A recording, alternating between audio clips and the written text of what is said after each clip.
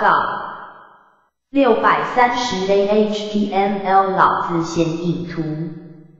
零一关幺零二关窍零三安宁零四不赢零五手中零六股神零七无私。零八弱水零九持银十玄德十一虚中十二位负十三重五十四道济。十五不赢十六复命十七之有十八四有十九朴素二十十五二十一从道。二十二报一二十三同道二十四不处六百三十 bhtml 二十五混成二十六辎重二十七习名二十八常德二十九自然三十步到三十一跪左。三十二之指三十三进己三十四成大三十五大象三十六为名三十七无畏三十八处后三十九得一四十反复四十一闻道四十二冲和四十三至柔四十四之指四十五清净。四十六知足，四十七天道，四十八日损，四十九得善，五十生死，五十一尊贵，五十二守母，五十三大道，六百三十 CHTML，五十四善见，五十五含德，五十六道贵，五十七治国，五十八察政，五十九长生，六十治国。六十一位下，六十二道奥，六十三无难，六十四辅物，六十五玄德，六十六江海，六十七三宝，六十八不争，六十九用兵，七十怀玉，七十一步兵，七十二畏威，七十三天网，七十四厮杀。七十五贵生，七十六柔弱，七十七天道，七十八水德，七十九左气，八十不喜，八十一不羁。加加加，白话道德经六百三十 A。C C 前言，注释不明，注的不明，原版不明。应赠太乙金仙道场，地址香港。九龙。深水埗青山道一百二十七号阁楼，电话二七二九三三一九。姐妹另有老字经典善书太上老君，容量九十二 K，公务欢迎修正删改复制。加加加零零。目录寻找代号 number 标示反白按望远镜按 Enter 钮。略传井号 A 零报告井号 A 一加上篇加。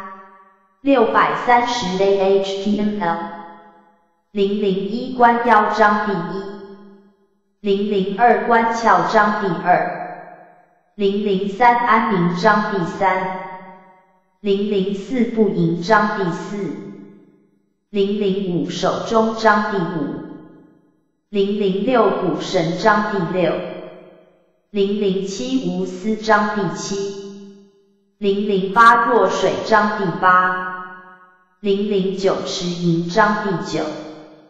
零一零玄德章第十，零一一虚中章第十一，零一二位副章第十二，零一三重组章第十三，零一四道济章第十四，零一五不赢章第十五，零一六复命章第十六，零一七之友章第十七。零一八四有章第十八，零一九朴素章第十九，零二零十五章第二十，零二一从道章第二一，零二二报一章第二二，零二三同道章第二三，零二四不处章第二四，六百三十 B H T M L，零二五混成章第二五，零二六辎重章第二六，零二七袭名章第二七。零二八常德章第二八，零二九自然章第二九，零三零步道章第三十，零三一会左章第三一，零三二知止章第三二，零三三进几章第三三，零三四成大章第三四，零三五大象章第三五。零三六为名章第三六，零三七无畏章第三七。下篇，零三八处后章第三八，零三九的一章第三九，零四零反复章第四十，零四一文道章第四一，零四二冲和章第四二。零四三至柔章第四三，零四四之止章第四四，零四五清净章第四五，零四六知足章第四六，零四七天道章第四七，零四八日损章第四八，零四九德善章第四九，零五零生死章第五十。零五一尊贵章第五一，零五二守母章第五二，零五三大道章第五三，六百三十 C H T M L，零五四善见章第五四，零五五含德章第五五，零五六道贵章第五六，零五七治国章第五七。零五八查证章第五八，零五九长生章第五九，零六零治国章第六十，零六一位下章第六一，零六二道奥章第六二，零六三吴南章第六三，零六四辅务章第六四，零六五玄德章第六五。零六六江海章第六六，零六七三宝章第六七，零六八不真章第六八，零六九用兵章第六九，零七零怀玉章第七十，零七一不病章第七一，零七二魏威章第七二，零七三天网章第七三。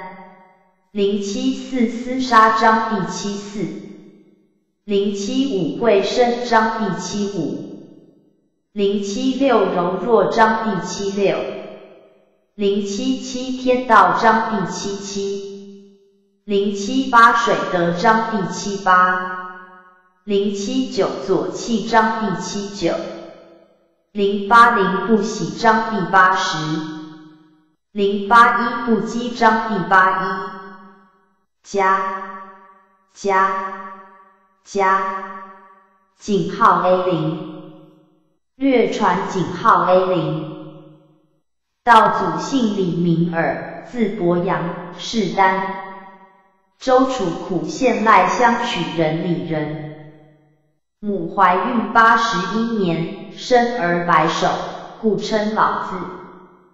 周时为守藏历。通礼乐，甚得游龙。孔子师之，学以自隐，无名未物。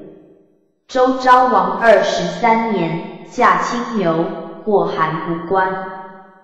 至关，官令尹喜曰：“子将隐逸，强为我著书。”于是者《道德经》上下篇，共五千言，乃去，莫知其所终。本部以宗教名，自东汉张道陵以符箓禁咒之法行事，乃有道教。教名之立，奉老单位教祖。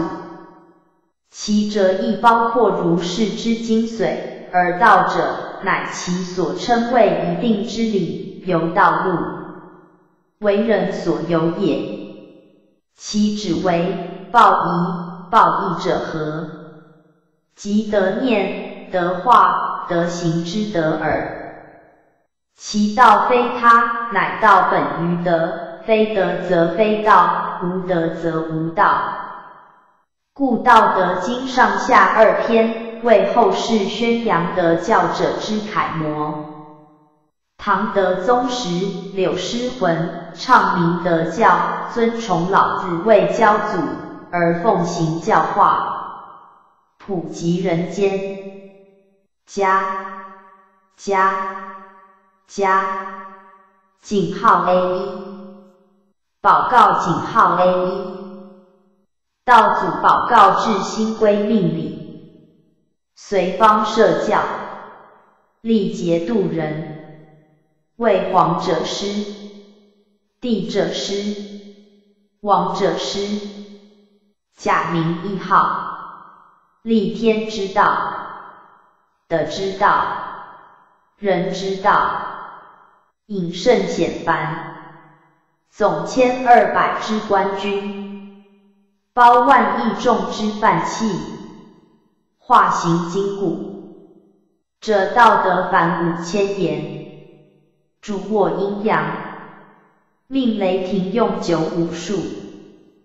大悲大愿大圣大慈太上老君道德天尊，加加加零一零零一关腰章第一，第一讲道与名，道可道。今天由我来讲道。那么道是什么呢？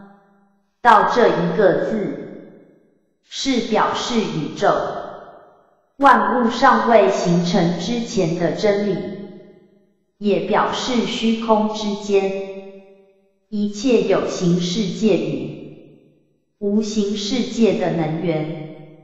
因此，人类是难以使用语言与文字去形容它，去描述它。可是，世人却偏偏喜欢以语言或文字去表达这个道，而目说的很多很多，非常道。依我看来，这只是口头之道而已。因为这个道，如果是可以讲出来。或是形容出来，就不是真正本来的道了，更不是永恒不变的道了。因为讲出来的道，只是描写与形容而已，与事实毕竟是距离很远的。譬如说，一张桌子，就是一张桌子。你就是巧夺天工，画的跟真的一样，毕竟还不是真正的桌子。这就是本来的东西与形容描写的差别距离。可是世人就是这么顽固，喜欢门户之争，都去强调。我们才是道，你们不是道，而且每个人所强调的道都不一样，更造成人与人之间的横突与矛盾。因此，我看到这种情形，才发觉到可以用言语表达出来的，已经不是真正的道了。因为这只是形容与描述而已，而真正的道是无法形容与描述的，就好像释迦牟尼佛在《金刚经》谈到说：“我说法四十九年，实在是没有说法的。如果你们以后讲我有说法，就是在诽谤我。由此可知，释迦牟尼佛对道的体悟，也是难以使用言语代替的。所以，修行的人，如果自己不去体悟大道的话，只想依靠别人的说辞，像这样的了解，还是离道很远的。明可明，明这一个字，是指宇宙万物还没有形成之前的名字。那个时候，宇宙万物都没有名字，可是没有名字，才是真正永恒不变的名字。一旦到了宇宙万物变成有形体，可以看得出来，又可以摸得到的时候。人类就会给它立个名字，可是这只是人间的巧立名目而已，非常明。因为万物是经常在变换更改的，因此这个名字也就跟着变换更改。譬如人的名字，随着人的死亡之后。这个名字也就跟着死亡，所以有名字的称呼都不是病症长久的称呼。无名，天地之始，所以说没有名号及没有名称的东西，才是天地之间的原始。有名，万物之母。照这样说来，称呼与名字，不就像万物的母亲吗？故常无欲以观其妙，常有欲以观其角，角同巧。所以我说，人的心灵在清清净净，连一点欲望也没有的时候，才能。观察出一切万物的本来面目。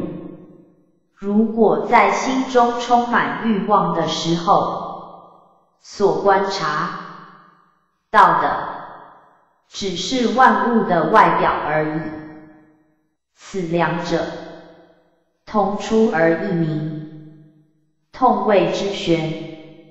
玄令本作源。以上两种人的心境不同。所以所观察到的事物，当然就有不同的见解与看法，这不是很玄吗？玄之又玄，玄令本作源。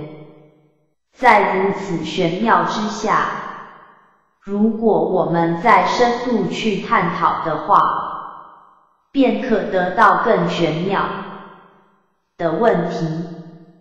你相信吗？重要之门。所以我说，研究到这门学问，的确是所有玄妙之门中最玄妙的了。你说不是吗？加加加零二零零二关窍章第二窍令本作讲。第二讲相对论，天下皆知，美之为美，斯恶已。假使为了表现美好的形象，就一再去虚伪的巧扮，像这种作为，难道还能算是美好吗？皆知善之为善，斯不善矣。如果只是希望行善让别人知道，才去做善事，那么这种行为还能算是行善吗？故有无相生，因此凡事没有有的感觉，就没有无的感觉，因为有与模式相对的，难易相成，没有困难的感觉，就没有容易的感觉。所以困难与容易也是相对的，长短相形，没有长的名称，就没有短的名称，所以长与短也是相对的，高下相倾，没有高的名称，就没有下的名称。所以高与下也是相对的，音声相和，声令本作文，没有小声的分别，就没有大声的分别，所以小声与大声也是相对的，前后相随，没有前方的分别。就没有后方的分别，所以前方与后方也是相对的。是以圣人处无畏之事，行不言之教。所以圣人知道以上这些相对的问题之后，为了要超越褒奖与烦恼的包袱。所以他就以无畏的心去处事，因为以无畏的心处事，他就不会感到困扰。因此他对人民的教化，就不喜欢以辩论的语气去实行。万物作焉而不辞，生而不有。他会学着天地培养万物一般，不辞辛劳，而且不自傲，更不视为己，有一样的无畏，畏而不恃，功成而弗居。因此圣人，他以天地之德为榜样，所以就做了许多事情。可是他做了许多事情之后，还是感到自己没有做一样，因为他是不想鞠躬的，所以他往往在大功告成之后，就功成身退，不想去占有这个荣誉，夫为弗居。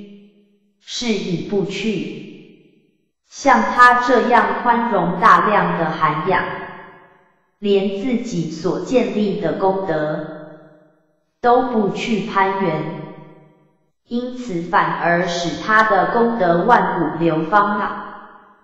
加加加零三零零三安宁章第三。第三讲无畏之志，不上贤，使民不争。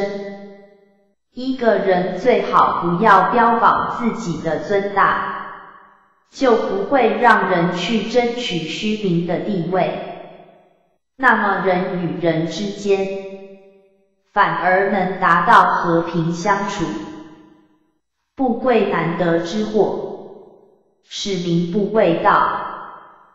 不要特别去标榜，或是珍藏难得的财货，这样别人的不会有贪欲的妄念，而沦为盗贼，不见可欲，使心不乱。因此，有以上的启示，我们就可以了解，如果不去见。那些足以起心动念的声色获利，心思就不会受到外物的迷惑。是以圣之治，虚其心，实其腹。所以圣人治理天下的方法，是先教人断除一切的邪思妄念。为首要的步骤，因为能断除邪思妄想念，身心才能神清气爽，精神饱满。弱其志，强其骨，常使民无知无欲。再来又教人消除高傲与自满的骨气，及不择手段的互相竞争之心。能够这样的话，争端就平息了。再其次，是增加人的体魄。使人人自食其力、自力更生，以及坚定自强不息的概念，更保持天真、和谐的状态，又没有伪诈的心智及争夺的欲念，使夫之者不敢为也。像这样教化人民的方法，纵然有几位诡计多端的阴谋家，也不敢胡作非为了。为无畏，则无不治。因此，照这样无畏又安然的方法来治理天下，天下那里还有治？不好的道理呢？加加加零四零零四不盈章第四第四讲道的功用，道冲而用之，或不盈。道体虽然像虚空一样的渺茫，然而它所产生的能量。却能让万物取之不尽，用之不竭，渊兮似万物之宗。它身后博大的样子，不就像万物的宗主吗？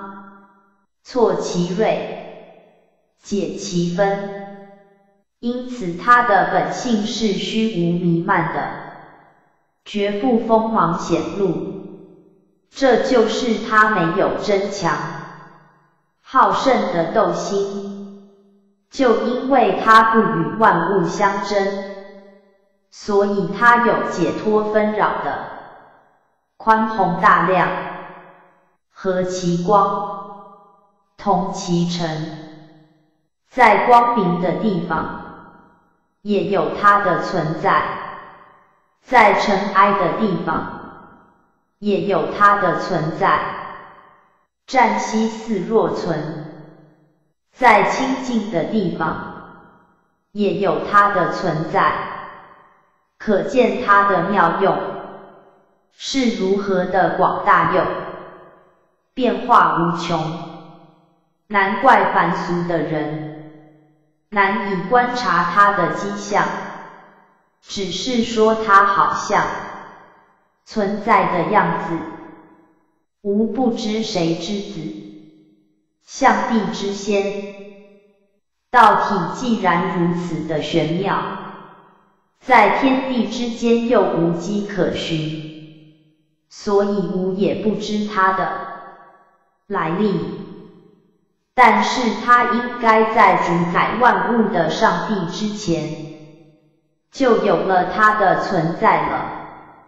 加加加零五零零五手中章第五第五讲天地与圣人，天地不仁，以万物为刍狗。天地真的不仁慈吗？为什么将万物当成祭祀用的草狗一样？用过之后就不要了，圣人不仁，以百姓为刍狗。圣人真的不仁慈吗？为什么将天下百姓当成祭祀用的草狗一样，用过之后就不要了？其实天地化育万物，是遍及一切的。圣人博爱的精神，也是遍及一切的。他们的心境。绝不存有偏狭之意与分别之念，因此万物的退化，完全是随着他们的因果造化，这怎能怪罪天地的不仁慈，或是圣人的不仁慈？其实这完全是人民自己所作所为。自己招来的因果祸福呢？天地之间，其有橐越乎？虚而不屈，动而越出。所以说天地之间，就好像一个风箱一样，如果没有人去摇动它，它就虚静无味。但是它生风的本性仍然是不变的。如果有人去拉动它，那么风就自然吹出来，多言数穷。因此，天地与圣人的心境是无畏的。而现在有些人的思想，不是偏左，就是偏右。不能守中庸之道，常常以为自己很聪明，妄作主张，固执己见，互不相让。像这种作为，不是聪明反被聪明误吗？不如守中。如果要像以上这些多余的做作，倒不如守住中和之道。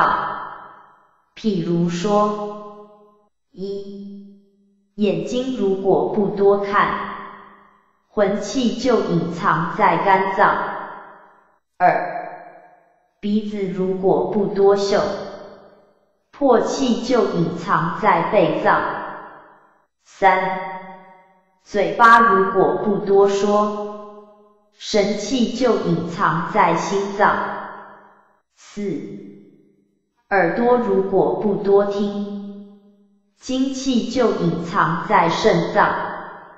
五身体如果不多动，意气就隐藏在脾脏。以上这五种神器，如果能够守中，身体中的武器自然归于本位。浊精自然化为元气，元气自然化为神气，神气自然归于虚无之中。这就是修身的要诀，性命的关键。学道之人不可不知呀。加加加零六零零六古神章第六。第六讲无形的真神，古神不死，是谓玄牝。天地有无形的真神，人体有无形的元神，这都是虚无妙有的，看也看不到的。现在我们就简称它为万物之母吧。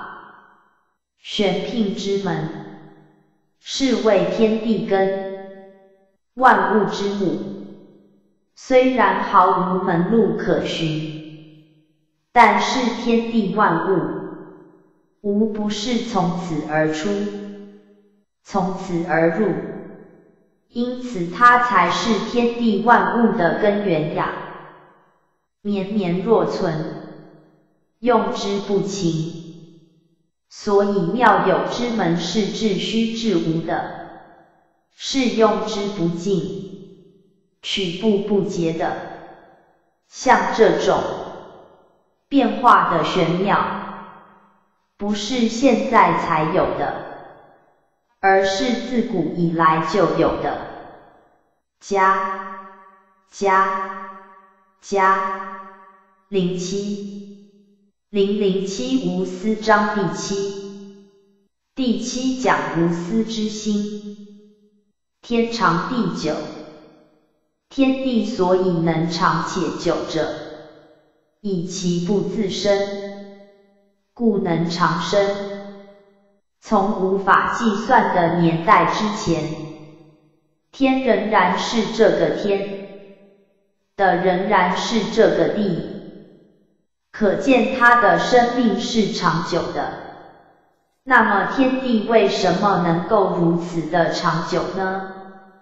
就是因为它不是自己生长自己，而生长万物，不为自己而为别人，所以他能够长生，是以圣人后其生而身先。因此圣人明白这个道理之后，他也学着天地一样。将自己的事放在后面，将别人的事放于前面。可是他的灵性却永远在别人之上，外其身而生存。他虽然将自己置之度外，但是他的真我反而永远长存。非以其无私耶，故能成其私。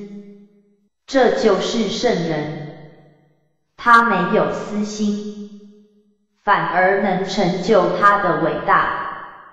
而且等到他的身体死了以后，他的灵性永远超脱三界，不再受到六道轮回之苦。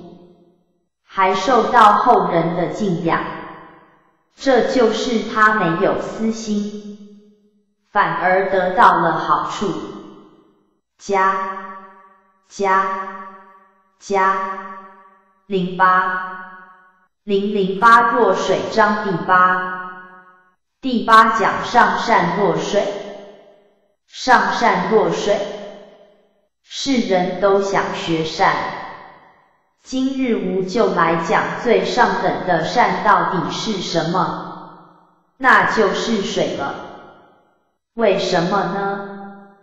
不信的话，我可用以下的比喻去分析之。水善利万物而不争。一，水的善德在哪里呢？就是它利益万物，滋润万物。也不去争名争利、争功争大，触众人之所恶，故己于道。二，他处在众人所厌恶又卑下的地方，这就是他最接近道的作为了。居善地。三，他无论居住在什么地方。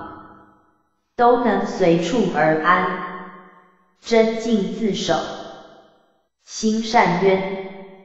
四，而且他的善德渊深得很，几乎难以测量。为什么呢？因为他能够沉静，又能和合万物之用，与善人。五。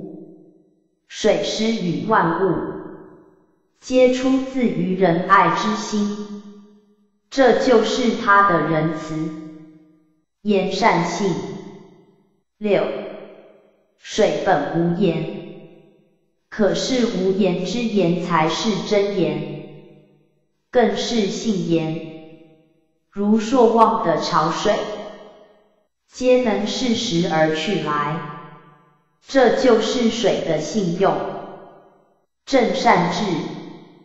七，水的滋润万物，就好比处理政治一样，遇热就生成雨露，多余就流入江河，如此生生不息的现象，不就是水善于处理政治的表现吗？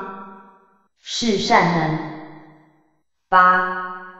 水在形式方面，又能尽其所长，如行舟渡筏，滋润万物；煮饭、烧菜、洗衣，无不是水的善能。动善时，九，在举动方面，很合乎自然的，如水流到圆的地方。它就成为圆形，流到方的地方，它就成为方形。阴温的时候就会下雨，晴天的时候它就升华。人如果能够像水一样，不违背天时行事，不妄作。不妄为，不妄言，这才是学习水的善德。夫为不争，故无尤。尤其水不与他物相争，所以他物也不会与水相争。这就是水与和的表现。所以，如果人能够学水的涵养与和气，自然也不会有错误之纷争了。加加加零九零零九持银章第九第九讲为人的道理，持而引之，不如其已。为人的道理，应该知道进退的分寸，凡事适可而止，不要自夸自大，因为自信自满的人，往往就像水一流出来一样，得不偿失的，倒不如放下自大自满的心，使得自己安逸恬适。揣而锐之，不可长保。自是自己聪明才智，就锋芒显露的人，将会受到别人的排斥与打击。因此，这种人就不可能受到别人的拥载与爱护。金玉满堂，莫之能守。金与玉虽是珍贵之物，但仍是身外之物，因此纵然是富有之人，金玉堆积满堂，一旦临命终时，还是守不住的。所以修道之人，倘若能直取身中之金玉，养性命之珍藏。才是用之不尽，取之不竭也。富贵而骄，自遗其咎。还有富贵之人，如不生骄傲之心，他人必定会以让功之心礼敬于你。倘若贪恋富贵又骄傲自得，这将使人极度批评，又是自取祸殃的开始。功成名遂，身退，天之道。所以，只有成功身退的人，才最合乎自然的天道了。加加加十。零一零玄德章第十，第十讲修道难易，载淫破报一，能无离乎？修道说容易也容易，说困难也困难，因为人心一外时，魂就与魄相离。那么你们能够保持神不外游？意不散乱吗？专气致柔，能婴儿乎？你能够专守先天的元气，如婴儿赤子一样，保全天真柔和的本性吗？涤除玄览，能无疵乎？你能洗除贪执之心，自尽其意？使心灵清净澄澈而毫无瑕疵吗？爱民治国，能无畏乎？你能在爱国家、爱民族，或是治理国政的时候，保持一种天真博爱、自然无畏之心吗？天门开合，能无辞乎？人心为一生之主，那么你的一生之主，在喜怒哀乐出入动静的时候，是不是经常守住安静柔弱呢？明白四达，能无知乎？你们能够在事物完全明白之后，还能保持不以聪明为骄傲？而守住无见无闻、无畏无欲的境界吗？生之处之，生而不有。以上这些道理，其实都是要你们学习天地一般。因为天地虽生长万物，养育万物。但是他仍然不把万物当成自己的，为而不恃，长而不宰，是谓玄德。他生育万物，养育万物，做了天下的事，仍然还不仗势自己的才能，常养育万物，还不认为自己是主人翁。像天地这种作为，便可称为最深、最后、最高、最远著、最远著原书漏印，玄者妙也，黑也，玄通原始也，加加加。十一。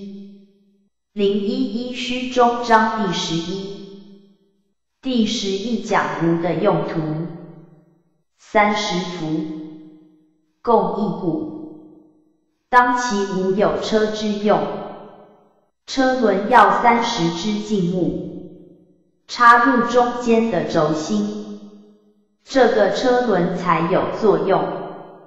山指以为器，当其无有器之用。制造圣物的器具，要留个中空的地方，这些器具才能圣物。凿户有以为是，当其无有事之用。建造房屋，开凿门窗，要留个空间才能住人，故有之以为利，无之以为用。所以说，有形的东西是给人方便使用的，无形的空间才是活动的地方。如天与的之间是中空的，才能让万物来去无阻，通行无碍。如天与的之间没有这个中空的地方。万物就没有活动与生化的余地了。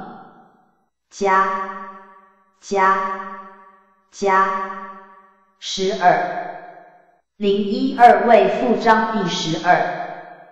第十二讲追求外在的人，五色令人目盲，追求外在的形色，将离去本性的灵明。譬如声色或力本是身外之物，但是受到眼睛物欲的影响，就会留意奔驰。因此五色使人的本性趋于迷茫，就是这个原因。五音令人耳聋，贪求外在的声色，也会使人本性蒙蔽。一旦蒙蔽了本性，正法的声音就难以听入心灵之中。像这种人，不是好像耳聋的人吗？五味令人口爽，爽令本作臭。人一旦贪求食物的滋味，本性便被味觉所惑。所以五味常使人的本性流溢奔放，而不知本性之中，但中有味。如子曰：“饭疏食饮水，而乐在其中，此就是真味也。”持聘甜烈，令人心发狂，甜令本作甜。如果人无所事事，每天骑着马追逐鸟兽打猎竞技，这种人将会使自己疯狂于斗争之心，导致身心不宁，而迷失天赋之本性，难得之祸，令人心防。拥有珍贵宝物的人。常使自己行动受到妨碍，而过分虚荣的人，往往会不顾节操以致身败名裂。是以圣人为富不为物，故去彼取此。因此圣人知道物欲之害，所以在为人处事方面。就不去强求物质的享受，一心一意，常养性中之富宝，不爱外物而乱心，就是这个原因呀。加加加十三零一三重主张第十三。第十三讲宠爱与羞辱，宠辱若惊，世人皆注重于宠爱与羞辱的差别，所以一旦遇有外来的宠爱或是羞辱，就感到惊慌而不知所措，贵大患若身，而圣人就不同了。他对于别人的宠爱，就好像我们有这个身体一样的祸患。因为人生是四大水火风土甲和。何谓宠辱若惊？为什么宠爱及羞辱会让吾感到惊慌呢？宠位上，辱位下，得之若惊。失之若惊，是谓宠辱若惊。因为宠爱就好像得到功名富贵一样，有一天恐怕又要失去；而羞辱就好像被辞职的人，将要受人嘲笑。何谓贵大患若身？无所以有大患者。谓无有生，即无无生，无有何患？为什么有身体是祸患呢？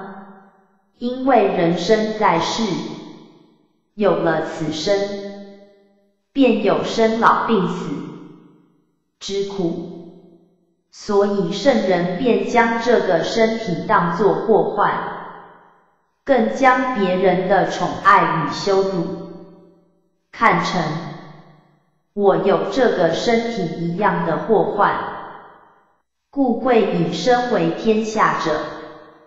可以济天下，所以有道的人，他虽然得到尊荣的地位，但是他不视为自己的荣耀，因为他认为自己的尊贵就是天下人的尊贵，自己的荣耀就是天下人的荣耀。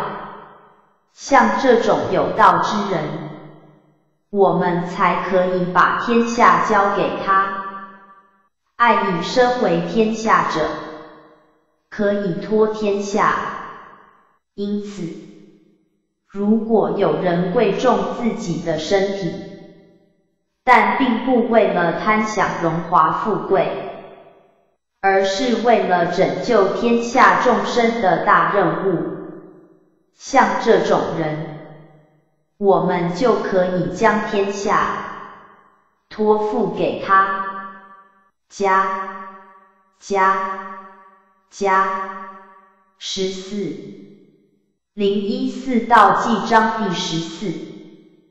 第十四讲无相无声无形，视之不见名曰疑，看不出什么东西。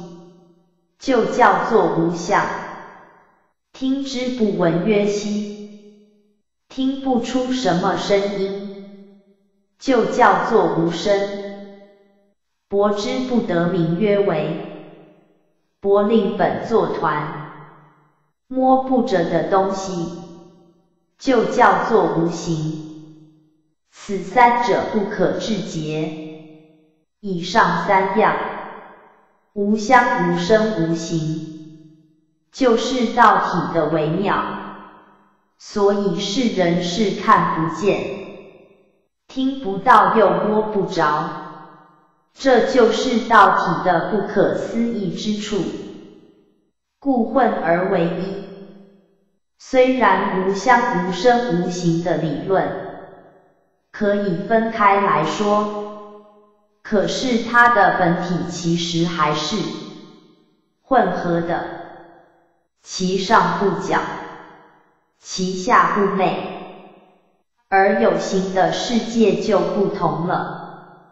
凡是有一边明的，就有一边是暗的，如上南是明的，下面就是暗的。而道体的微妙就不同了，它上面不是明的，下面也不是暗的，神神兮不可名，复归于无物。它绵绵不绝，充塞于天地宇宙之间，似乎是有个物体，又难以立言。因为它毕竟是非常虚无的东西，虽然它生长了万物，而又好像不是。它生长的是为无状之状，这就是没有形状的形状，没有物体的物体，无相之相，是为恍惚。所以有人说到体味恍惚不定的，好像有，又好像没有的，迎之不见其首，随之不见其后。为什么会这样子呢？因为如果你想在前头去迎接到体的话，根本也看不到它的前头。你要是想在后面跟着他，你还是看不到他的尾巴。知古之道，以喻今之有，因此圣人就是秉着持着，这古史以来就存在的道，去治理世间的一切，能知古史，是谓道纪。所以我说能够知道古史之道的人，就是知道道的系统的人。因为这个系统就是道的纲纪呀，加加加十五。零一五不盈章第十五。第十五讲古代的有道之士，古之善为士者，微妙玄通，深不可识。古时候的有道之士，他们的灵性是维系奥妙的，他的本性是永远。通达的，这都是外人难以窥测、难以了解的玄机，夫为不可识，故强谓之容。就是这样难以窥测它的玄机。如果要去描述古代有道之士的话，也只能勉强形容而已。玉溪若东涉川，令本卯兮。比如他们在处理事物方面的行动，绝对不会急迫冲动，就好像古时候的玉兽一样。一定要等到冬天，河水的冰结冻了，才敢走过，否则未等到河水结冰，就鲁莽走过去，不是等于自己去送死吗？游西若为四灵，令本卯兮，他慎独的功夫。就好古时候的游兽，要下山一样的谨慎，不敢扰动山下村庄的百姓，否则他的生命就危险了。偃息其若客，令本卯兮。因此，古代的有道之士，他为人恭敬的样子。就好像身为主人、礼遇贵宾一样的谨慎，不敢轻举妄动。涣兮若冰将逝，令本卯兮。在心性清净方面，他对一切外缘的干扰心不染着，就好像春风中的冰。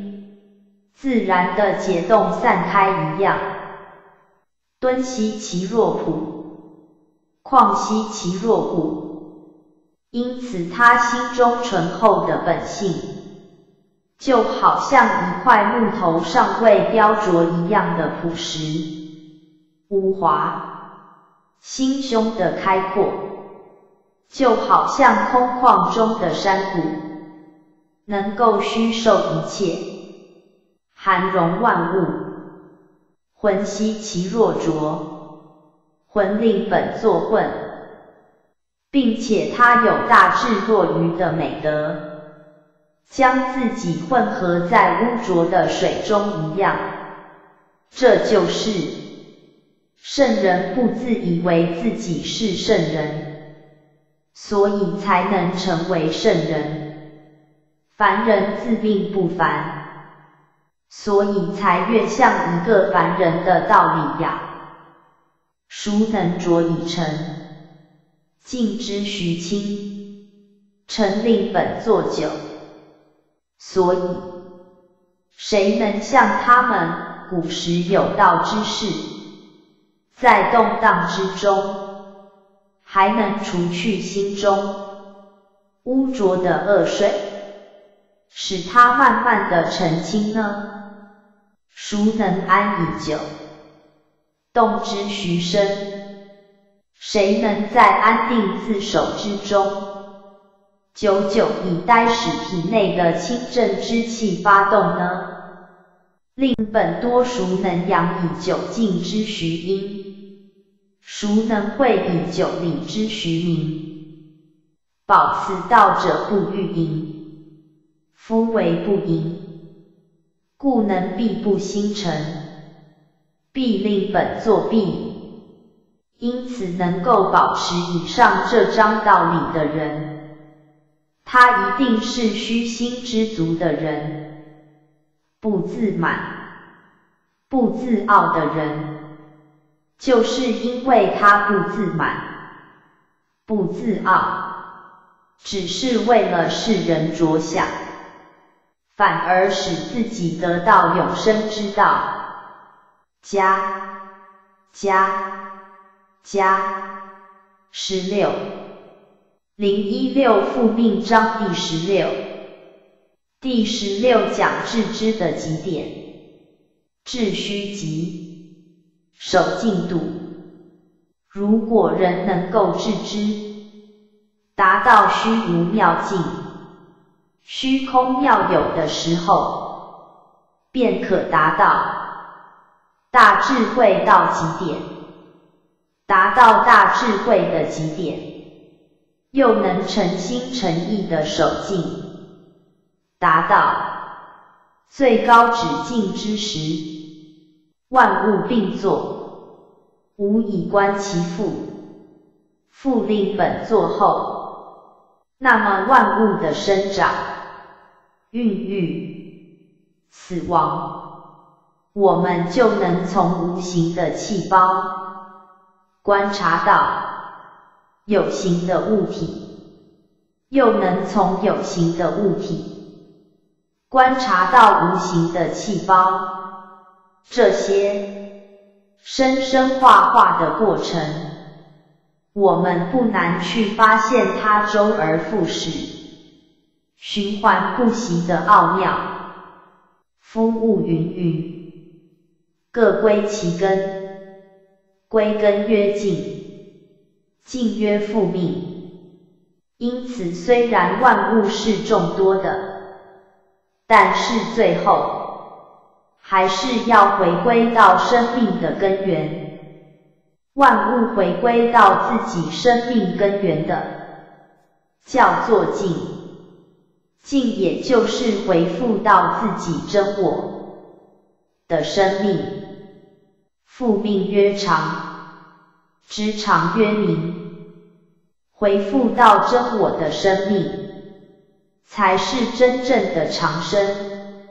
知道什么是长生的人，可说是明白什么是假我，什么是真我的人。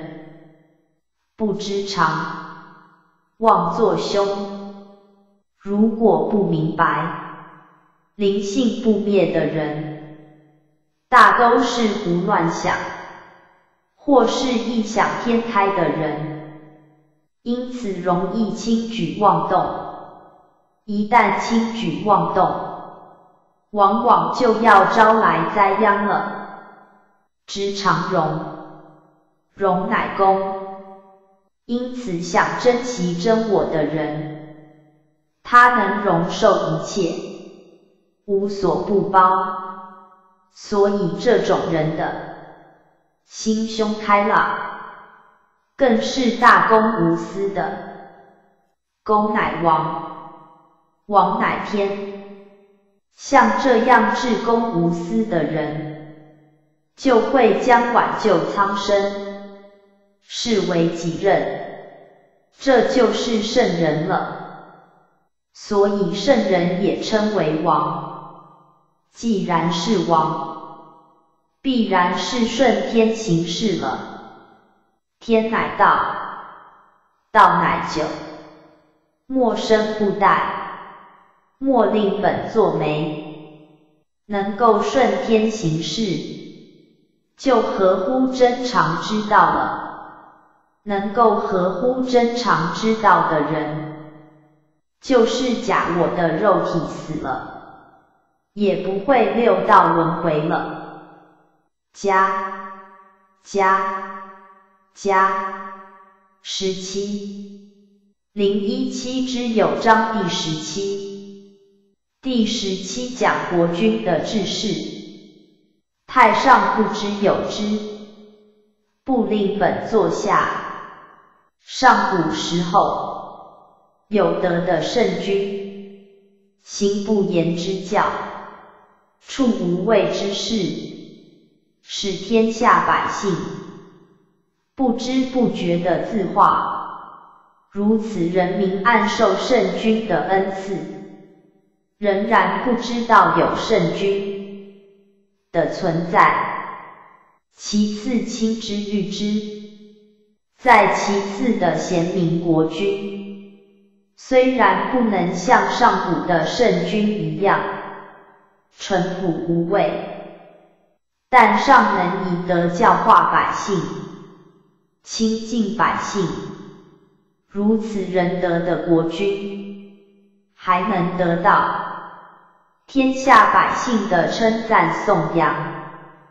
其次谓之，在其次的时期，在其次的国君，他教化百姓，就以行政与赏罚去。治理人民，这时候的人民就知道畏惧国君了。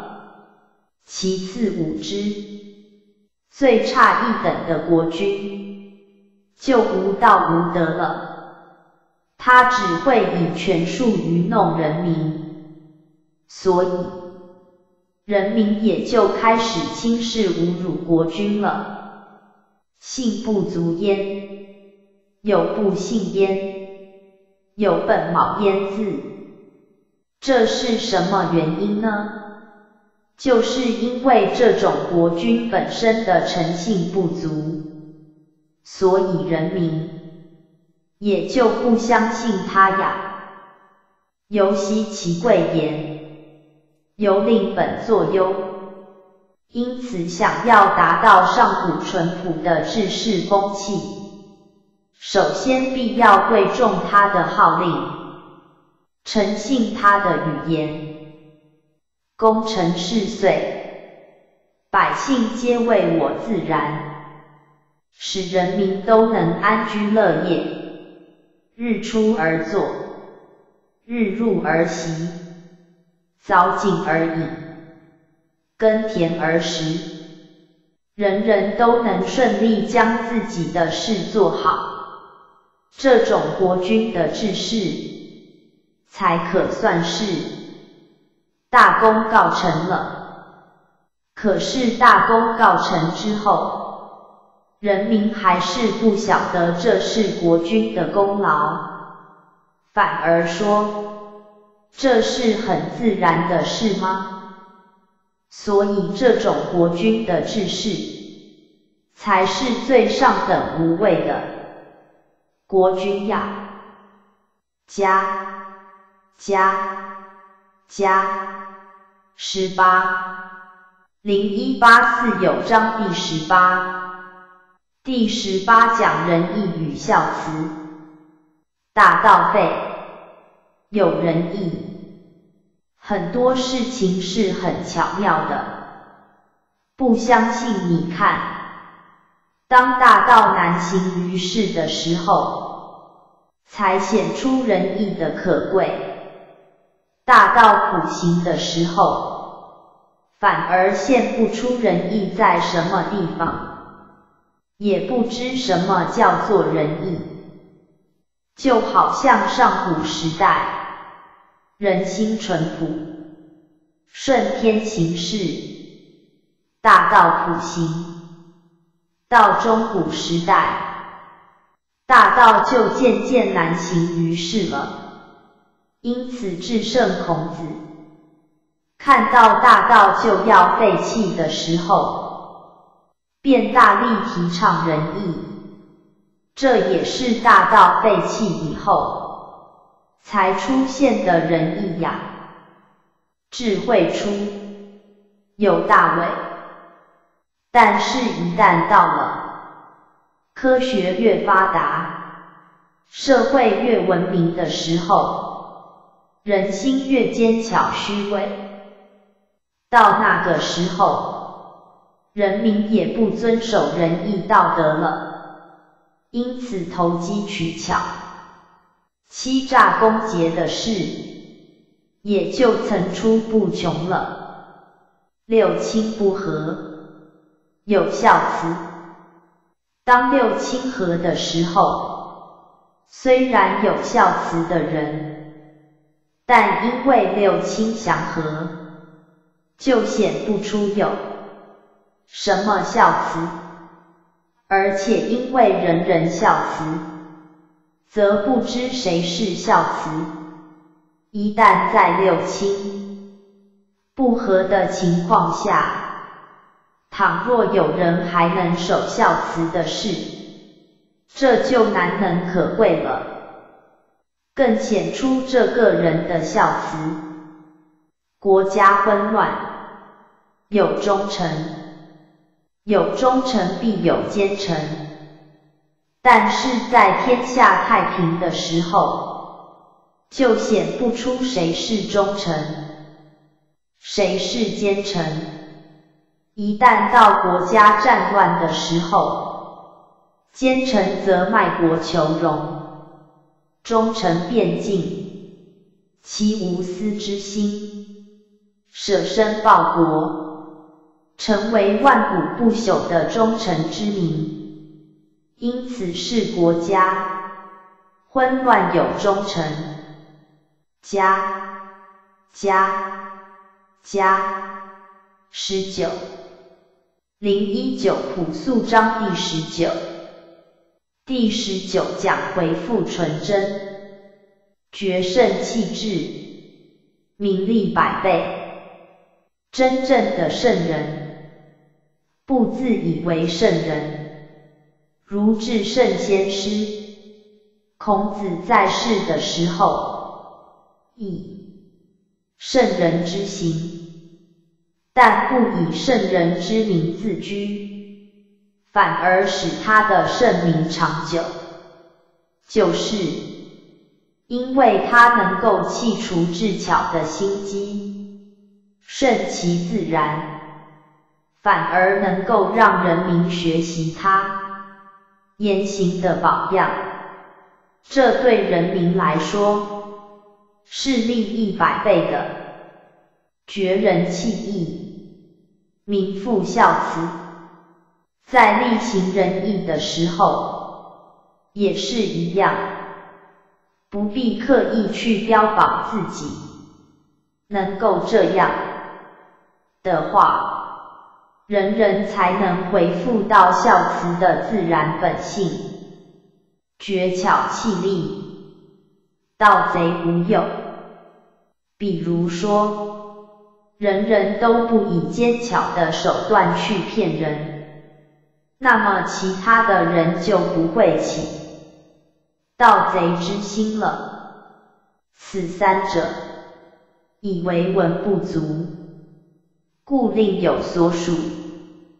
以上这三种理论，有些人认为是多余的，文章是难以感化天下的，所以我就另外撰下一种启示，来教导天下的百姓，见素抱朴，少思无欲，就是持守朴素纯洁。少思寡欲，回复到纯真的本性。加加加二十零二零十五章第二十第二十讲是万物为一体，绝学无忧。只要断绝奸巧的心思。反而使人没有分别计较的忧愁，为之与阿相去几何？比如在接待对话之间，轻轻和气的回答，为何不耐烦回答？啊，这两句话同样是声音，相差没有多少。善之与恶，相去何若？虽然相差没有多少，可是，在别人听到耳里的感受就不同了。一种是觉得良善的，另一种就觉得恶意的。人之所谓不可不畏。所以只是一句话的应声回答，良善与恶意就很明白的表露出来，每个人相信都觉得很可怕，我也一样不能不怕呀。荒兮其未央哉！可是世人不修心德，心田宝地都好像荒废的田园一样。愤恨贪欲的杂草到处丛生，不去修剪，众人熙熙，如享太牢，如登春台。这种贪欲无厌的样子，就好像要参加丰盛的宴席一样，很想尝试，又像春天登上高台。远眺风景一样的愉快。我独泊兮其未兆，如婴儿之未孩。唯有我的心境淡泊恬适，心清意定，就好像婴儿在母体的怀抱中，沉沉兮若魔所归，好像动，又好像不动，没有私欲。也没有烦恼，像这种不沾染世俗的样子，又好像我所归的游子一般，众人皆有余，而我独若遗，不像世人经常自得意满，尤其在追求功名利禄的时候，就像有。用不完的才智与能力，而我的才智与能力，就好像遗失一样，心境之中空空洞洞，我愚人之心也哉！顿顿兮，俗人昭昭，我独若昏；俗人察察，我独闷闷。我真像愚人呐，是那么的无知无识，混混沌沌的，尤其是人的眼目，谋虑多端，就好像很精明锐利的样子，唯有我昏昏昧昧，像无知的小孩，还有世人斤斤计较的样子。就好像很会分别，唯我像没有知识的人，不知道怎样去分别与计较。但惜其若海，飘兮若魔所至，令本作呼吸其若会，寂兮似无所至。哈，我的心田淡宁。就好像大海一样的深阔广大，像风一样的飘摇自在，不执着一定的住所。众人皆有矣，我独顽似彼。世人都仗势自己聪明才智，以为自己很有作为，而我呢，就像。一位愚顽又鄙陋的粗人，我独异于人，而贵十母。唯有我跟世人不一样，是因为我一心以道为重，视万物为一体，就好像时时要吸食母奶的婴儿一样，得到母奶，性命可全。失去母奶，性命就难保了呀。加加加二十一零二一从道章第二一。第二一讲道的显现，孔德之容，为道是从。如果想去洞悉。德的真实面目，唯有从道体之中，才能够找出。目标与答案。道之为物，为恍为惚。那么道体又是什么呢？它本自无形，又无一定的形象，是。恍恍惚惚的，说有又无，说无又有，呼吸恍兮，其中有象。可是，在这恍惚之间，它又具备一切的形象。恍兮呼吸，其中有物，在这恍惚之中。它又包含了天地一切万物，杳兮明分，其中有精，杳令本作杳。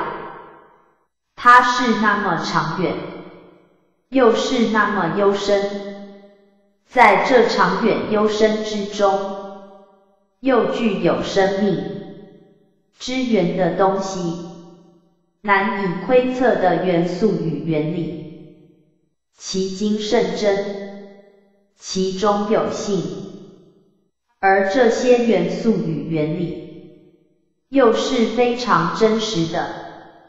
如天地没有这些元素，天地就不能悠久；人类没有这些元素，人类就不能生存。而且，其中又包含了。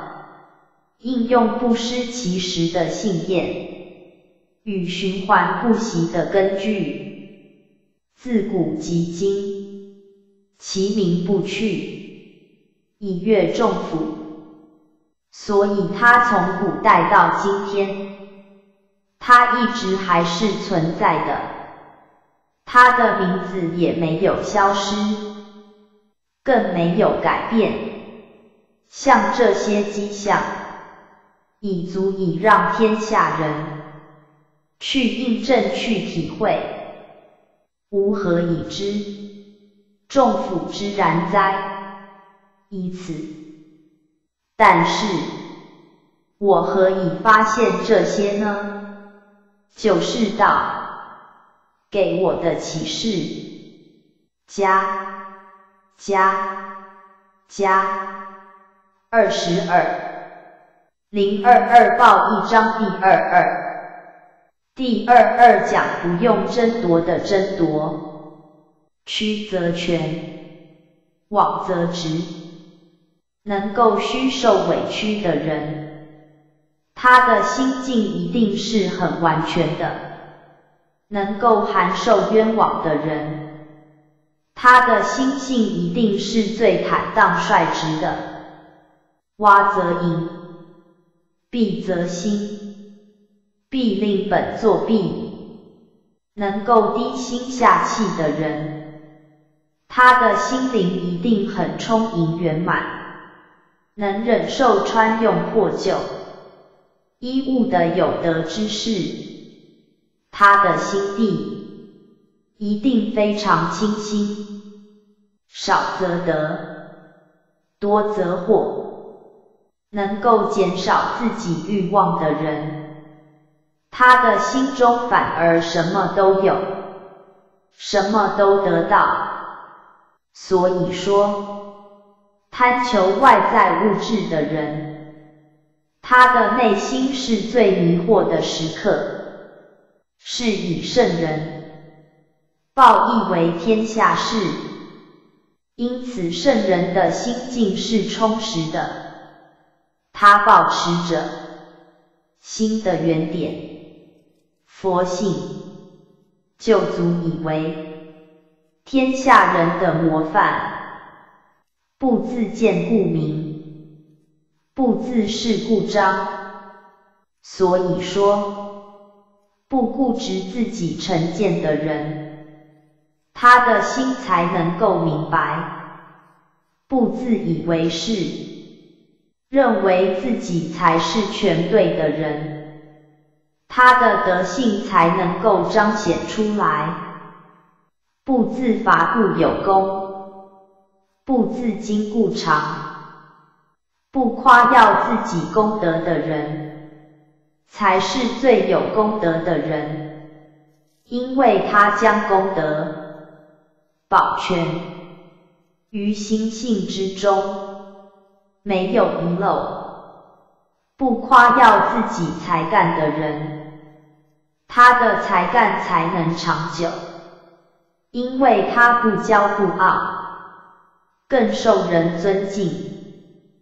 夫为不争，故天下莫能与之争。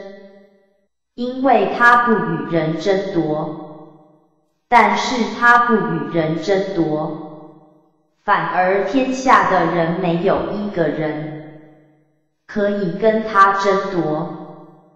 故之所谓。曲则全者，岂虚言哉？成全而归之。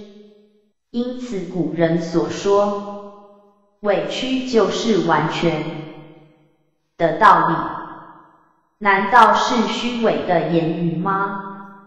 所以说，能够时时沉于中的人，天下自然就归向于他家。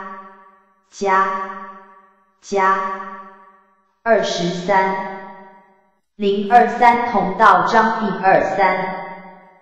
第二三讲自然之道，其言自然，飘风不终朝，骤雨不终日，减少言论的争辩，更合乎自然的道。你看狂风刮不了一早晨。它自然就停止了，暴雨下不了一天，它也难以再下了。孰谓此者天地？天地尚不能久，而况于人乎？谁刮的狂风？谁下的暴雨？就是天地呐！谁能比得上天地呢？天地这么大，如果不顺乎自然而为，尚且还不能长久，更何况是我们这些小小的人呢？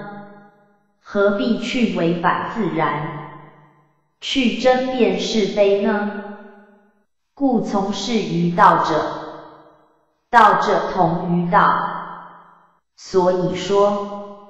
想修行大道的人，如同面对一位有道的人，我们就以道来互相研究讨论。得者同于得，失者同于失。如果面对一位有德的人，我们就以德来互相勉励；如果面对一位失意的世俗人，我们就以慈悲的心去安慰他。同于道者，道亦乐得之。能够这样做的话，你跟有道的人在一起，有道的人也感到很快乐。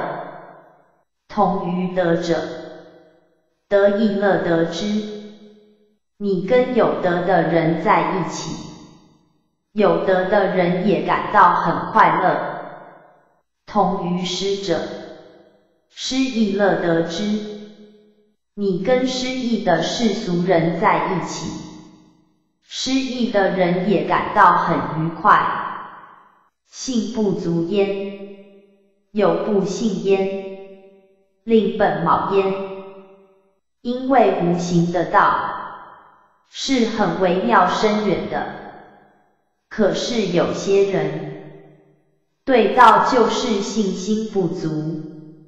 有些人根本不信，所以你就是强辩也是没用啦。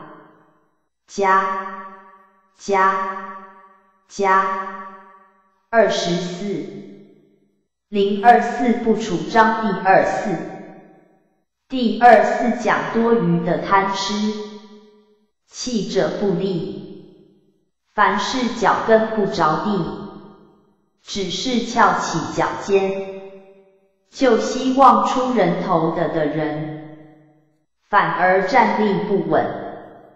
跨者不行，凡是跨着大步，想要走快的人，反而走不了多远，就要累了。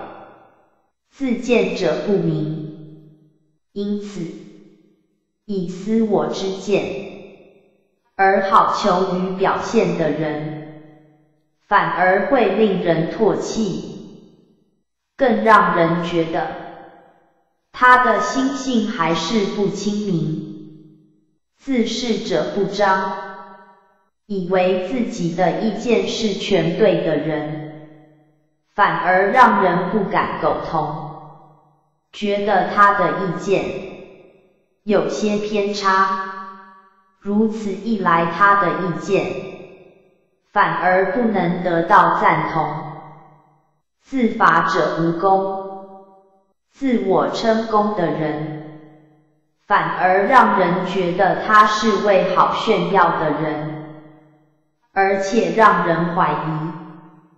他所说的功劳，自今者不长，经常自我夸耀自己本事的人，也是一样让人否定他的能力，因为。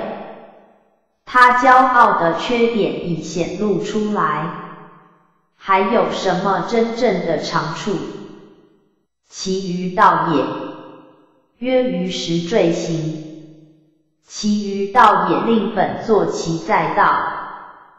以上这些好胜好强的行为，站在道的观点来看，就好像肚子已经吃饱了。别人叫你再吃，不是等于多余的贪吃吗？物或恶之，故有道者不处。像这种行为，动物或植物的东西尚且讨厌，更何况我们是万物之灵的人类，因此有道之人。了解这些道理之后，就不会这样了。回。家家家，返回主网页 back home。道德经，老字白话注释版，六百三十 B H T M L。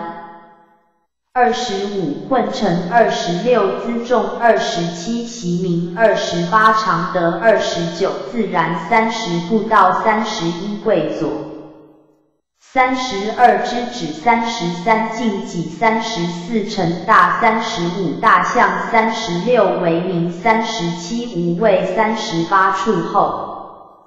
三十九得一四十反复四十一闻道四十二冲和四十三至柔四十四知止四十五清净四十六知足四十七天道四十八日损四十九得善五十生死五十一尊贵五十二守母五十三大道加加加。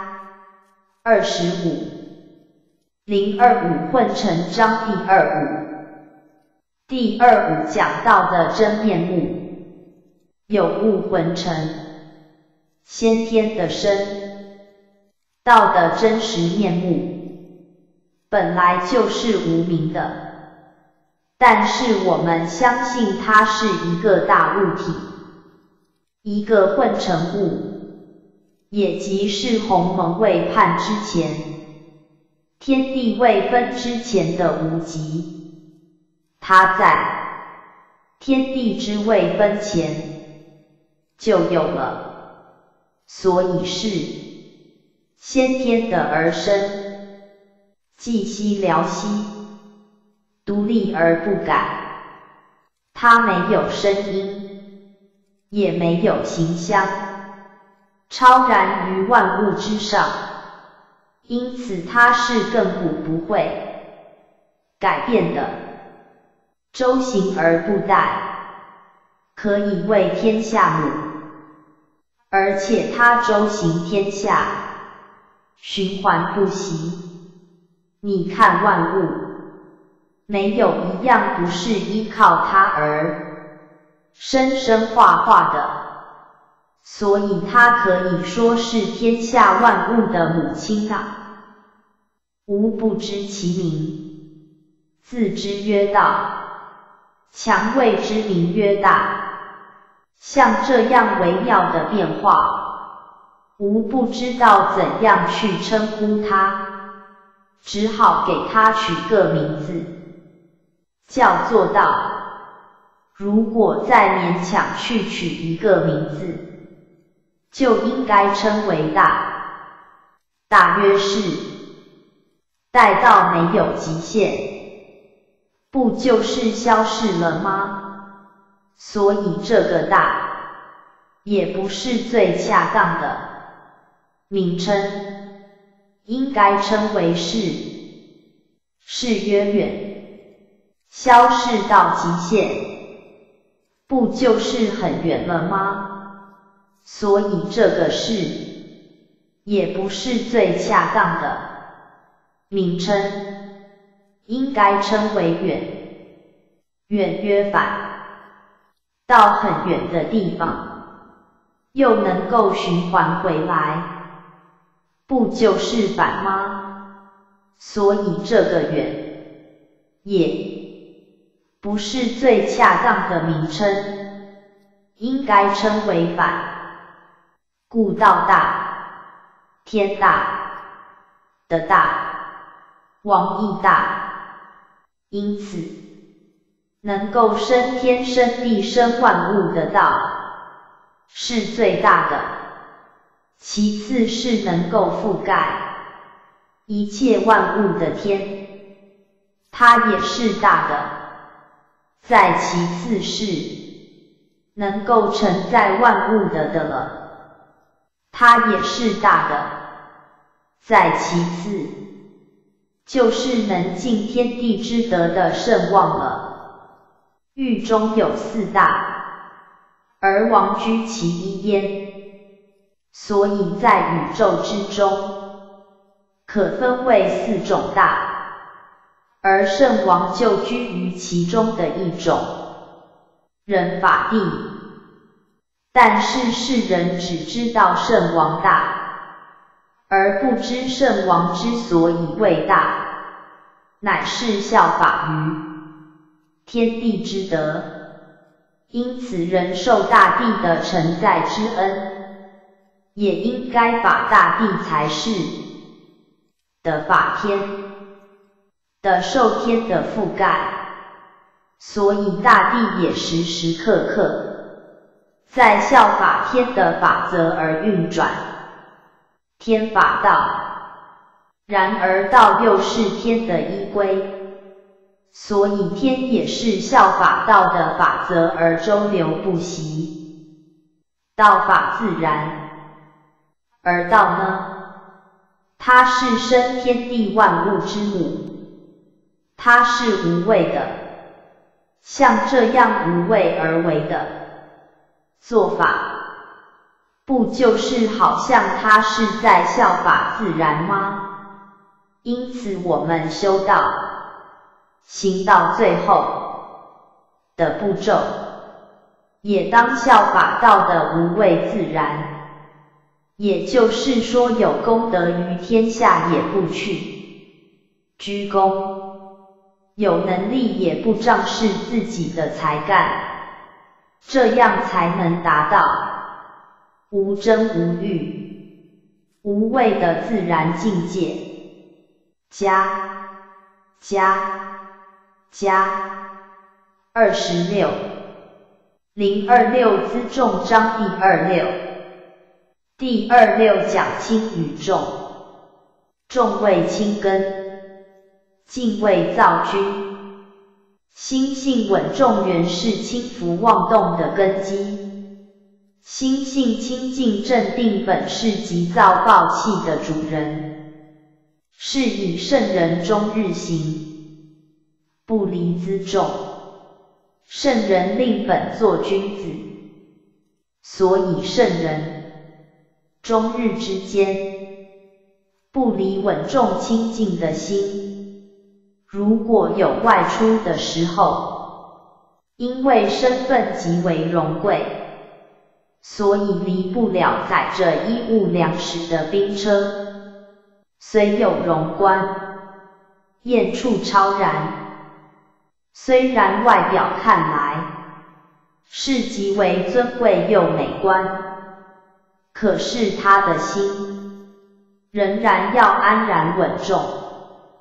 不可受到尊贵美观而纷扰心境，奈何万乘之主，而以身倾天下？可是有些拥有万辆兵车的君王，他就不同了，他不知道以自身的修养为重，而轻浮妄动于声色获利之间。因此，他不知自重，自身就轻了，自身轻了，天下也就轻了。所以，这就是他自取灭亡的时候。轻则失根，躁则失君，根令本作成。所以我说。轻浮的人，他就是想早日失去自己的根本，就好比躁动的国王，想早日失去他君主的尊位一样。家加加二十七零二七习名章第二期第二期讲至善的人。善行无折机，至善的人，他行善于天下，心里没有虚伪的做作，也不想让别人知道的念头，因此他的心中丝毫不留下行善的痕迹，善言无瑕谪，而且至善的人。他说话的时候，纯粹是自然本性的流露，因此他所说的话就是真理，所说的既是真理，当然就让人心服口服，所以也就没有缺点让人责备。善计不用筹策。更何况至善的人，他的心就是佛，佛就是他的心，所以他所做的事，不用什么计划，一行一动，都是仙佛的显现，不像凡人想做好一件事情，都是用尽心机。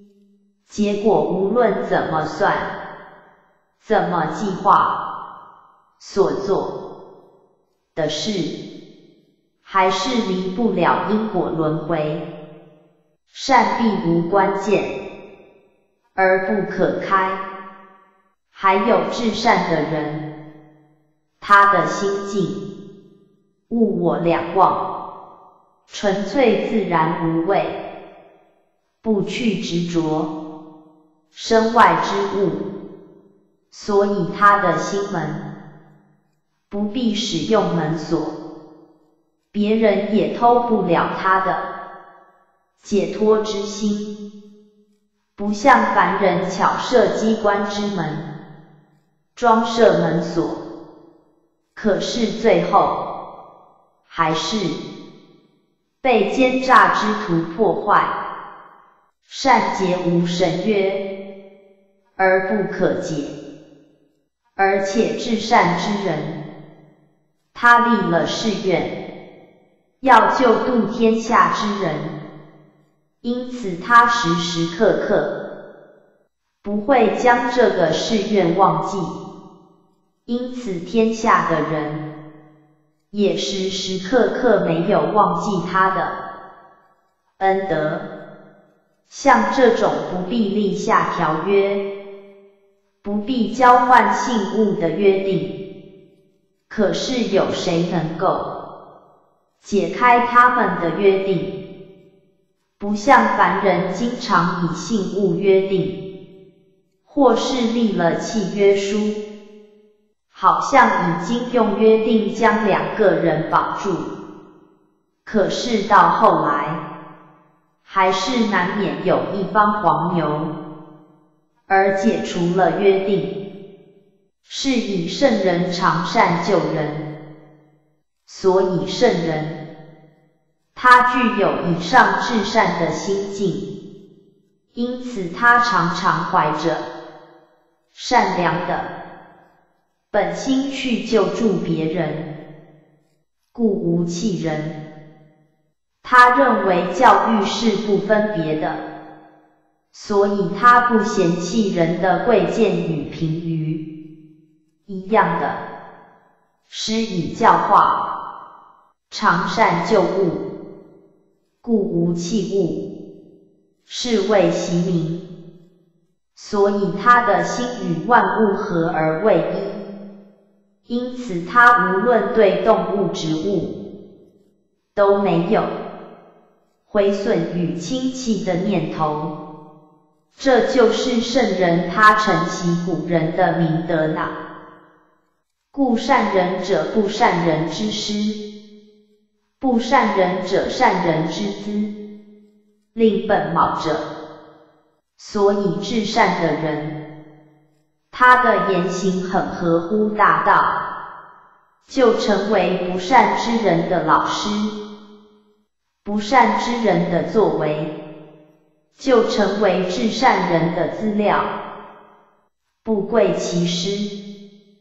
但是至善的人仍然不会执着拥有老师的资格，不爱其资，因为他希望每个人都是至善的人，所以他也希望以后再也没有。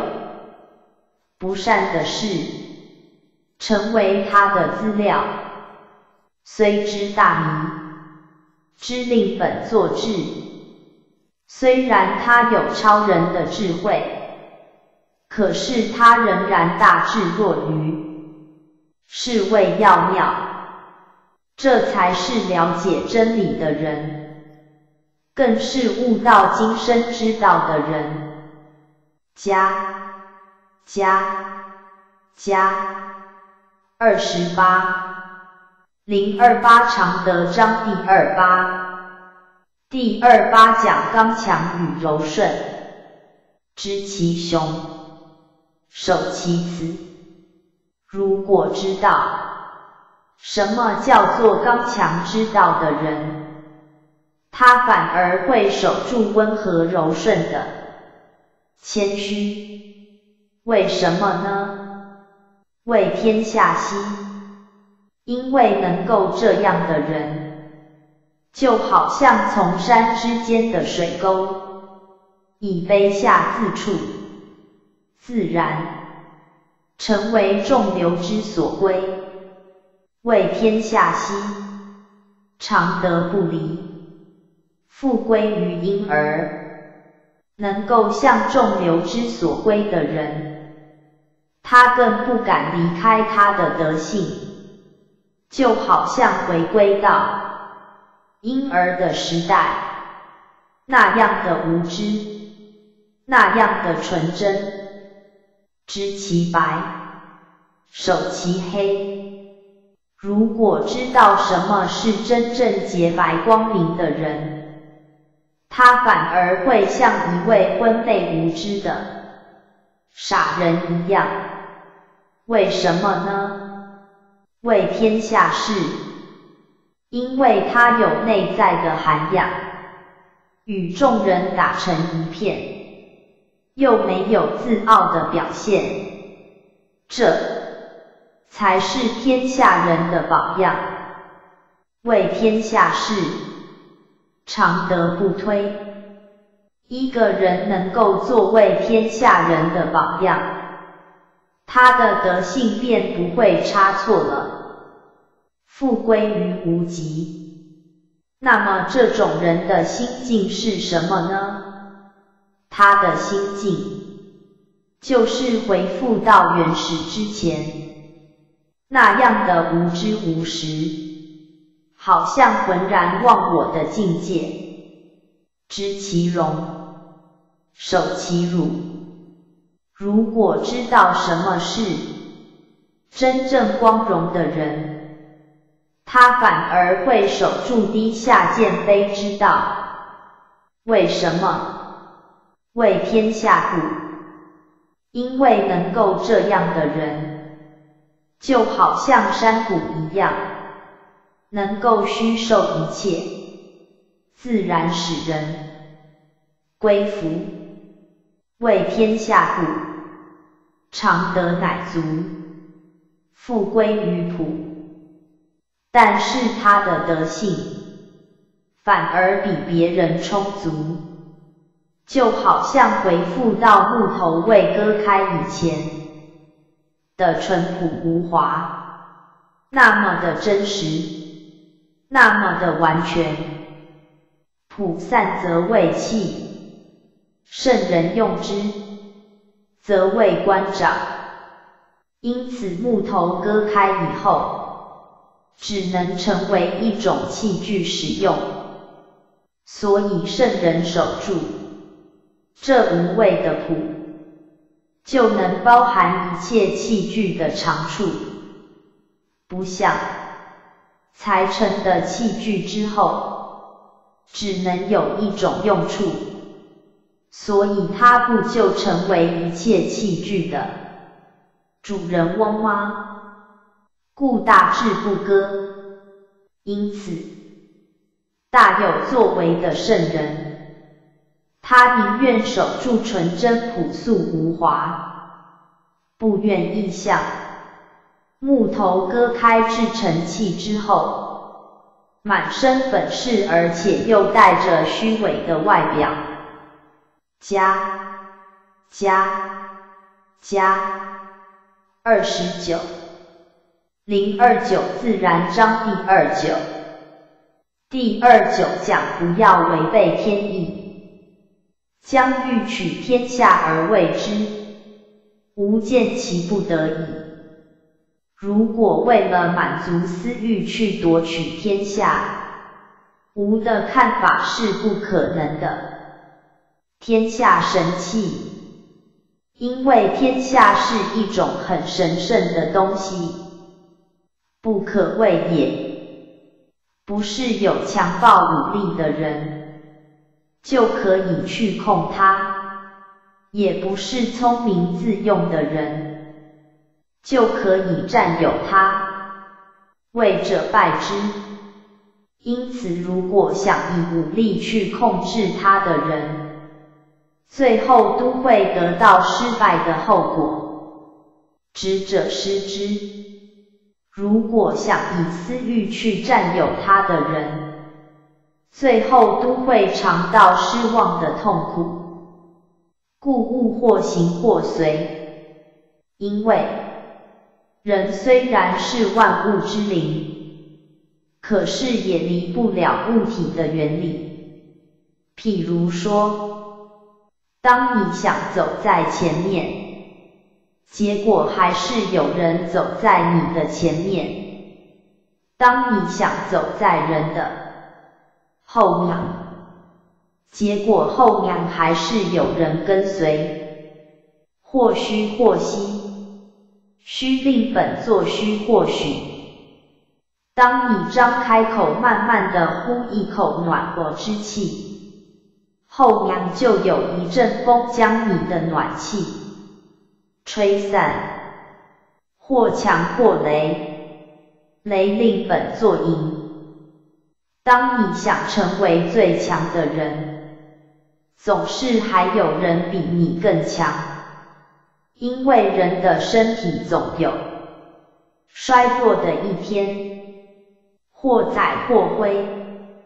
如果你想扛载重物，不久你就累了，你又要将所扛载的东西放下来，是以圣人去圣，去奢去泰。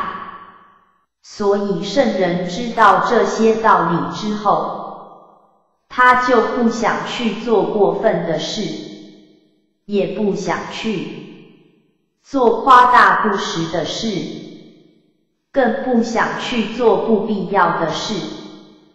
家加加三十零三零步道章第三十，第三十讲不可仗势兵强力壮，以道佐人主者，不以兵强天下。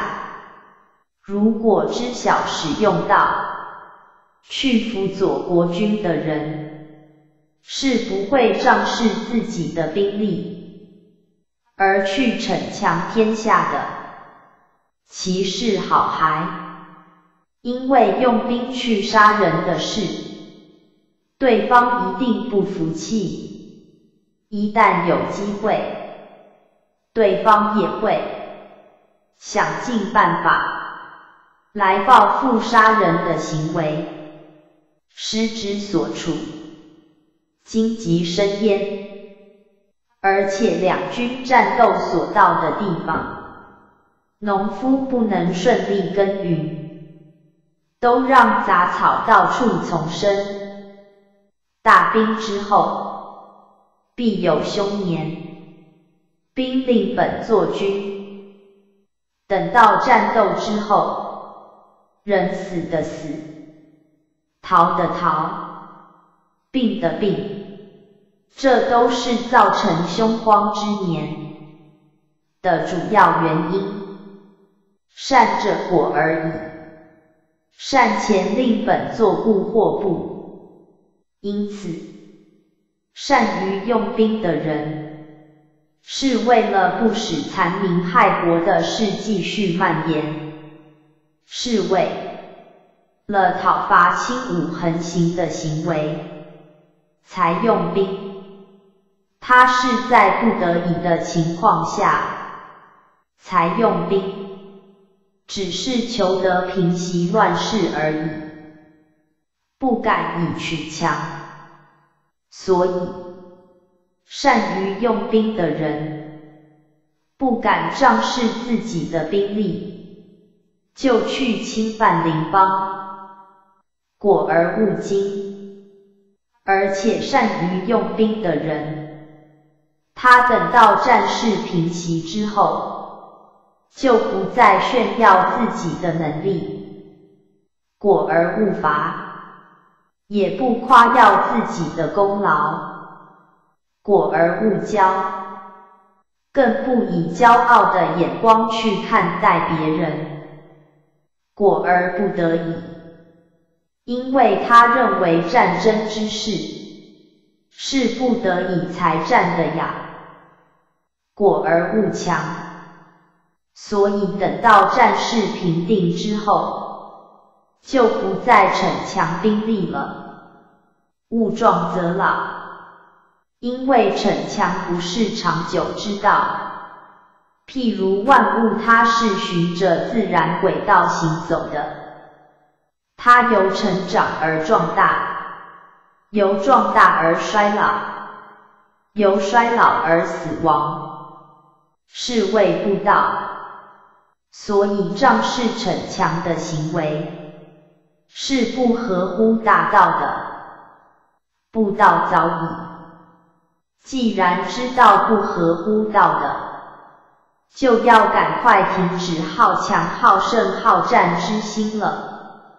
加加加三十一零三一柜左章第三一。第三一讲用兵之道。夫加兵者，不祥之气，勇猛的精兵，锐利的兵器，精巧的战舰，都是最好的兵器。可是，他们都是杀人胜速的武器，也就是说，它们都是不吉祥的东西，物或恶之。故有道者不处，连一些动物、植物或许都讨厌它，所以有道的君子是不轻易去使用它的。君子居则贵左，用兵则贵右，因为有道的君子平时都注重心平气和。只有在用兵的时候，才使用阴谋的杀机。兵者不祥之气，非君子之气。由此可见，兵器是一种不吉祥的东西，不是君子使用的东西，不得已而用之。恬淡未上。胜而不美，所以有道之人，只有在不得已的情况下，才会使用它。但是也要以心平气和为首要的条件，就是战胜了，也不以为光彩，而美之者，是乐杀人，因为。如果你认为那是一件光彩的事，就是你的心里很喜欢杀人。夫乐杀人者，不可得志于天下矣。喜欢杀人的人，就是难以得到天下人的归服，所以在治理天下时，就难以顺利了。吉事上左，凶事上右。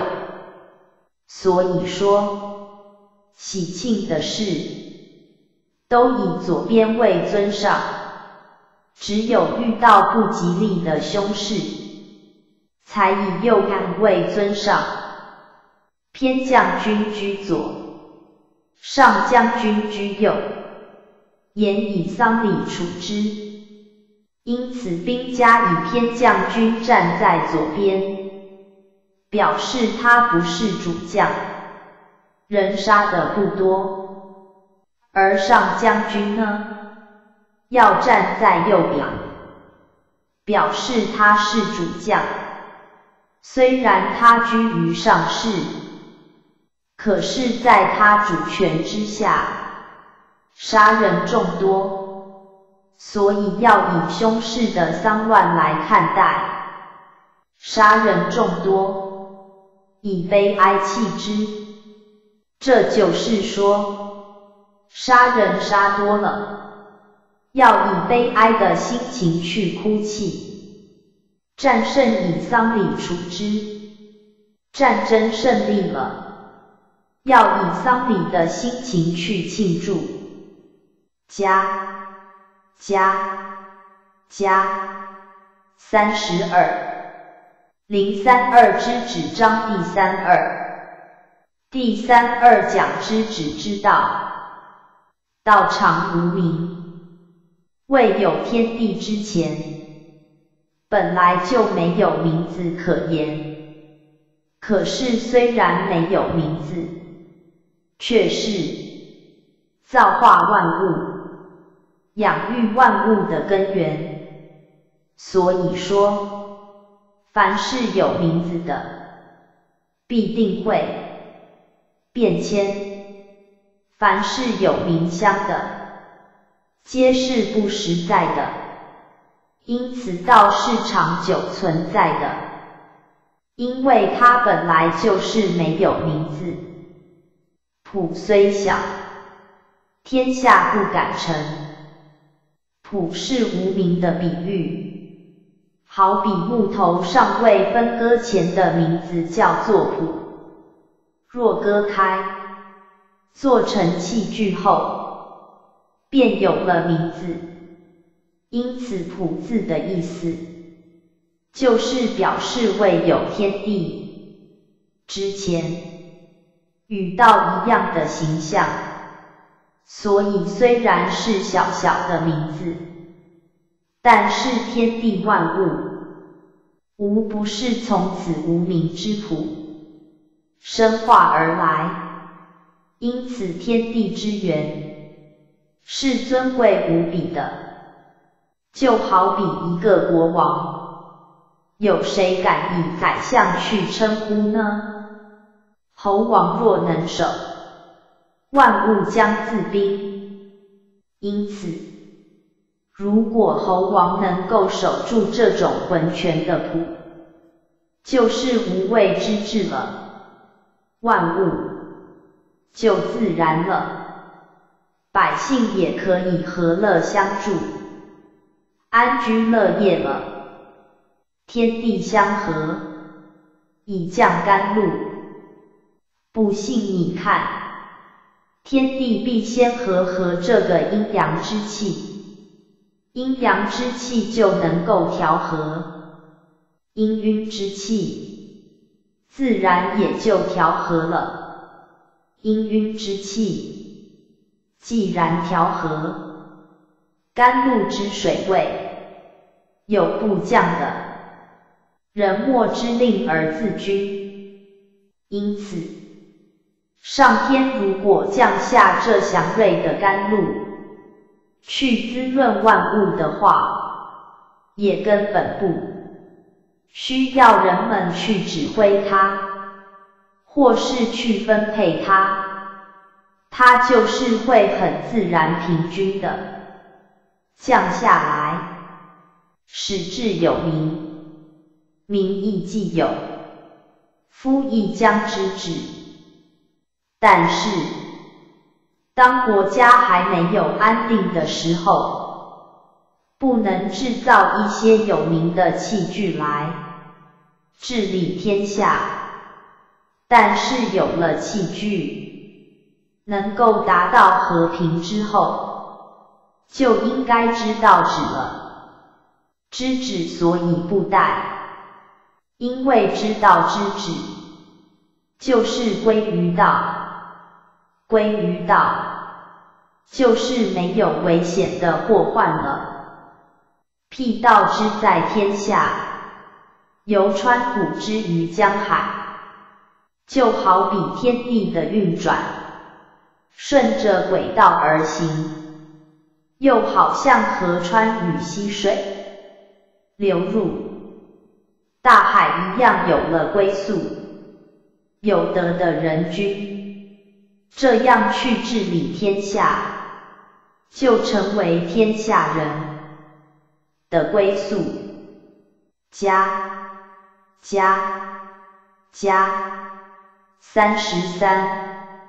零三三进几章第三三，第三三讲真正的永生，知人者智，能够洞察人的善恶与咸愚，能够分别人的是非与作为，这些都是智的表现。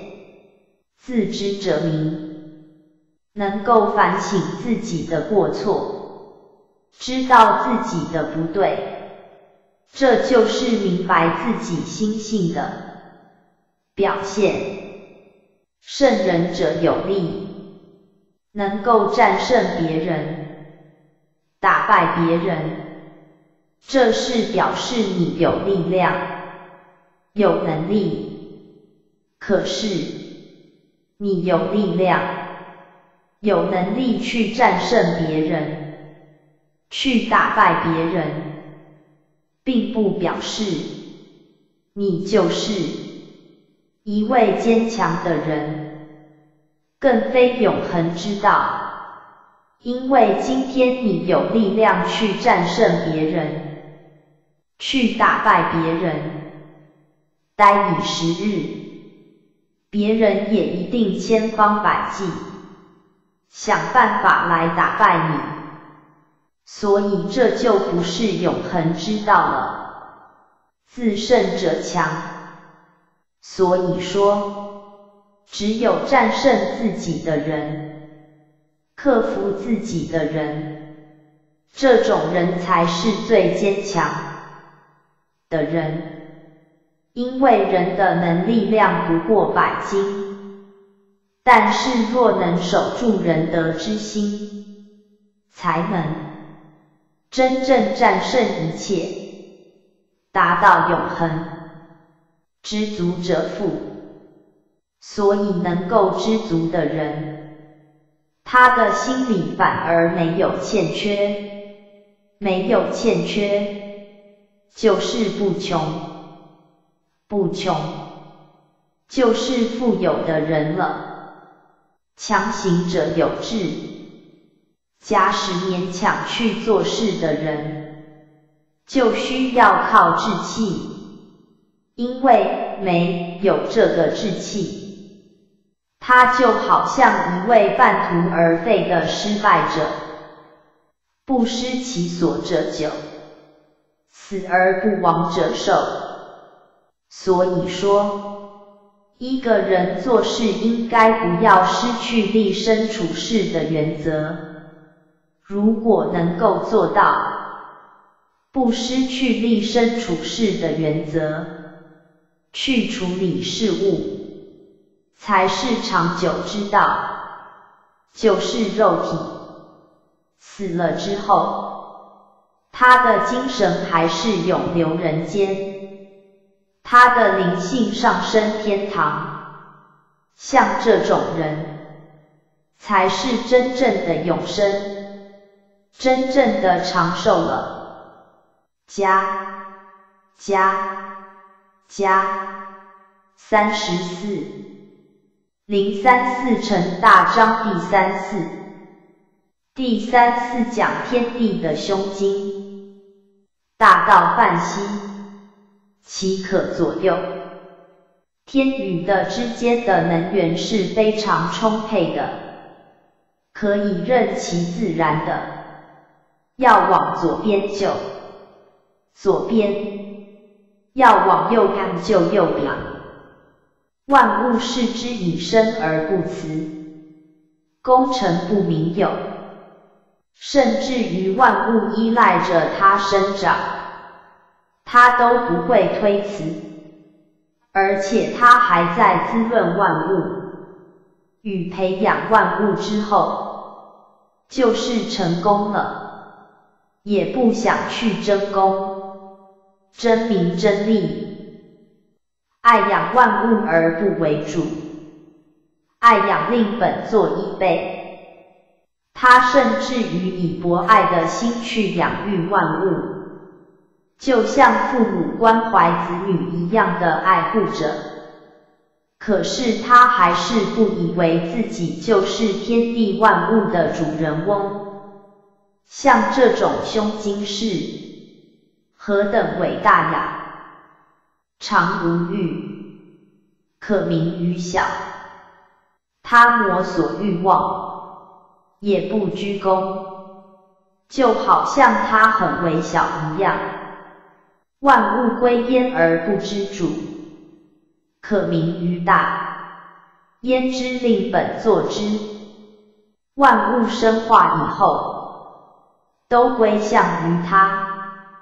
他还不知来当主人翁，因为他能虚受一切，所以这种才是真正的大雅，是以圣人终不为大，故能成其大，就好像圣人一样，他总是不以为自己很大，这才是真正的伟大。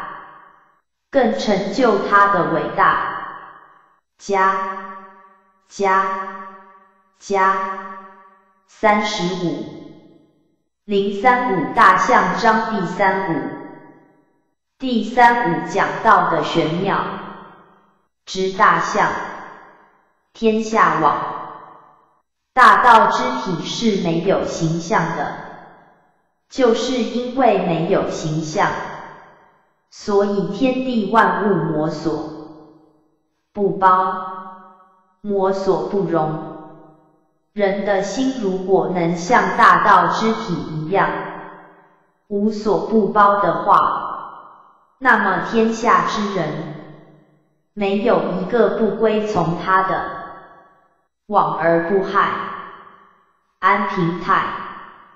如果天下的人都归从他，这是最好不过了。因为天下将要太平了，乐与尔，过客止。可是等到太平安乐之后，也不可一味贪求享受，因为享受就像做客一般的短暂，是不能长久的。道之出口，但乎其无味。只有道的显现，弥漫在虚空之中，它是那么的淡薄，那么的毫无味道，视之不足见，听之不足闻，用之不可计。你想要去看它，又看不到它；你想要去听它。又听不到它，可是当你要用它的时候，却是用之不尽，取之不竭呀！这不就是道的玄妙吗？加加加三十六零三六为名章第三六。第三六讲物极必反，将欲摄之，必固张之。天下之物，物极必反，阳极必阴，阴极必阳。譬如月缺之后必圆，圆了之后必缺。由此可见，收敛隐藏之后。必定张明，将欲弱之，必固强之。就好比秦始皇做长城，想巩固自己的霸业，但是这种做法违反了自然的天意，反而得不到民心的拥护。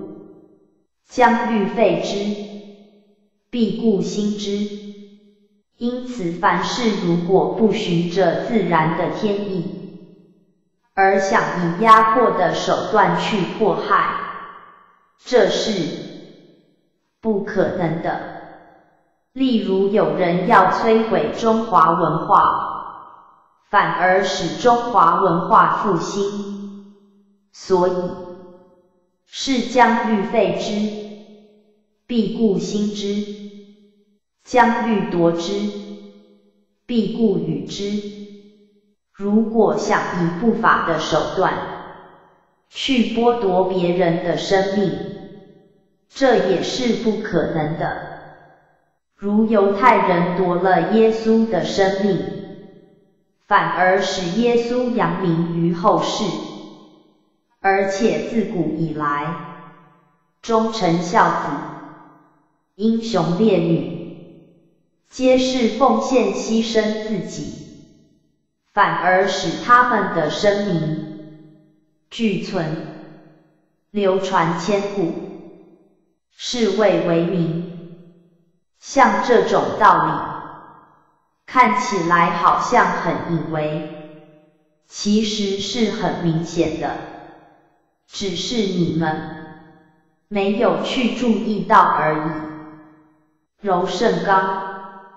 弱胜强，所以说，不能少看一些外表显得柔弱的人，其实柔弱才能真正的胜过刚强。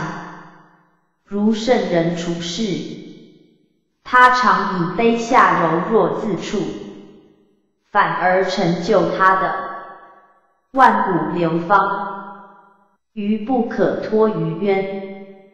人一离开道，就被气数所困，反而失去了目标，就好像汽车脱离了轨道，必然发生车祸；船没有指南针，必然失去方向；鱼一旦离开水面，必然死去。方之利器，不可以示人。方令本作国，所以说国家伤人的利器，不可使夸示于人。一旦夸示于人，就很可能危害了自己，因为他国也一定要制造更厉害的武器来威胁你。如此战事就更难以避免了。加加加三十七零三七五位章第三期第三期讲人民的自然规划。道常无畏而无不畏。道虽然是无畏的，但是因为它的无畏。反而使他无所不为。例如五行，金木水火土之变迁，四季之调配，没有一样不是他的造化，没有一样不是从他的怀里生长出来，所以是无畏，而无所不为。猴王若能守，万物将自化。因此，假使一位君主能够守住无畏的道，万物自然就归向于他。化而欲作，吾将正之以无名之朴，无名之朴，亦将不遇。但是在万物归顺之后，难免还有些恶人使出欺诈的作为。如果为君王的人能善于挽救的话，只要以无畏的道理去开导他，人民自然好亲好敬而无争夺，不欲以尽，天下将自正。倘若人民好亲好近无争夺的话，则他们自然归化于清净自正了。加加加三十八零三八处后章第三八第三八讲道德位上，仁义次之，上德不德。是以有德、最有道理的人，他做了许多善事，可是他心地善良，不想去占这份荣誉，这才是最有道德的人。下德不失德，是以无德，施令本作离。可是没有道德的人就不同了，他一旦做了善事，恐怕别人不知道，所以就到处宣扬，上德无畏而无以为，因此有道德的人，他对人的牺牲与奉献是出自无畏的。他就是做了许多好事善事，还以为自己没做一样，下得未知，而又以为。但是没有道德之人，他一旦做了一些善事，就铭记在心。像这种人的心，就是未能达到纯真，因此对自己所做的善事，就恐怕失去名誉，上人未知而无以为。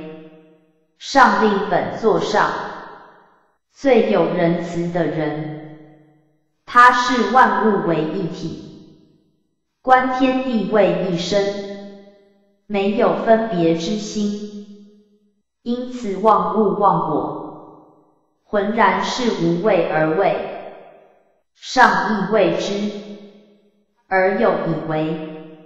上令本座上。可是有义气的人。就不同了，因为他无法出自无畏之心，所以在为人处事方面，往往失去仁德之心。上礼未知，而莫之应，则攘臂而人之。上令本座上。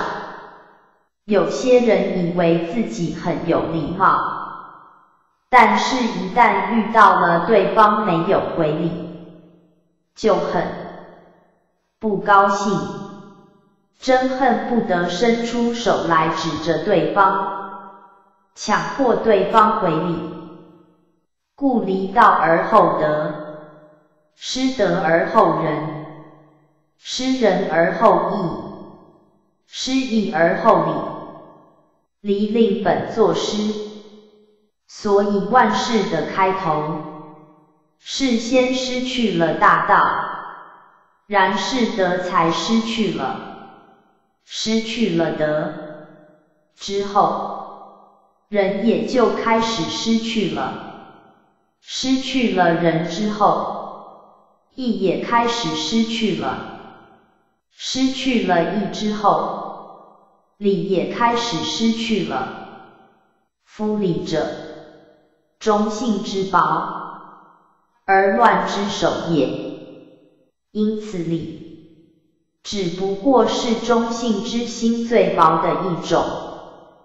到了这个时候，祸乱与灾变，可以说就要开始了。前识者。道之华，而愚之始也。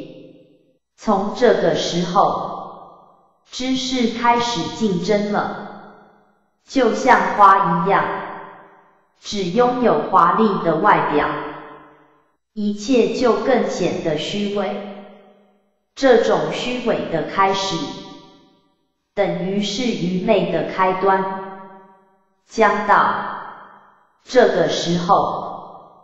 大家都愚蠢与盲从了，是以大丈夫处其厚，不处其薄，处令本作居。所以大丈夫做人处事，应该以道德为上，仁义次之，居其实不居其华，故去彼取此，居令本作处。然后讲求实质的意义，不要追求虚伪浮华的作为。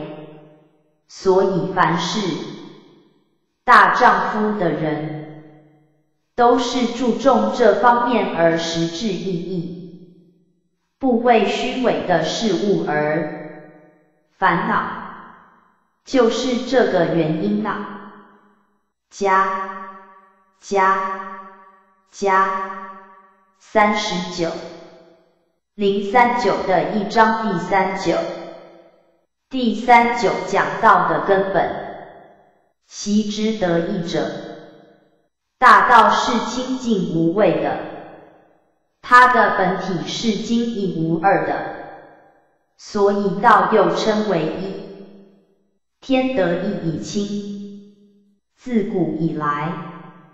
天如果得到一的话，就显得很清明。得的意以明，的如果得到一的话，就显得安详宁静。神的意义灵，神得到一的话，就玄妙灵敏；人得到一的话，就明理清净。谷的意义阴，山谷如果得到一的话，就充足盈满。万物的意义生，万物如果得到一的话。就能生化成长。猴王得意以为天下真，其志之意也。君王如果得到一的话，天下就安定自足。所以这一切的事物，都很有密切的关系。天无以清，将恐裂。否则天不清明的话，就会崩裂。地无以宁，将恐发的得不到宁静，恐怕就会爆发天灾的变。神无以灵，将恐歇神得不到灵妙，恐怕就会衰颓消失。故无以盈。将恐竭，故得不到充盈，恐怕鱼要干涸竭尽了。万物无以生，将恐灭，万物得不到生化的话，恐怕就要灭绝。猴王无以争，而贵高，将恐绝，绝令本作绝或促。在上位的人，如果不以正道去治理天下，还要以尊贵的高位自居，恐怕就要遭到颠簸坎坷了。故贵以贱为本，弃以说尊贵的人要以低贱为根本，高以下为基，高尚要以低下为根基。这样的话才能契合万机，没有分别之心，才能和合。是以猴王自称孤寡不孤，此其以见为本耶？非乎？因此猴王尚且要自谦，称孤王寡人，这些名称，不都是以低贱位？本吗？难道不是吗？故置数鱼与无鱼，鱼令本作车，不相信。以车子比喻好了，如果要算它的零件，当然很多。如果要算车子的数量，只有一部。一步就不用算了，所以由一而归于无，无才是道的本体，回复到道的本体，才能合于万物之用，不欲碌碌如玉，落落如石。所以说，高贵的人。不要将自己看成宝玉一样那么的尊贵，不要。将他人看成石头一样那么的低贱，因为这样已失去道的根本了。加。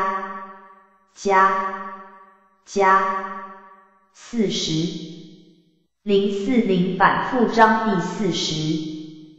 第四十讲无有生。反者道之动，万物皆在生生化化反复的运转着。但是它无论怎样的运转变化，也是从道的本体中而发。弱者道之用，可是它虽然反复的运行，到最后还是要归于柔弱与宁静，就好像一阵风吧。它虽然很强劲，但是不久便要归于平静。又好比一阵雨，它虽然下得很大，但是下不了多久，还是要归于平静。天下之物生于有，有生于无，所以说，天下万物皆从有之中而生。可是这个有。还是从无之中生化而来的，加加加四十一零四一文道章第四一第四一讲道的尊贵，上士闻道，勤而行之，上等的贤人，因为根基深厚。见识超群，质量广大，所以一听到道，就志同道合，努力的去行实践。中士闻道，若存若亡。中等根智的人，因为见识不足，对道的认识不清，所以虽然有缘。听到道，也有悟道之心，但是道心总是不能持续长久。下士闻道，大笑之。下等愚顽的人，因为见识浅薄，不知道为何物，而且本性迷昧，贪享欲乐。所以一听到道，就哈哈大笑，不笑不足以为道，哈哈！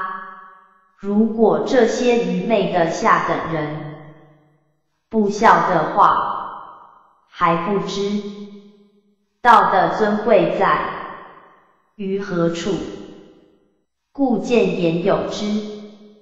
所以在古时候。有些先见之明的人，立下了一些含有哲理的言辞，如下：明道若昧，一明白大道的人，他的作为必是机智全无，意念清净。这种人，因为大智若愚，所以从外表看来。好像很愚昧的样子，进道若退。二行道的人，因为不做有为之事，不逞劳力之能，事事让人三分，不敢先进于人，一道若累。三有道德的人。因为心与道合，不做惊异之举，不说惊奇之言，不分富贵贫贱，很平实感，上德若谷。四上等道德的人，心量广大，含受一切，如空谷一般，大白若乳。心里洁净的人，像明月当空，莲花出污泥一样。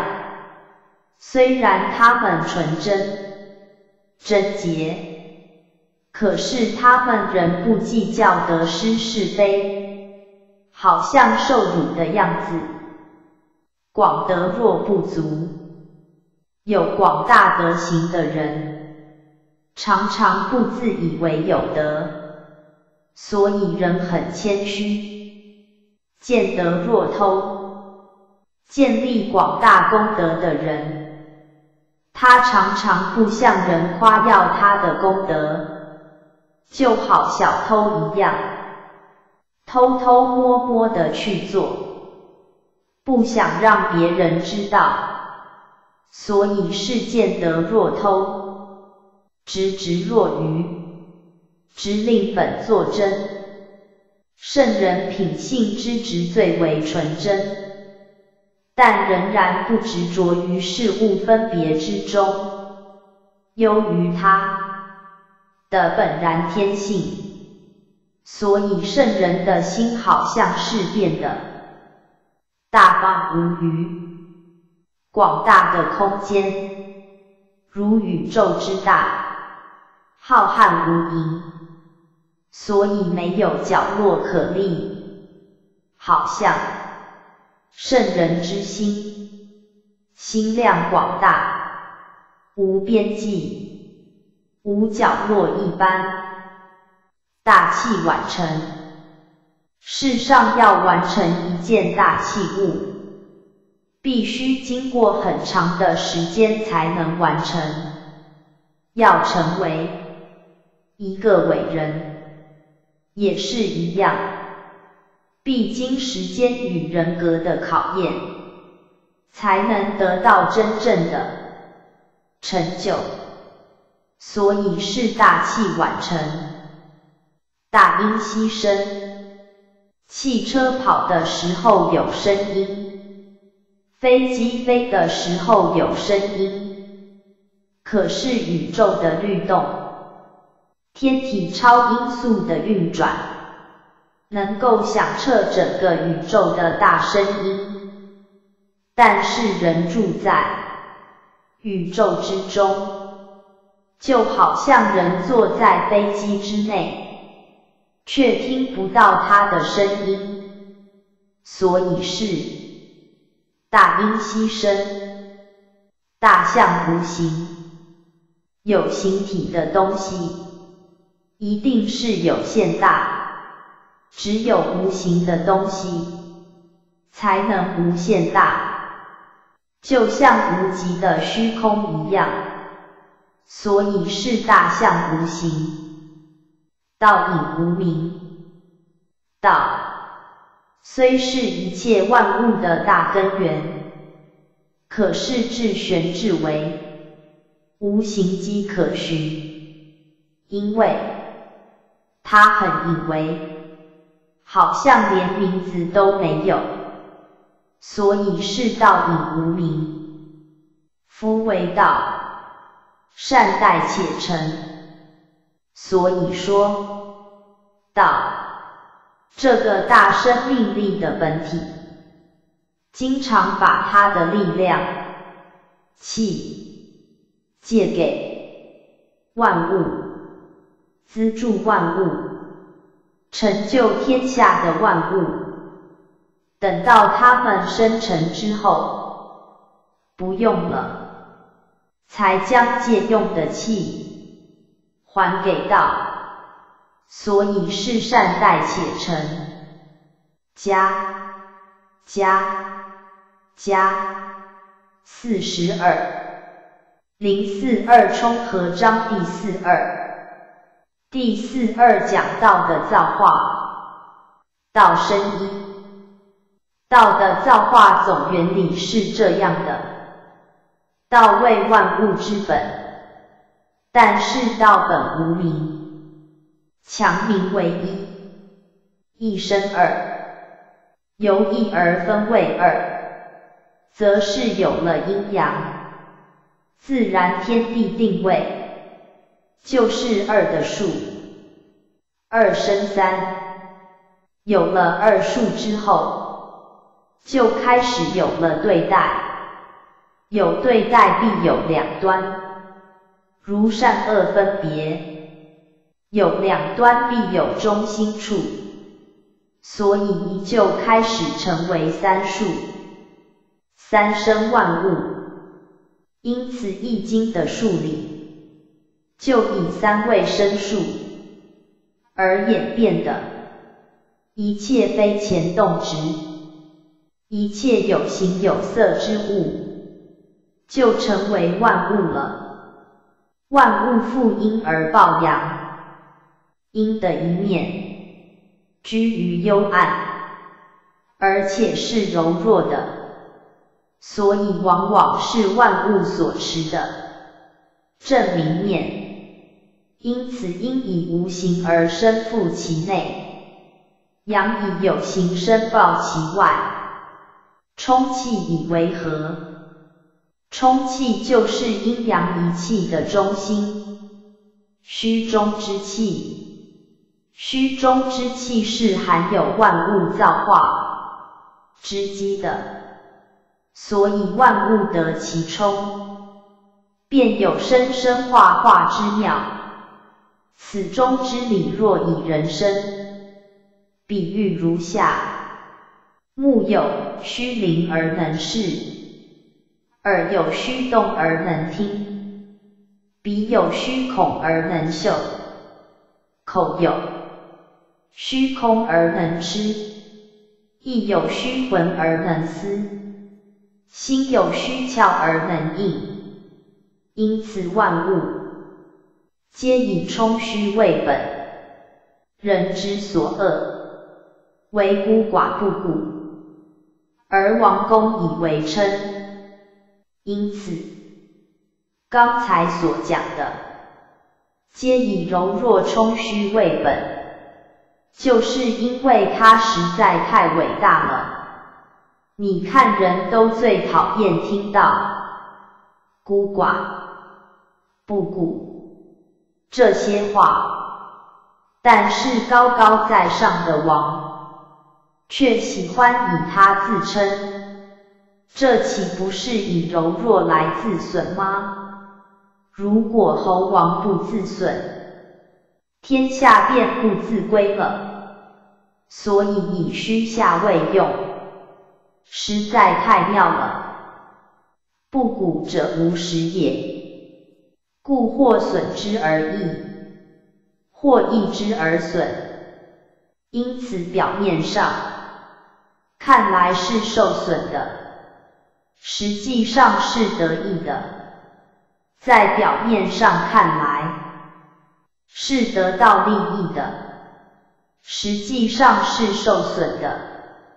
如国君以孤王寡人自称是损的。反而得到天下人民的归心。如果国君以骄傲自满来夸示天下的话，反而会受到众叛亲离。如桀纣将天下视为己有，骄满自大，虽有天下而天下反叛之，就是一个借镜。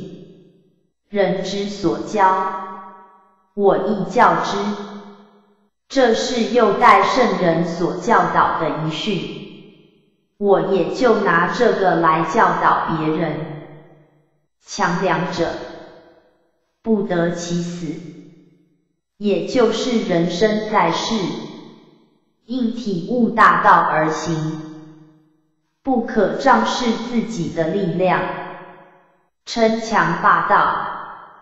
或是向人夸耀，否则会得不到善终的。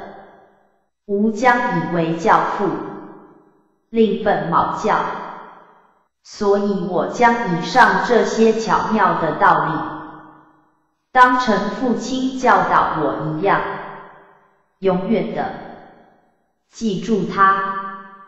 加加加。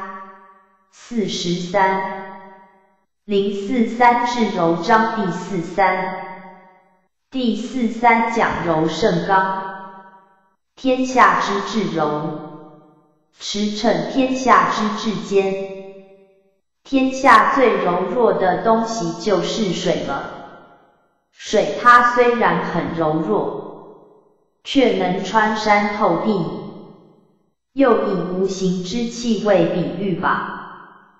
它能载运各种星球，所以这些无形柔弱的力量，往往能胜过有形刚健的物体。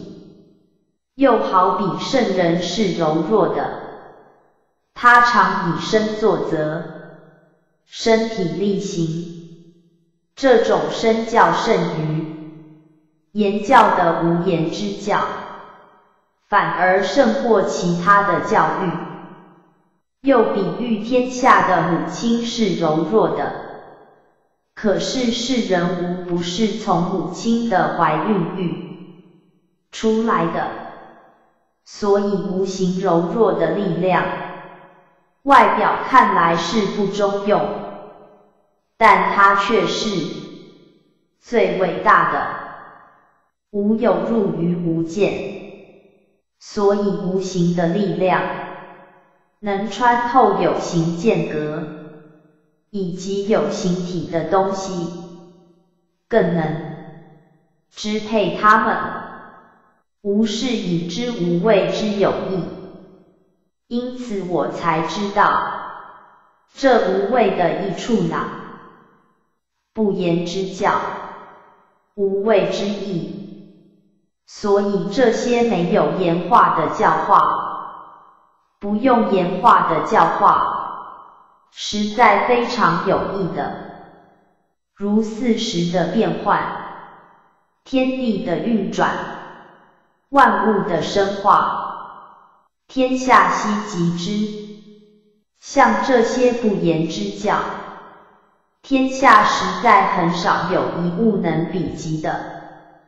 加加加四十四零四四之纸张第四四第四四讲生与名，名与身孰亲？身外的生命与身内真我的生命，哪一样应该亲近呢？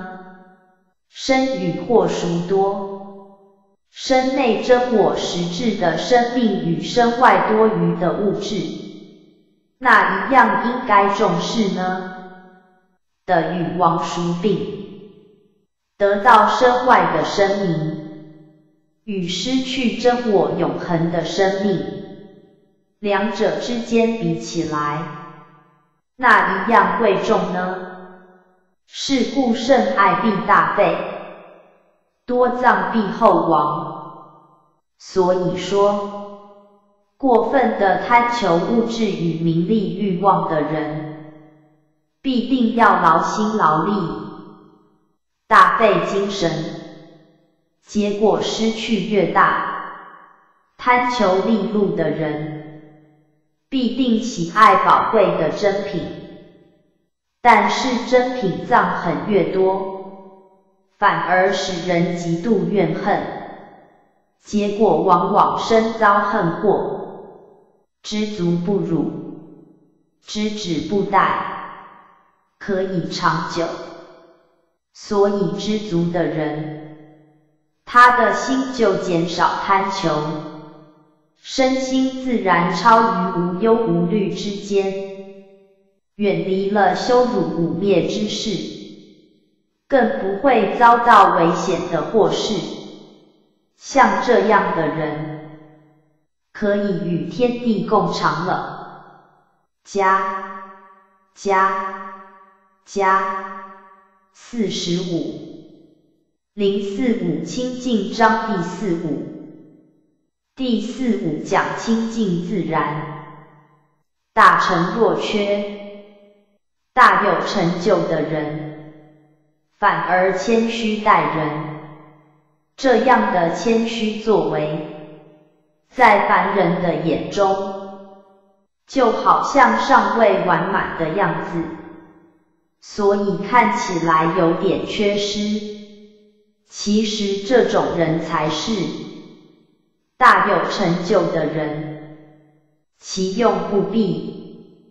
必令本作弊，但是能够达到这种境界的人，在一般人看来好像不值得学习，可是他的一切功用，反而没有丝毫的破坏，因为别人反而会更尊敬他，更崇拜他，更拥护他，更听从他。大盈若冲，因此在圣人的眼里，能够达到功德满的人，心境就像虚无一样，心里反而什么也没有得到，其用不穷。可是它的作用，反而生生化化，没有穷尽，大直若屈，就好像正直的人，反而能包容一切，所以有时在外表起来，就好像受委屈一样，大巧若拙，而巧妙的人呢？就好比圣人的心，根本毫无贪得的机心，也没有多余的做作与行为。但以凡人眼光看来，就好像他们都是很笨拙的人一样，大便若讷。所以说。对宇宙万物有深刻体悟的人，此种人应该是最有辩解的人，但他反而体悟心中难以言喻，就是有时候他讲出来的大道理，别人也不知道他在讲什么，因此大辩论的人。反倒像不多说话的人，燥甚寒，静甚热。人在急躁生气的时候，虽然体内热气沸腾，暂时胜过寒冷的天气，可是毕竟是不能长久。就像大风大雨一样，雨过仍然天晴。风过，仍然平静，所以平心静气，才能永久胜过急躁的热气。清净为天下正，所以说，清净无畏才是天下人民所应追寻的目标，因为这样能使万物各得其所。人民各得其归，天下自然就太平清正了。加加加四十六零四六知足章第四六第四六讲天下有道与天下无道，天下有道，却走马一份。天下有道的时候。国泰民安，人人知足。这个时候，能够用来战争的马，都可以让它在田野之中粪田施肥，清闲自在。就好比有道的人，身心泰然。没有心猿意马、胡乱奔驰之患，而以中正之道立命，以和煦之气养生，自然清净无事了。天下无道，戎马生于郊。但是，一旦到了天下无道的时候，人人贪得无厌，这个时候。战乱难免要发生了，因此兵马也都要生死于荒郊野外了。就好比修道的人，如果不守清净无畏的话，时时便会产生贪的无厌之念，导致心上之刀兵横出。信中之一马虎闯，不得一时的宁静。这个时候，三魂七魄竟成魔君之辈，时时扰乱五脏六腑，竟为交战之场，神无一刻之守舍。心无时刻之安闲，此就是人心无道之时。因此，性命怎能长保呢？罪莫大于可欲，祸莫大于不知足，救莫大于欲得。由此看来，天下罪恶之大的。还不能超过这些多思的欲望，如兄弟戏强、朋友反目、父宗灭族之事，皆是一念之为所害。就好像星星之火虽微，却可以燎原广阔。所以说修行之人。先要直念，念头如果不止，虽是日夜不眠的一心求道，但是只不过是劳形而已。因此学道之人就是受了欲望与不知足所害，故知足常足。所以说，知足之人，魔所不足。无往而不泰然，因为不求身外之物，反得身中自信之宝。如此之人，还有什么可贪求的呢？加加加四十七零四七天道章第四期。第四期讲自然的原则与定理，不出户知天下，天下总一个原则与定理。圣人是就是能够体悟这个原则与定理，所以天下虽然很大，但是还是离不开这个原则与定理。所以圣人。不必走出门户，就可以完全知道天下的一切事物了。不窥佑，见天道。因为宇宙天地之间，不过是阴阳动静而已。阴阳动静，不过是无极太极之理而已。圣人尽其本性。就是尽其天道，所以圣人之本性就是行其天道，其出弥远，其知弥少。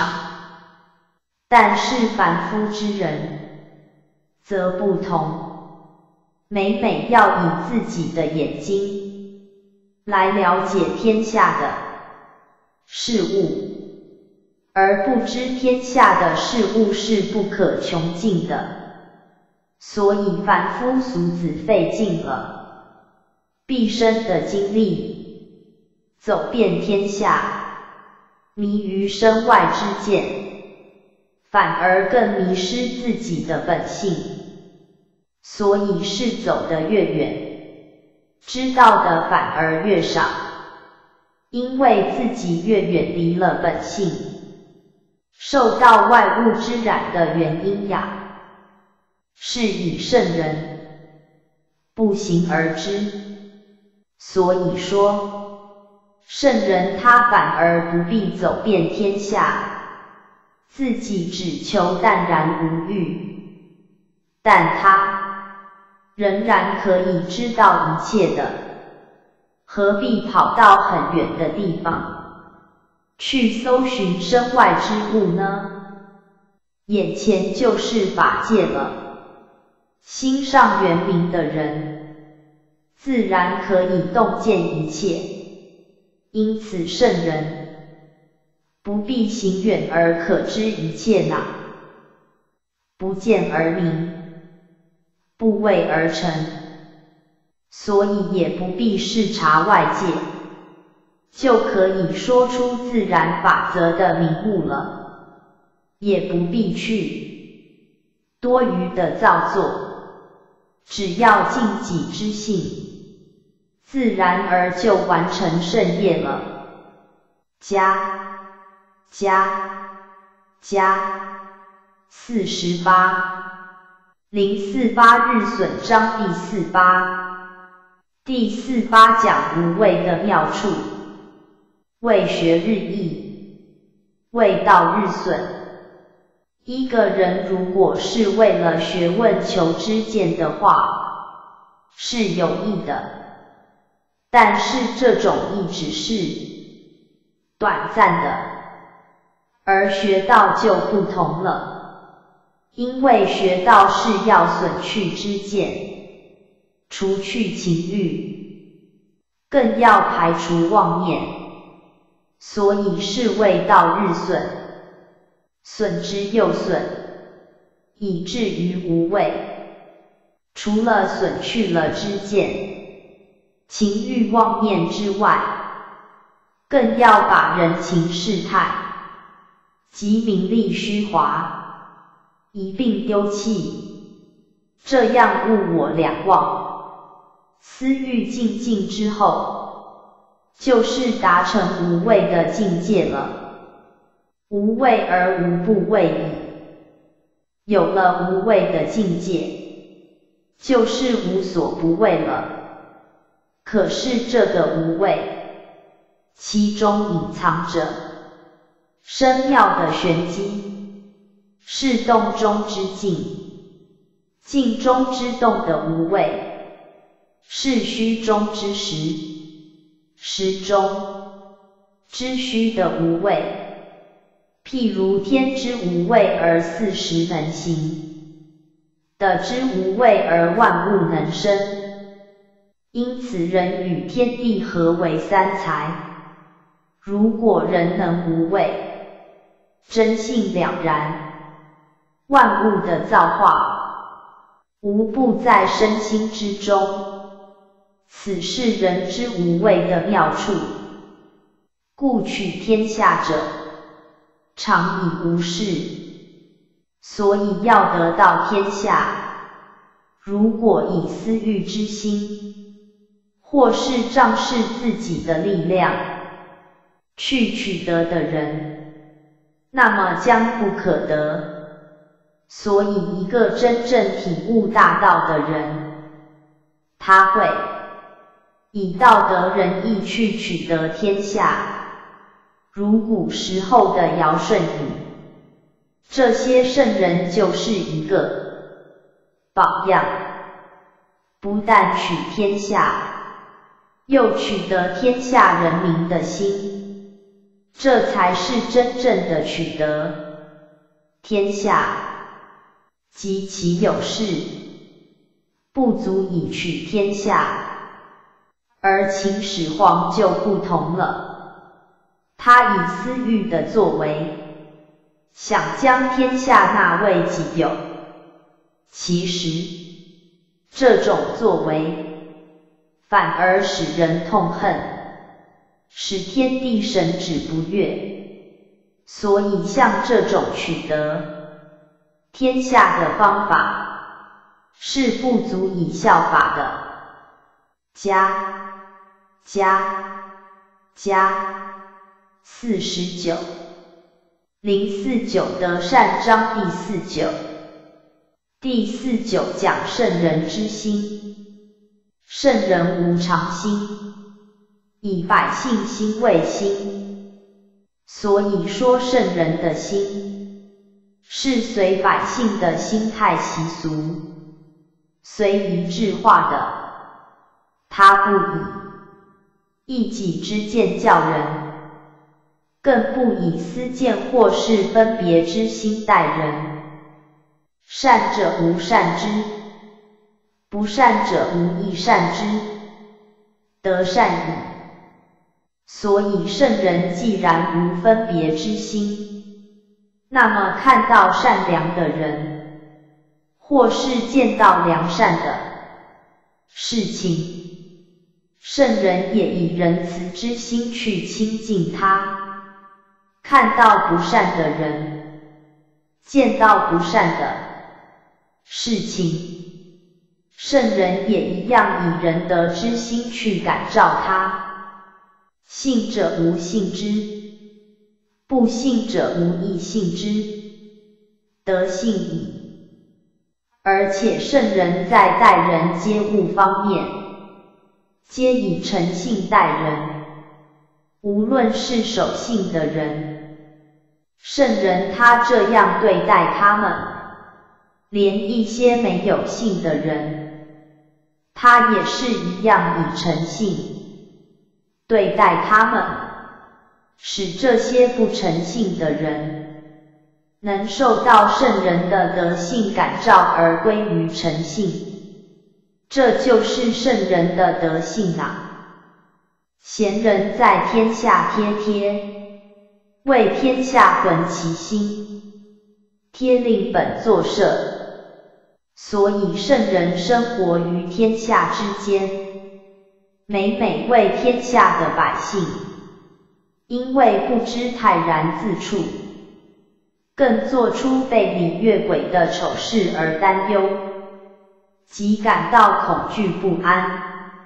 所以圣人何等的慈悲，他为了天下百姓的福祉，而浑浊了自己清净的性体，百姓皆助其耳目，圣人皆孩之。因此圣人有这么大的慈悲心，所以天下的百姓皆以他为依归。时时的仰望着他，想听听他的话，听听他的道理，想看看他，看看圣人的慈容。所以圣人有这无上的德威，他看到天下百姓，就像看到自己亲生的小孩一样，去教导、去感化他。这就是圣人。可敬之处。加加加。五十。零五零生死章第五十。第五十讲出生入生，出生入死。人与万物一样，凡出生于世，就有死去的一天。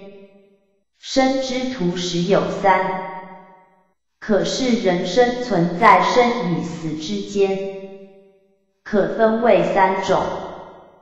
第一种人，是小孩正在生长的年龄，这种比例在十个人当中占有三个，死之徒实有三。第二种人。是老年将死的年龄，也是十个人当中占有三个。人之生，动之死地者，一时有三。第三种人，是在中年的时期就转向死亡的人，像这种人，也是。十个人当中占有三个，夫何故？以其生生之后，为什么会这样呢？就是因为这种人，他是欲太深了，自奉太厚了，常常因谋求衣食而劳累了生命，所以反而伤了生命。因此很早就归向死亡之路了。盖闻摄生者，但是听说很会摄养生命的人，这种人大概十个人之中还不到一个人吧。这种人他了解真正的生死之道，所以他不属于生。也不属于死，他超越了生死的假象，所以他生在世也不感到可喜，就是死了也不会悲哀，因为他已领悟到真我的生命是不生也的，不死的，路行不遇四户，所以这种人在陆地上走的时候子，像不会遇到一些犀牛、老虎之类的野兽。就是遇到了这些野兽，也不会去伤害它。这是为什么呢？因为圣人慈怀爱物，不伤害万物，就好像动物园的园丁一样，他了解动物的心，动物也了解他的心，所以就不会被伤害了。入军不必甲兵，批令本作弊。而且这种人，即使走入了战场，也是出入无妨的。因为一个有圣德的人，不但是将军敬畏他，连兵卒都敬畏他。四魔所投其脚。因此，以上所说的犀牛虽然凶悍，却不以脚去攻击它；虎魔所措其爪，老虎虽然勇猛，可是看了这种人，爪子也好像失去了作用一般。兵魔所容其刃，连兵卒作战的刀器。看到这种人，也都不知道攻击了。夫何故？以其无死地。这是什么原因呢？就是因为圣人早已把生命托付给天地了，因此他把假我的肉体早已看空了，在我空之下。岂有死亡之理呢？所以也就没有所谓的仇视与野兽这类的敌人，因为他已把万物看成一体了。加加加五十一零五一尊贵章第五一第五一讲到的真性，道生之。道为万物之母，所以万物皆从道体中而生的。但是万物生出来以后，得处之，还要以德去滋润它。这个德就是天地中的阳和之气。这个阳和之气能够孕育万物，使它生长。物行之，成长以后才有种种的万物。可是这些万物本来就是从无形的道所生的，与无形天地之德培育而成的。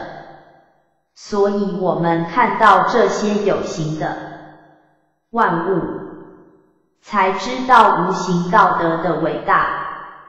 是成之，但是在万物生长以后，如果没有四季寒暑的更替，阴阳互换的交流，则虽生长了万物，也不能使万物趋于成熟。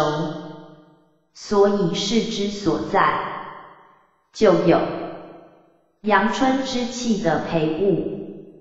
及寒秋之气的逼物，这些四时的代谢，或漏一句，是以万物莫不尊道而贵德，所以万物没有不尊崇道及贵重德的。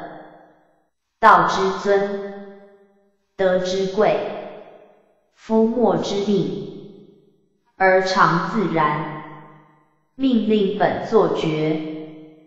但是道虽然伟大，德虽是尊贵，却不以伟大与尊贵而自命不凡，仍然以自然处之。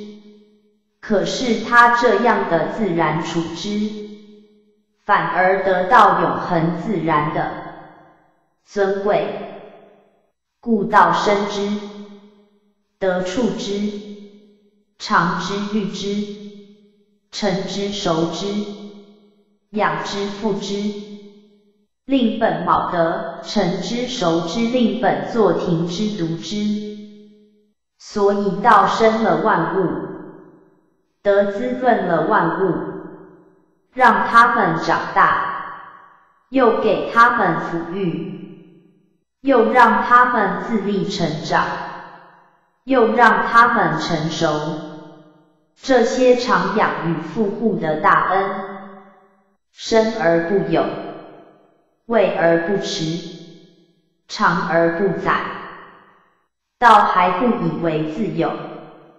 像这些大有作为的事，他还是不仗势自己的能力。虽然是万物之主，但是他仍然不以主宰位自居，是为玄德，玄令本作源，所以道实在是具有极深远的智德呀。加加。加五十二零五二首五章第五二第五二讲到的本源，天下有事，以为天下母，天地万物都有它的本源，这个本源就是道，道创造天地万物，所以道是天地万物之母。既得其母，以知其子。既然知道天地万物是道之所生，就知晓道为母，物为子，道为体，物为用。所以现在的人只知物而不知道，是被道而驰养。既知其子。父守其母，莫生不殆。因此，当你认识这个道以后，就要秉守这创造天地万物的道，就是身亡的时候，也不会感到恐怖与危险，因为你已经回归到道的母怀中了。塞其对。闭其门，所以如果不想让精气神外驰，就要塞住了人的欲望之口，终身不侵。修道之人，如果能塞闭欲望之口，与六贼之门，则一辈子受用不尽，不必动用多大的勤劳。自然可以成就大道的。开其对，继其事，终身不救。否则终身不知必住这声色获利之门，只知仗势自己的才能，而丧心争斗于红尘之中，那就不可救药了。见小曰明。因此，能够察觉为小事的人，才是明白大道的人。守柔曰强，能够守着柔弱之道的人，才是真正强盛之人。用其光，复归其名，无疑生殃。但是，明白大道还是不够的。仍然需要回光返照，使得心得内外相应，这样才能归于灵明觉悟之中。是谓习常，习令本作习，能够这样做的人，就能达到身心无挂，安然自得了。更可说是实行大道已经习惯了。加加加五十三零五三大道章第五三。第五三讲大道之行，使我见然有之。行于大道，为师是谓。假使我有一些智慧，要行于大道的话，还需要小心谨慎，因为不小心的话，还恐怕会走入歧途末路之中呀。这为什么呢？大道甚夷，而名好径。因为我看到了大道本来就很平坦的，很宽大的，可是偏偏有些贪妄的人，他喜欢寻找小路走，这样的结果不但无益，反而害了。自己，这些都留给我很大的警惕。朝圣除，就以一些当朝的文武百官为譬喻吧。朝纲都已经保不住了，田胜无，百姓的田地也都已经荒芜了。仓甚虚。仓库的稻米也已经快要没有了，符文彩，但是还有一些贪官污吏，上穿着华丽的衣服，来显示自己的尊贵，戴利剑，身上还带着明亮的利剑，来夸耀自己的强悍。宴饮时。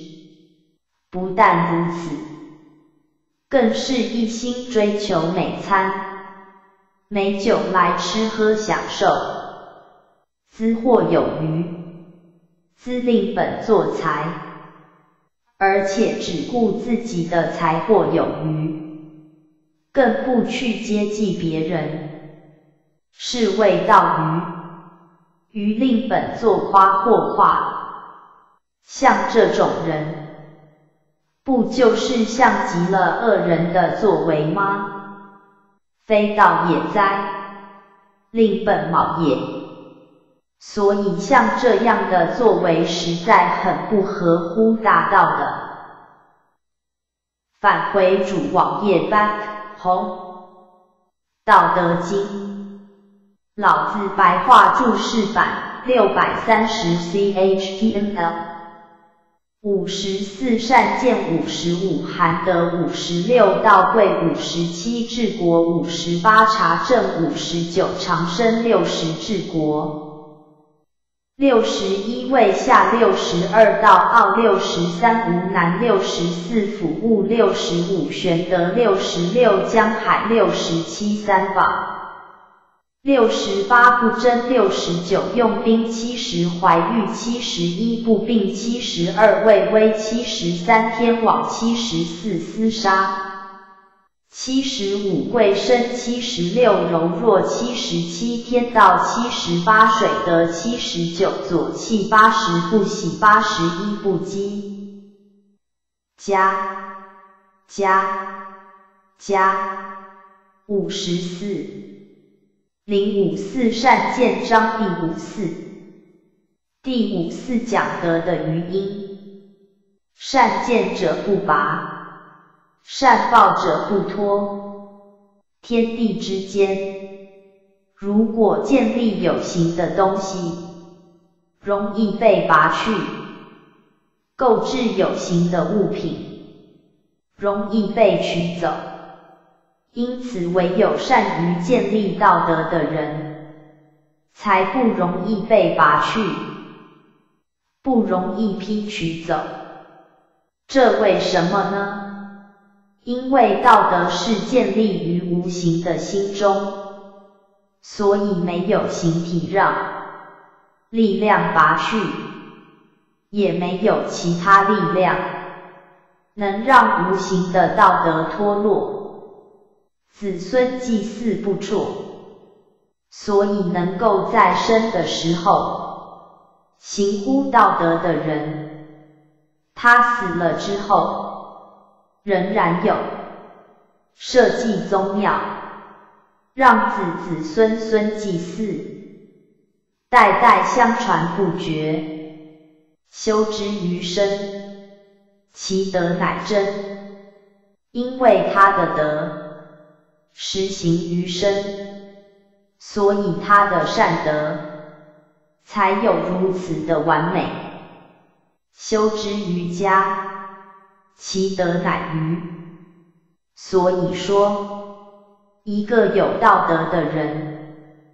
他修得充实于身的话，必能使家人的道德的余因修之于乡，其德乃长。如果这个有德望的人，德化于乡里之间，则乡里之间必然能够的到教化上的长处，修之于邦。其德乃丰，邦令本作国。如果德化于国家的话，这个国家也必然会得到兴旺。修之于天下，其德乃普。如果德化于天下的话，也一样能够感召天下，故以身观身。因此，我明白以上这些道理之后，我就以自己的身心体悟去观察别人的一切作为，以家观家，以自己的家庭教化去观察别人的家庭教化，以乡观乡，以自己的乡里教化。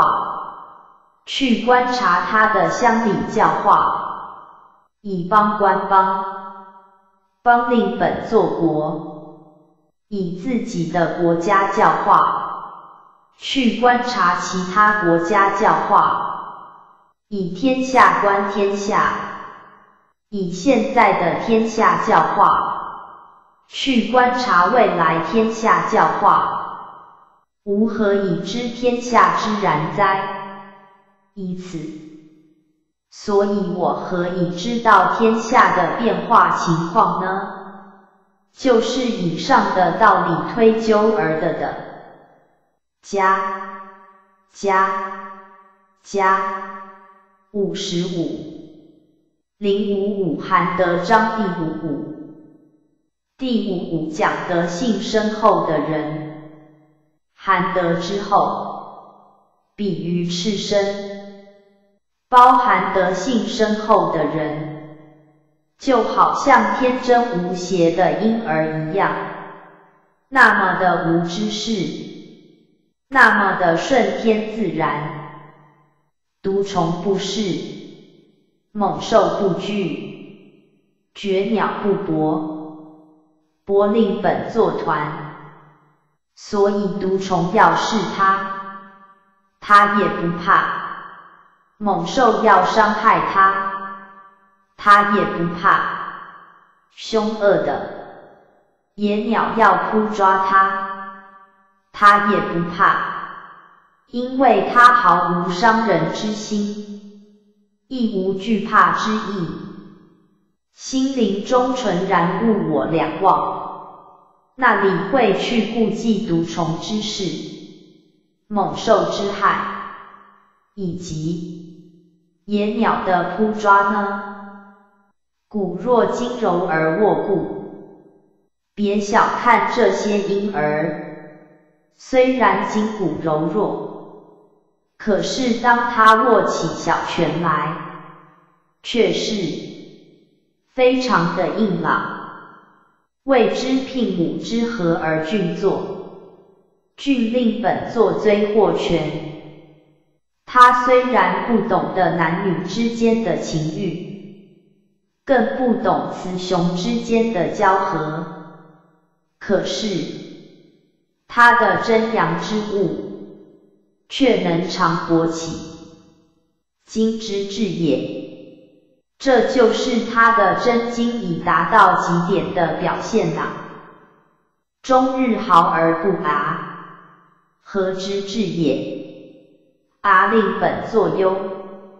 你看他终日的嚎哭，但是声音仍不沙哑，这就是他保守太和之气，已达到极致的表现了。和和曰长。因此有以上的举动，我们可以知道，赤子之心，不但不怕外物的伤害，况且骨弱而卧固，无知而仰举肩，哭叫而不嘶哑，这些表现，就可知道婴儿他保全了太和之气。而我们不能保持这些太和之气，就是我们欲心动而神乱，嗔心动而气耗，情欲动而精散，这就是我们不能返回先天真常知的原因啊。知常曰明，如果够知道真常知道的人。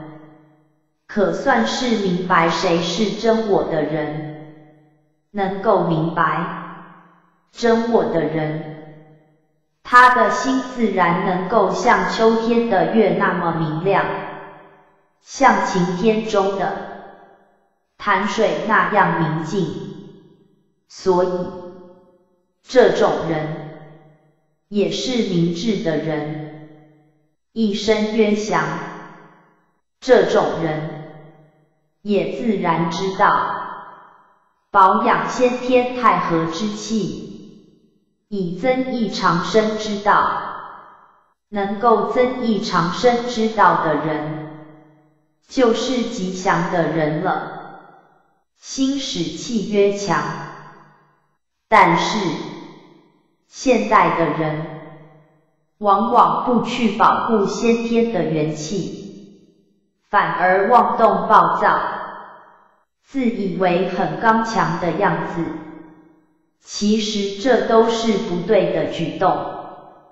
物壮则老，因为你妄动暴躁，这都是勉强的行为，勉强的行为总是支持不久，支持不久，就好像万物的强壮。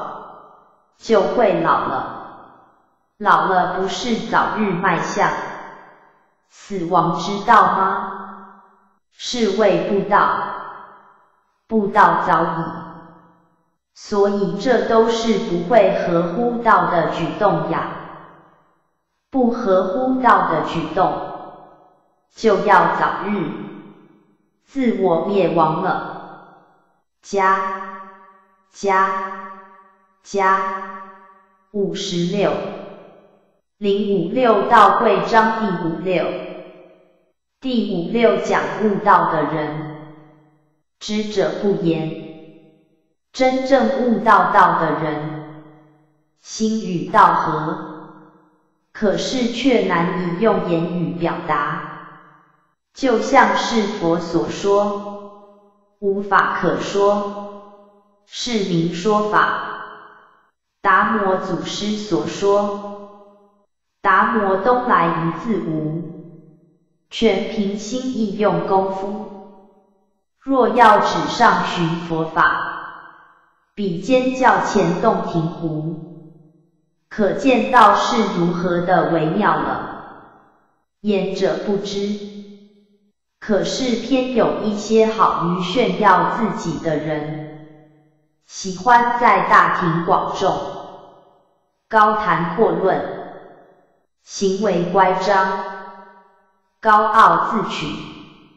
其实这种人反而是不知道的人，赛其对，所以有道的人，他自先塞住了他的口舌纷争，闭其门，关闭他七情六欲之门，挫其锐，折挫他锋芒又高傲的锐气，解其分。这一切才是解脱纷扰烦恼的方法，何其光！同时，有德之人，他毫无高傲之心，就是有功于众生。可是他的心与众生的心，仍然能够像灯光与灯光在一起的时候那样的。混合，同其尘，那样的不惊奇，不利益，不粉饰，随俗同尘，是谓玄同。他的作为没有一点特殊的地方，使人感到特别，反而与人共同相处，故不可得而亲。但是这种人，你想亲近他，其实是不可能的，因为他心同虚空，是不染情欲的，不可得而疏。你想疏远他，也是很难的，因为他慈悲为怀，关爱世人，使人。难以舍弃他的恩德，不可得而利。你想利益给他，其实也是不可能的，因为他淡然无欲，只是抱着取之众生、用之众生而已，不可得而害。你想加害他？也是不可能的，因为他有解脱之心，能够超出生死的假象，不可得而贵。你想贵重他，也是不可能的，因为他不贪慕荣华富贵的虚名地位，不可得而见。你想亲见他？也是不可能的，因为他心灵中时时怀有如瑰宝般的木尼宝珠，故为天下贵。因此，外在的形象以及褒贬毁誉，都不能打动他本心的自在。所以这才是天下最尊贵的人了。家加加五十七零五七治国章第五期第五期讲治国之道，以政治国，治理国家要以正道的方法，不要以奇巧的方法。以其用兵，只有在用兵的时候，在不得已的情况下，才用奇巧的方法，以无事取天下。因为治理天下，要使百姓平安无事，才可以取得天下百姓的心。吾何以知然哉？以此。我为什么知道这个道理呢？就是以下的道理，给我的启示：天下多忌讳，而民弥平。比如治理国家，如果发布禁忌太多的政令，就不能便民，人民于无法顺利工作。无法顺利工作，农工商生产就要少了，所以人民就会越来越贫穷。人多利器，国家滋昏。如果人民拥有太多厉害的杀人武器，打杀的事件自然就多。因此，要治理人民，就会越感到混乱。人多技巧，其物滋起，既令本作记。如果人民有技巧的居心时，一些邪恶又奇怪的事物就越来越多。法令滋章，盗贼多有。在法令设的很多的时期，就是道德仁义失落的时候。道德仁义失落的时候。盗贼恐怕就要越多了，故圣人云：“我无为而民自化。”所以，上古的圣人曾说：“只要我混全天理，顺天应人，人民就会。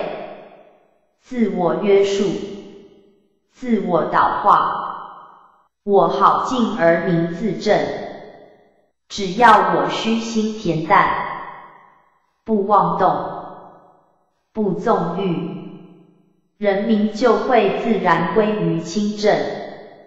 我无事而民自富，只要我不施禁忌太多的政令，去扰动百姓的行动与安宁，就是便民，然后人民自然康复。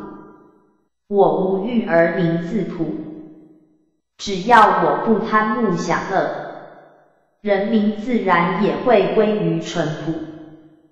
加加加五十八零五八查证章第五八。第五八讲治国方针，其政闷闷，其名纯纯。纯令本作纯，治国的方针，若能以宽大为怀的胸襟，人民反而过得淳朴安定知足。其政查查，其名缺缺，治国的方针，若是私自自用，严刑苛罚，人民反而狡诈多端。忧虑不安，祸兮福所倚。因此，灾祸的里面已经隐藏了幸福的到来。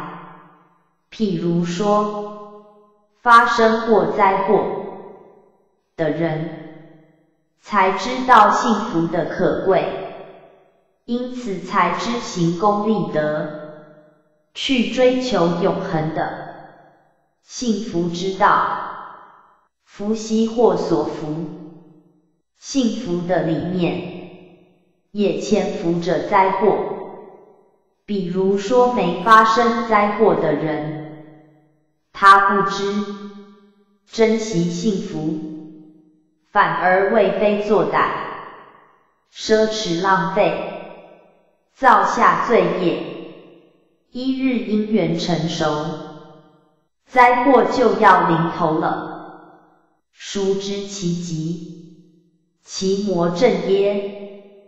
但是，像这种祸福循环、物极必反的道理，有谁能够了解它的究竟？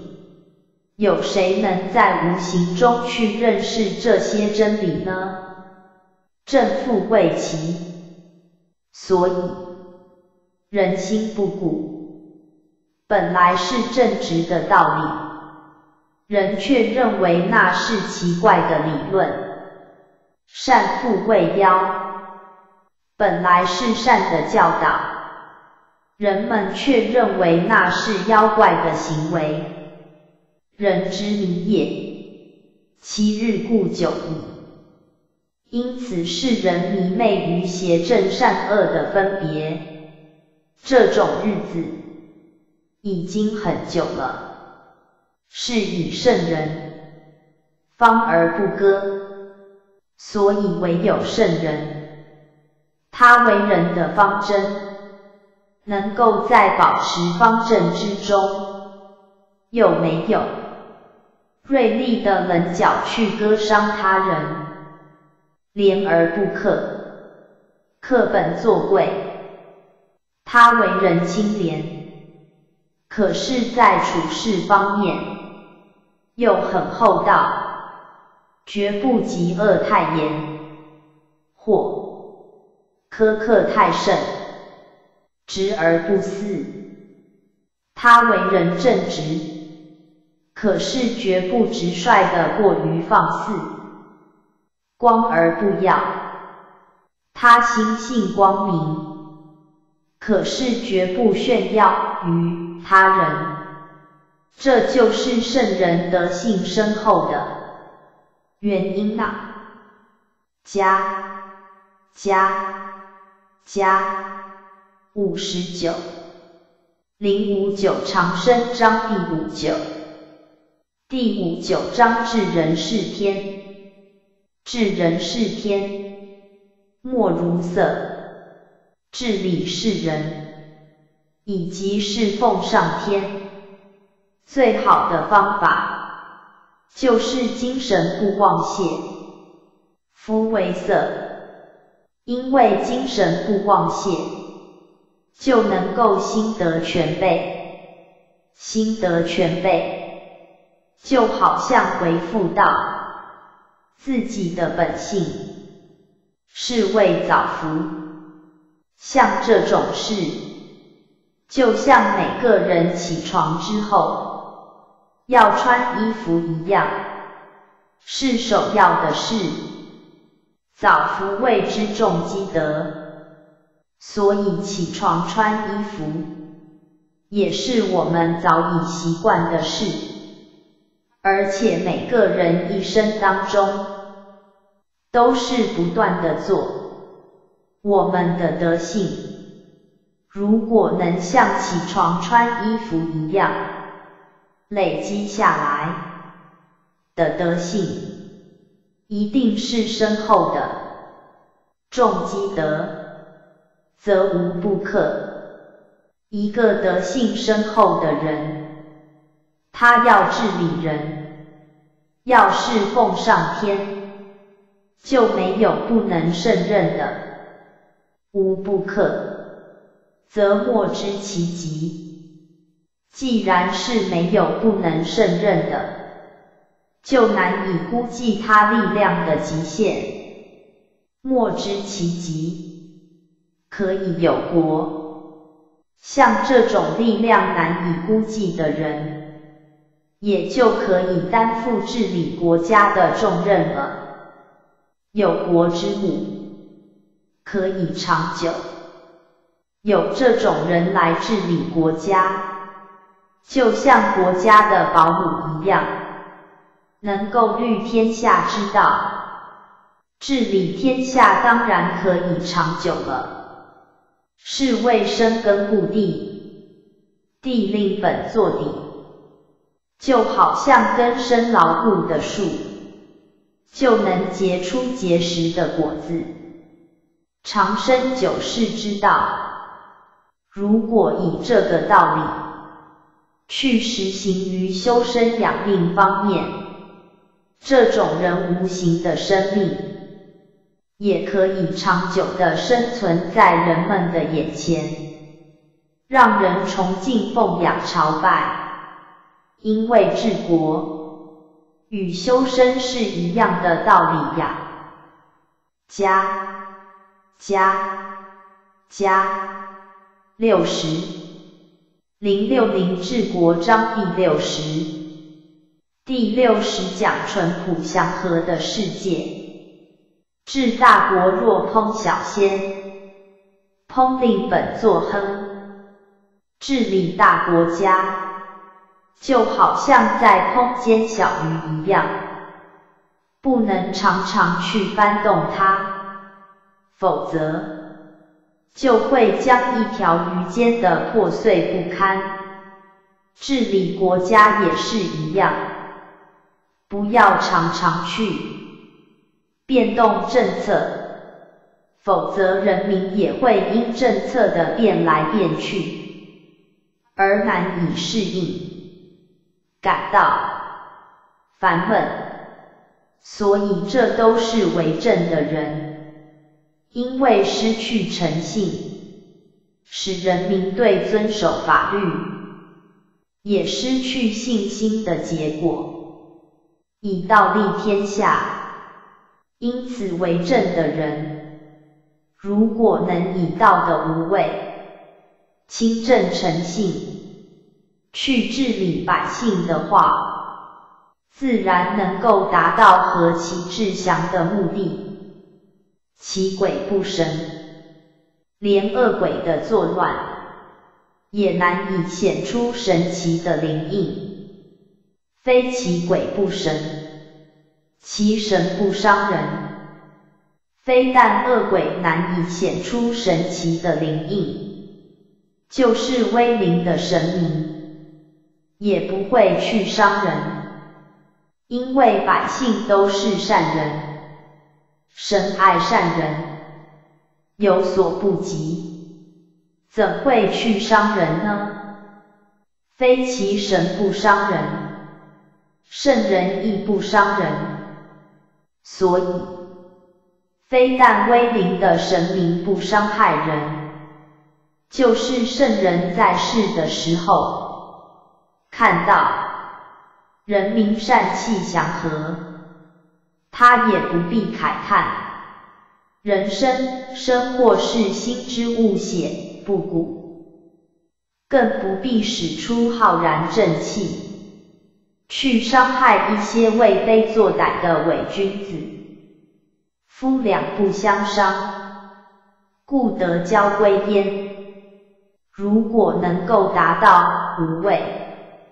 无形的鬼神与在世的圣人都不伤害人，这就是天下德性感交的时候，也好像天下之人都回归到本来天真与淳朴的势力那样的祥和与清净。加加加。六十一零六一位下章第六一第六一讲大国谦卑，小国谦恭。大国者下流，大国该学大海的卑下自处，虽是居于下流，天下之交，但是唯有居于下流。才能成为百川众流交汇的归处。天下之聘，就好像天下的雌性动物，聘常以敬圣母，常以柔弱的静定自处，但是却能胜过雄性动物的刚强躁动，以静为下，故大国以下小国。这就是以静定为下，反而能胜刚强躁动的原因。所以说，大国若能以谦卑自处，更以诚信有礼对待小国，则取小国，小国而下大国，就可以取得小国的幸福。更能取得小国的归向之心。小国若能谦卑自处，更以诚信有礼对待大国，则取大国，就能取得大国的信任，更取得大国的崇敬之心，故或下以取。所以，无论是大国迁下以求小国的幸福，或下而取；或是小国迁下以求大国的信任，大国不过欲兼处人，处令本作序。大国为政的最终目的，只不过是爱护天下百姓。既然天下百姓皆是安定淳朴，治理大国的使命也算是达成了。小国不过欲入世人，令本卯入。小国治理百姓的最终目的，不过是愿意侍奉人民，使其过得平安无事。因此，他对大国的要求，也只是希望大国能将小国平等看待而已。夫两者各得其所欲。所以，无论是大国或是小国，如果要达到这种目的，首先就要以谦卑自处，故大者一位下，而且最要紧的，就是大国应该首先以谦卑低下作为模范，能够这样。天下自然太平了。家加加六十二零六二到奥章第六二第六二讲到的奥妙，道者万物之奥，道是万物之中最精微、最奥妙的东西，善人之宝。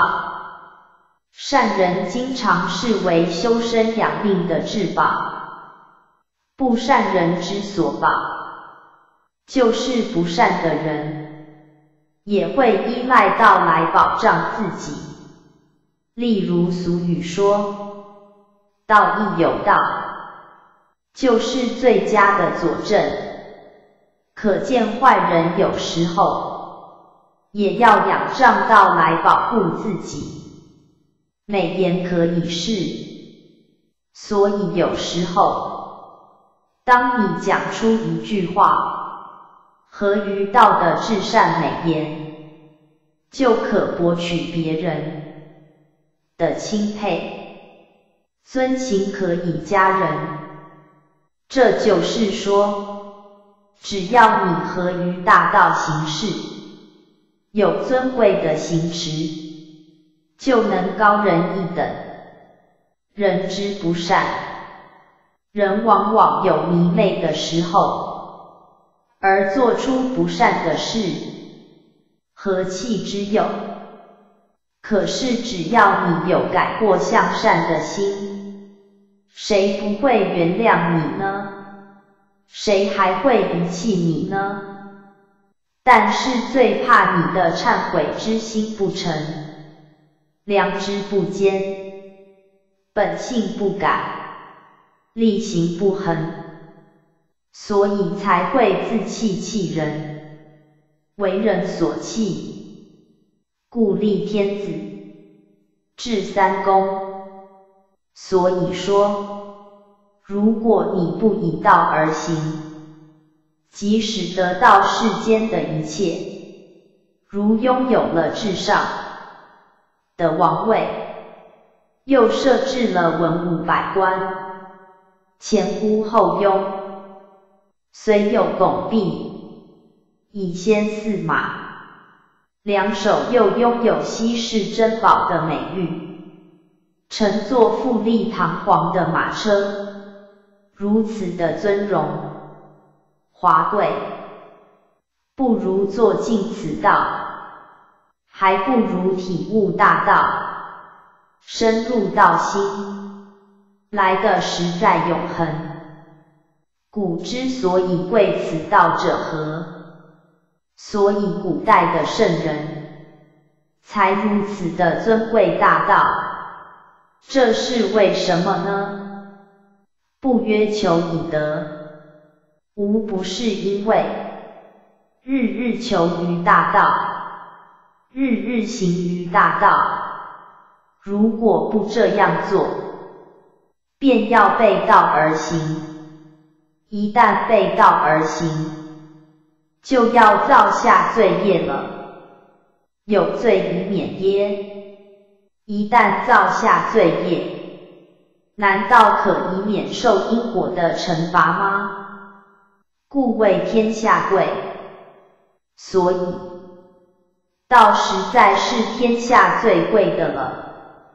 家加加六十三零六三无难章第六三第六三讲圣人的处事，为无畏。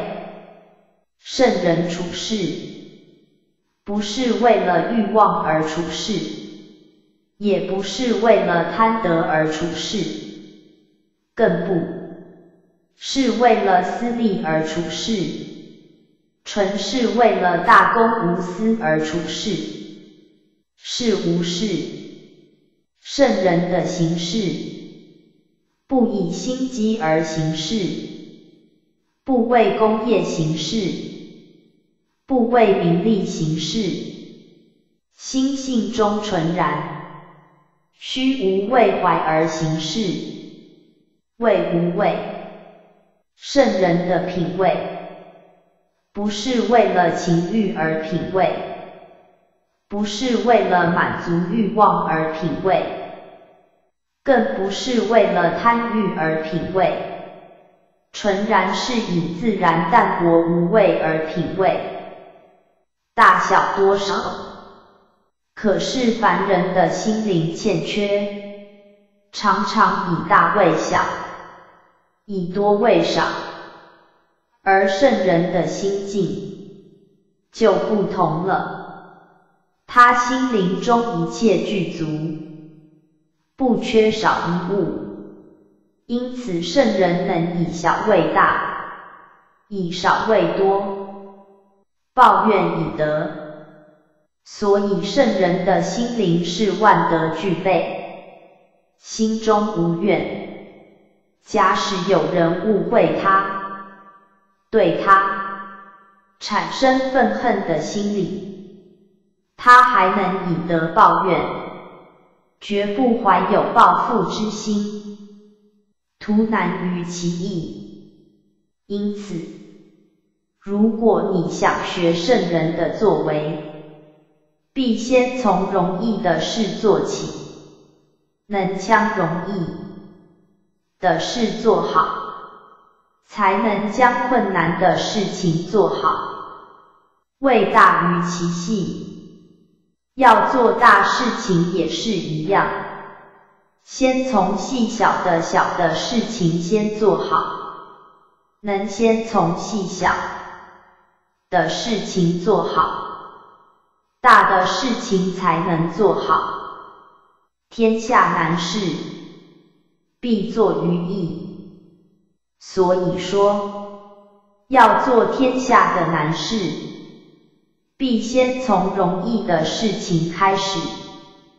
天下大事，必作于细。要做天下的大事，必先从细小的事情开始。是以圣人，终不为其大。因此，圣人他总是先从细小容易的事情开始做起，而不是一下子就想做大事业，故能成其大。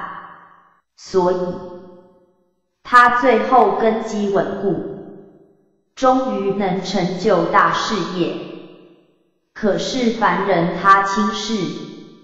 心性的修养，他们以为那是小事情，但是小事情都做不好，怎能成就大事业呢？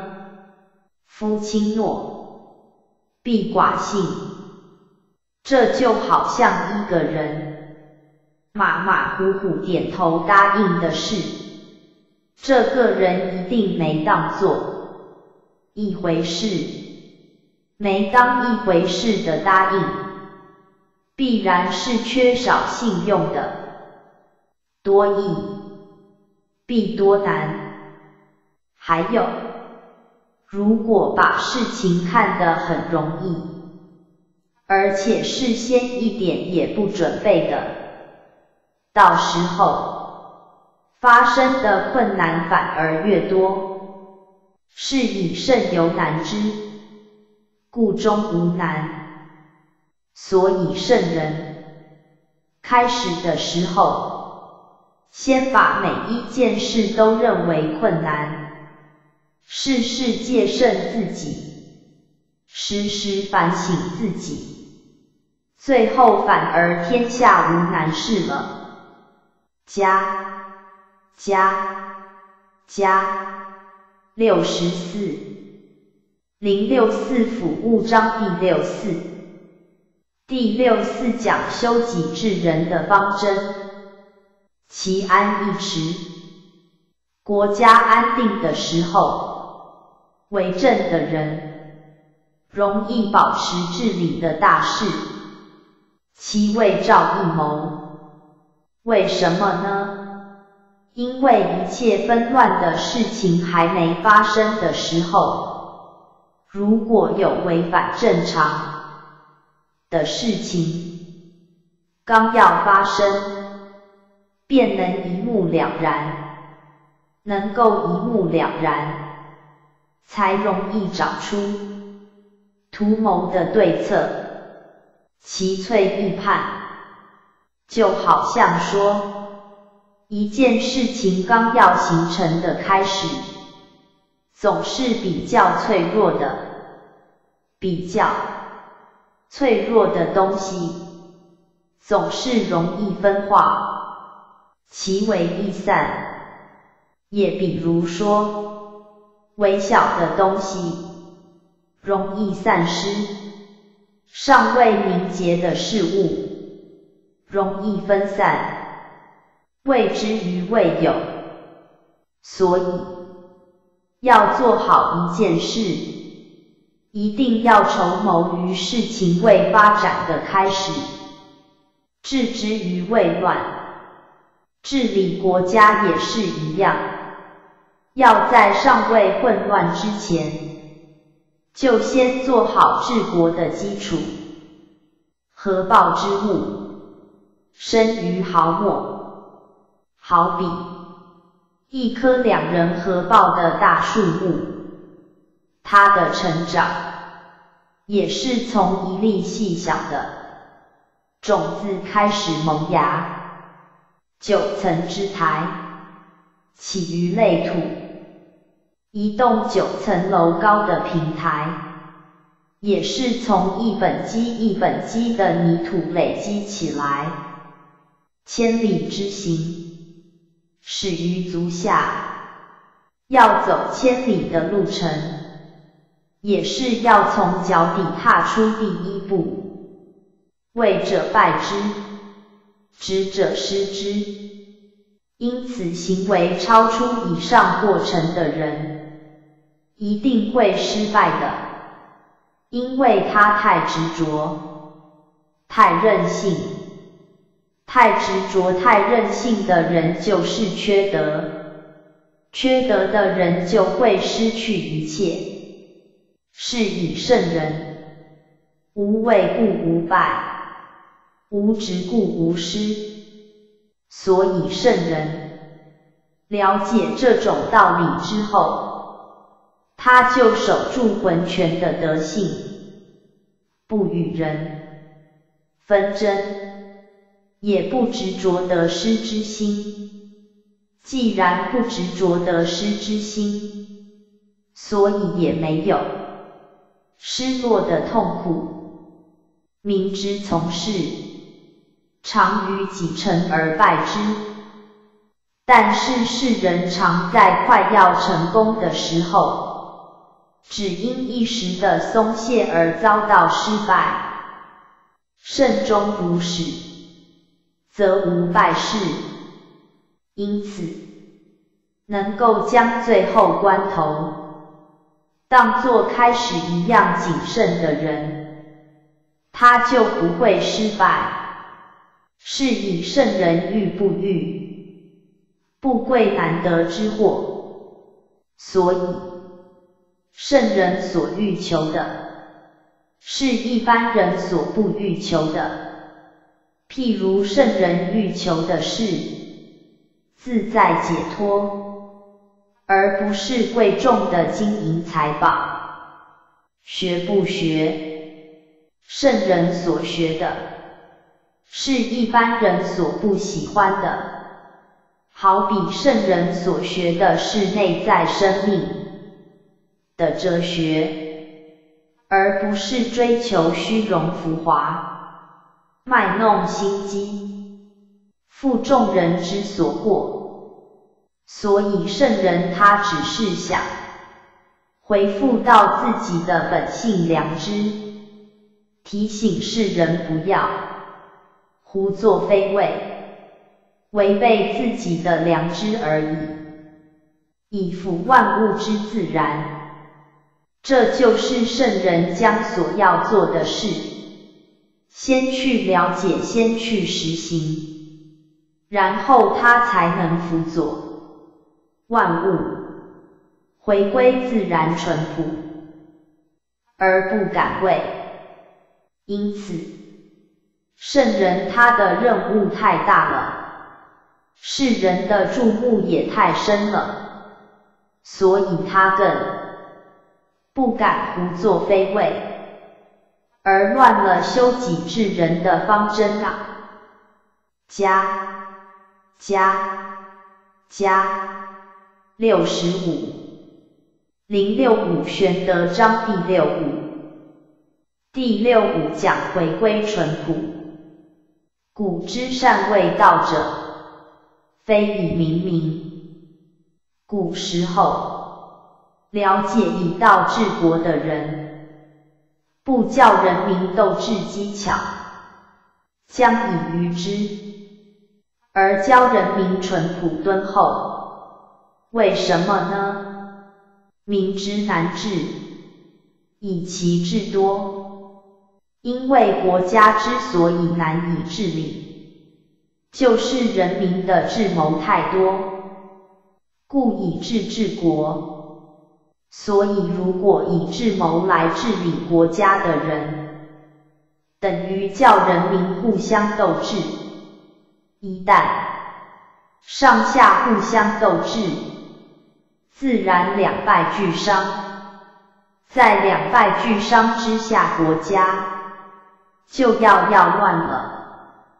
国之贼，因此这种教人民斗智的办法，实在是教人民为贼呀！不以智治国，国之福。反过来说，倘若在上的人不以智巧治国，人心自然淳朴，人民。生活自然安定无争，这才是国家的福祉。知此两者，所以如果有人知道以上两种道理的人，亦楷事，能知楷事，是谓玄德，就可成为治理国家的模范。能够成为治国家模范的人，就是有玄妙德性的人。玄德深以远矣，与物反矣。当玄妙德性发挥到更深更远的时候，在外表看来似乎与世俗的轨道相反，然后乃至于大顺。其实这正是使人民更归于淳朴、归于和谐的妙境啊！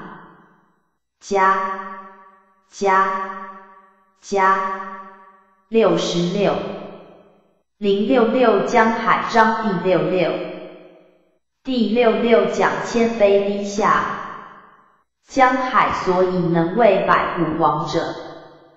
汪洋的江海之所以能成为百川众流之王，以其善下之，故能为百谷王。就是他善于处在低下的地位，使百川众流之水，无论进贵皆能容纳，所以才能成为百川之王。是以圣人欲上名，以其言下之，民令本作人。圣人他能够高居万民之上。就是他心口一致，而且先谦自己的言语，自称为下，欲先明，必以身后之，明令本作人。所以，如果你也想居于别人的先前，那么你必须先尊重所有的人。尊重所有的人，所有的人才会尊重你。反之，你轻视所有的人，所有的人就轻视你。是以圣人，处上而名不重，令本卯圣人，名令本作人。圣人就是知道这些道理。所以他虽然居于上位，可是他处处谦虚，为怀，使居于下方的人民都不感到危重的心理艳丽，处前而民不害，民令本作人。所以圣人虽居于所有人的先前。可是人民会自然的崇敬，不会去嫉妒他，或是加害他，是以天下乐推而不厌，而且天下的人都乐于推举他，而不讨厌他，以其不争，故天下莫能与之争。这就是他不与人相争，所以天下人也就没有人能胜过他了。加加加六十七零六七三宝章第六七第六七讲慈祥的爱心，天下皆为我道大，四不孝。天下人都说我把道讲得很大，其实看不出道有什么能力，根本不像很大的样子。夫为大，故四不孝。若肖，不错，就因为道很大，所以才不像任何东西。如果它某一种东西的时候，就以其细也夫，岂不是很久以前就被人认为那是一件很细小的东西吗？我有三，宝而持之，宝令本作宝，但是在修身处世方面。我有三项要诀，只要你持有它，就是你身。终知道了。一曰慈，二曰俭，三曰不敢为天下先，那就是第一，慈祥的爱心；第二，节俭淳朴；第三。不敢自高自傲，居于别人的先前。夫慈故能勇，因为慈爱才能产生勇气。就好比一位母亲，为了儿子的生活，就必须背负自己责任的勇气。这就是慈爱所发挥的勇气。简故能广。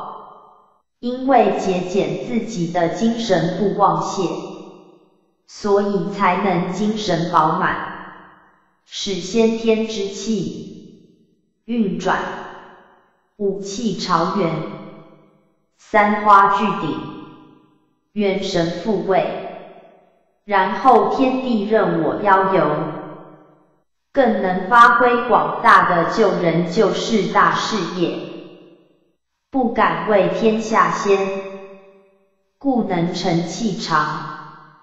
因为谦虚卑下的美德，才能受人尊敬拥载。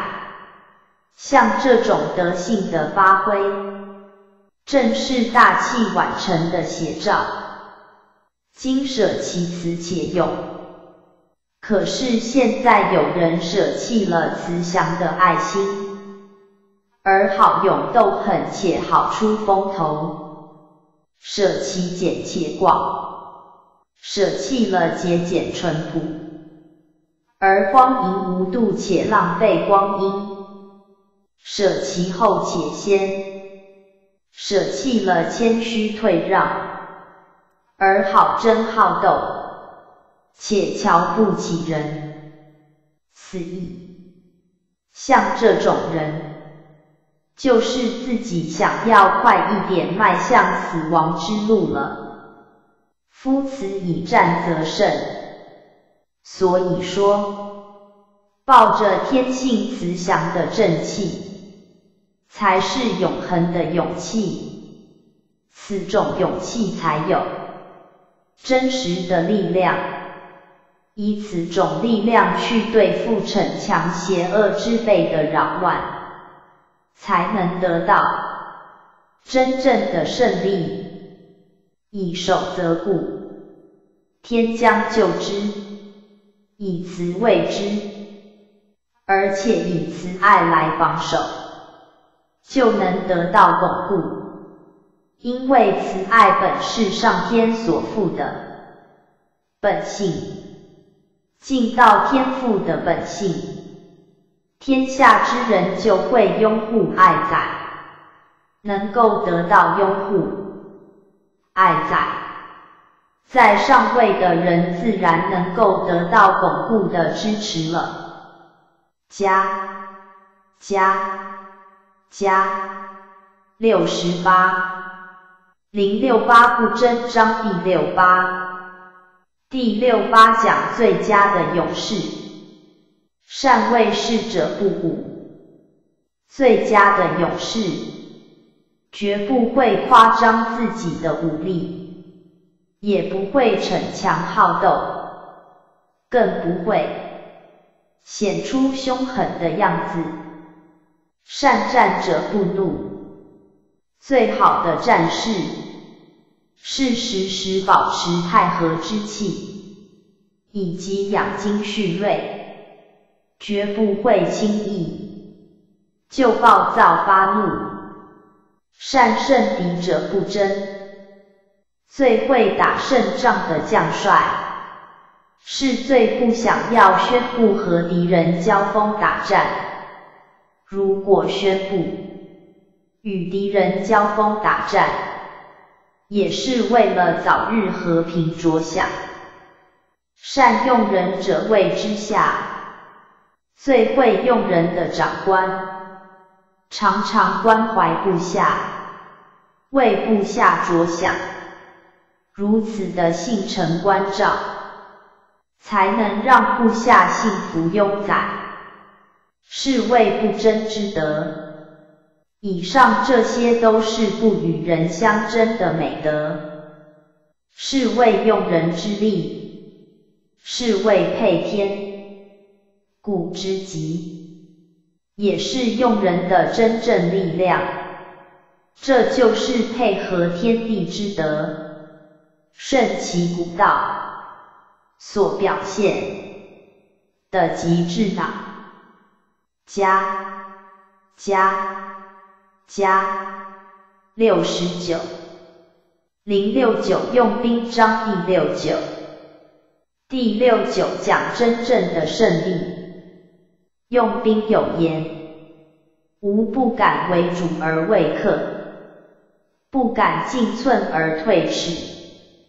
军事专家有一句真言：我不敢主动先向对方挑战，只有在对方已经开始攻击的情况下，才起而应战。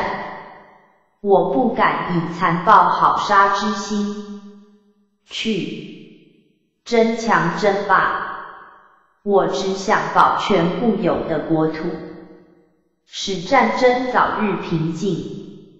是为行无形，这样的打仗，虽然国军士气高昂，可是却没有杀气腾腾的凶恶攘无弊。虽然高举着臂膀，高呼着口号，可是却没有凶残暴虐的模样，人无敌。虽然互相打仗，可是却没有不共戴天的深仇，要怀恨在心。因此，这种人不是为了好杀好战而打仗，只是为了正义、为了和平而打仗。像这种慈爱光辉的打仗。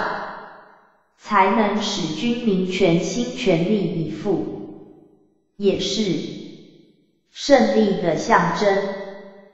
执无兵，所以说，这种战争虽然手里拿着兵器，可是这正是正义之手，不是杀人的凶手，或莫大于轻敌。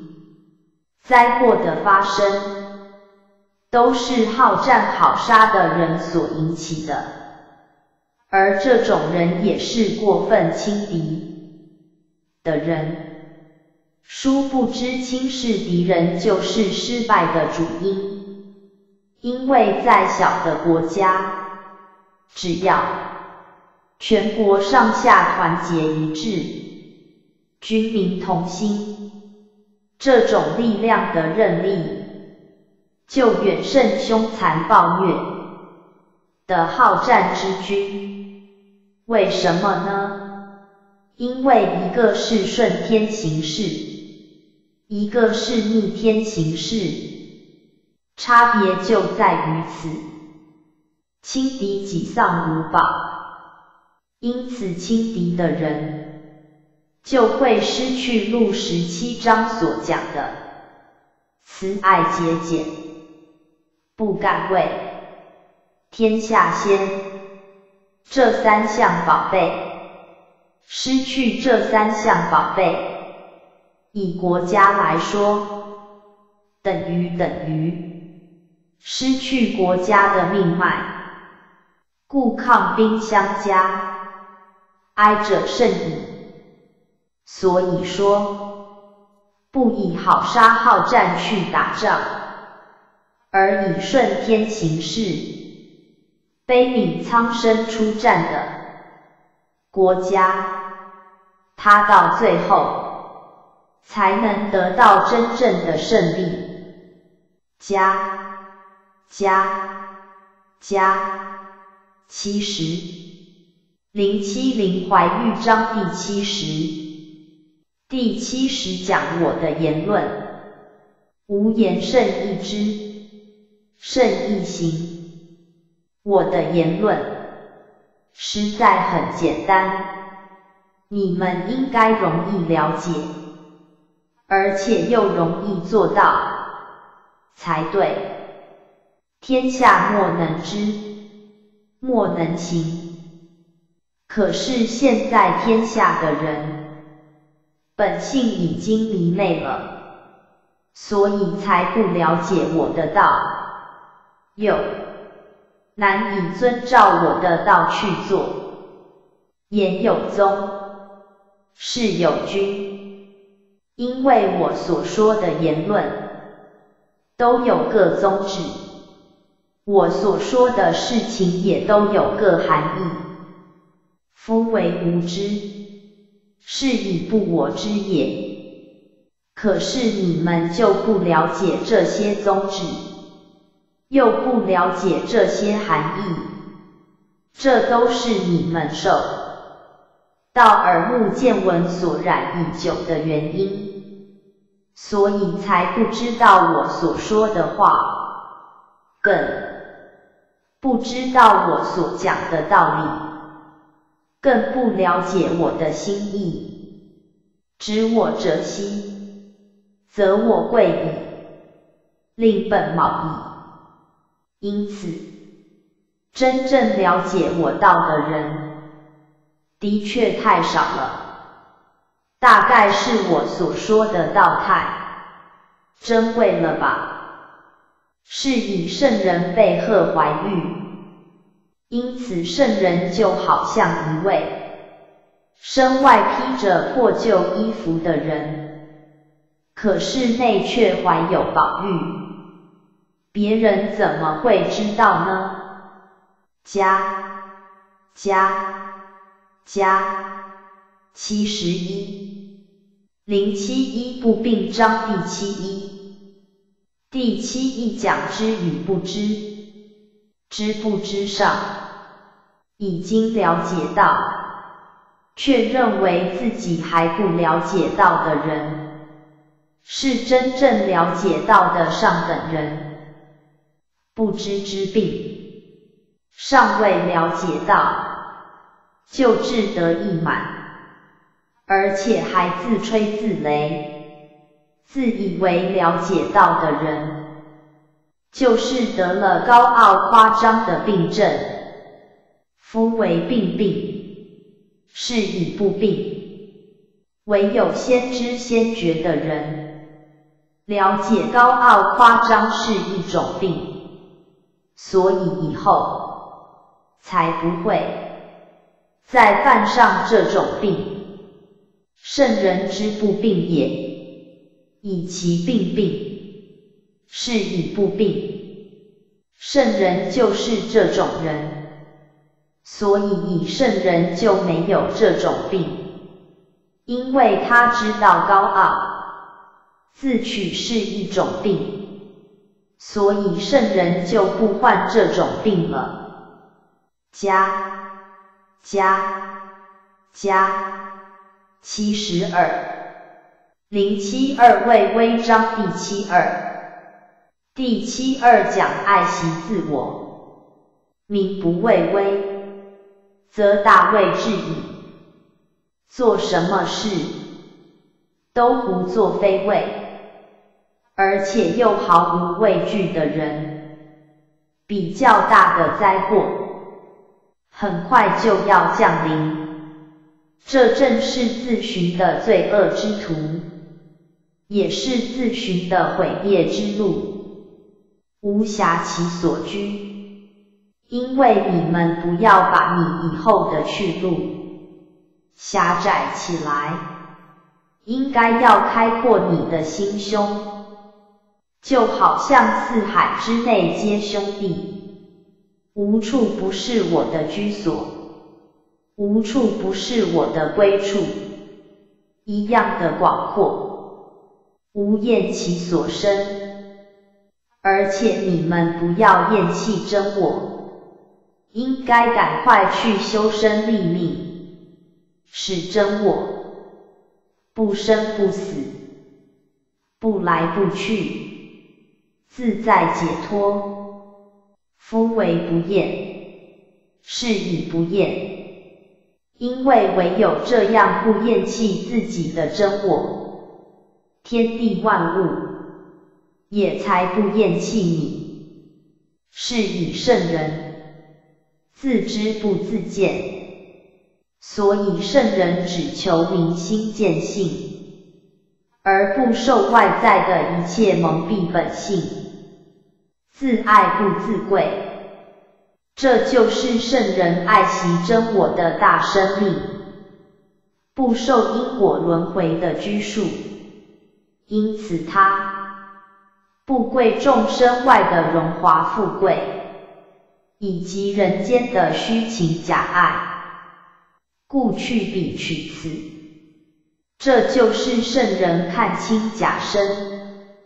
而求真我的解脱，加加加七十三。零七三天网章第七三。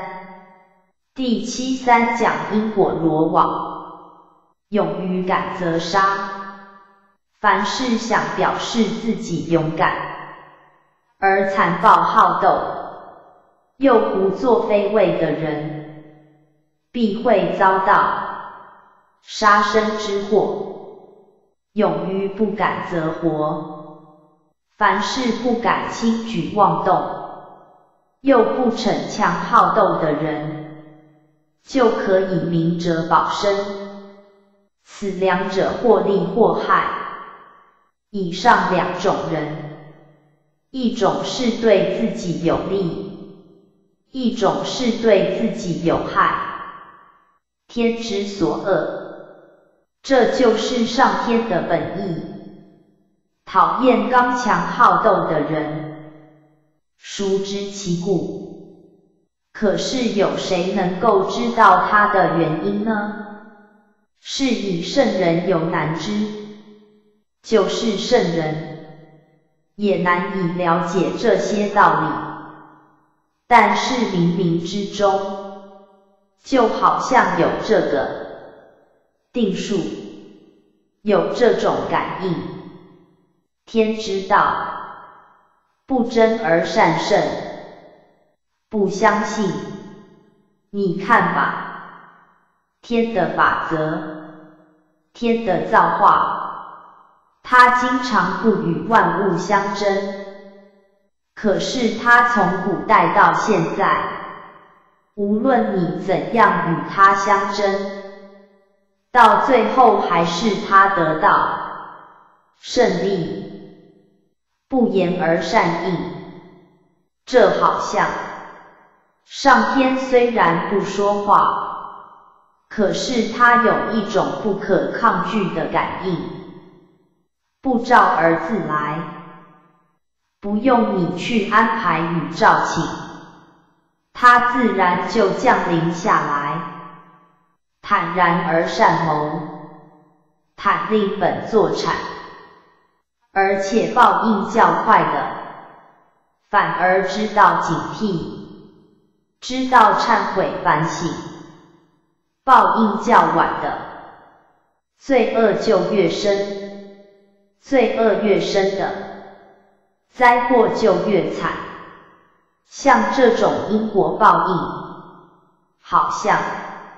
上天早就谋算好了，天网恢恢，疏而不漏，漏令本作失。这就是上天散布下来的因果罗网吧？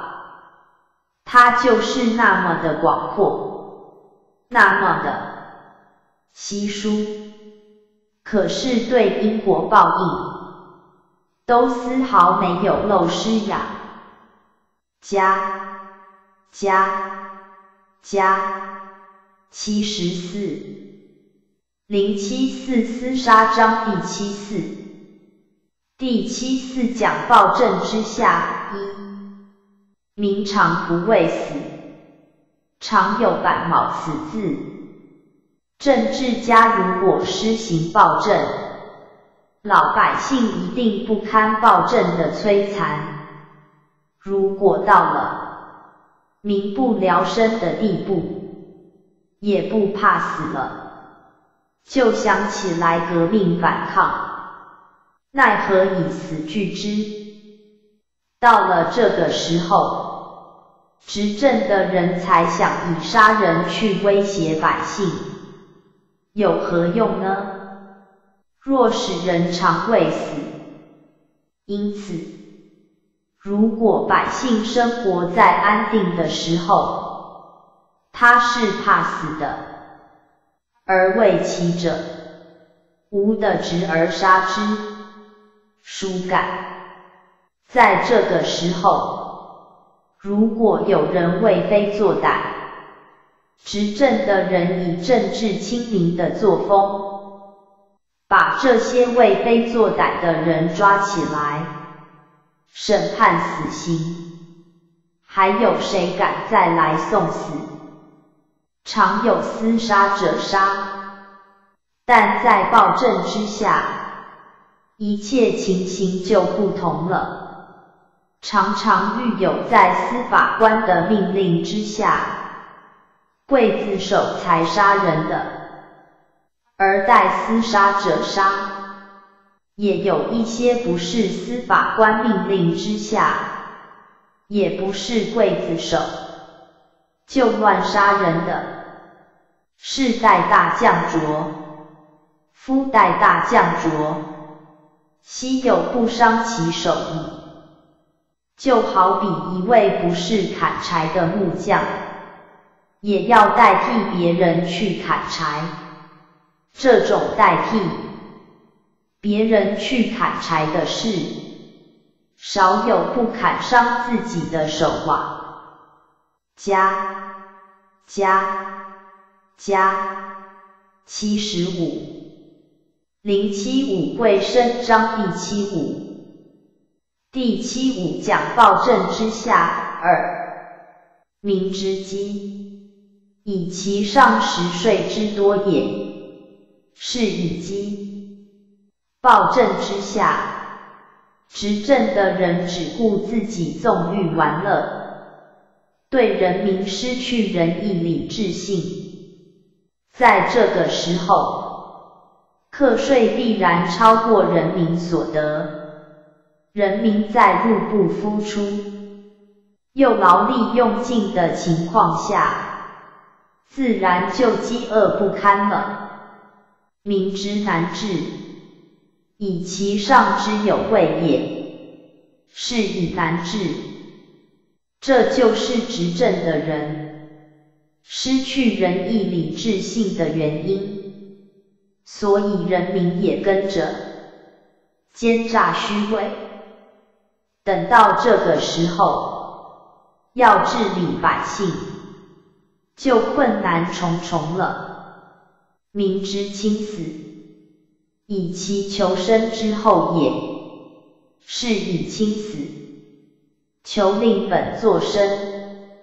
一旦到了民不聊生的地步，人民也就不怕死了。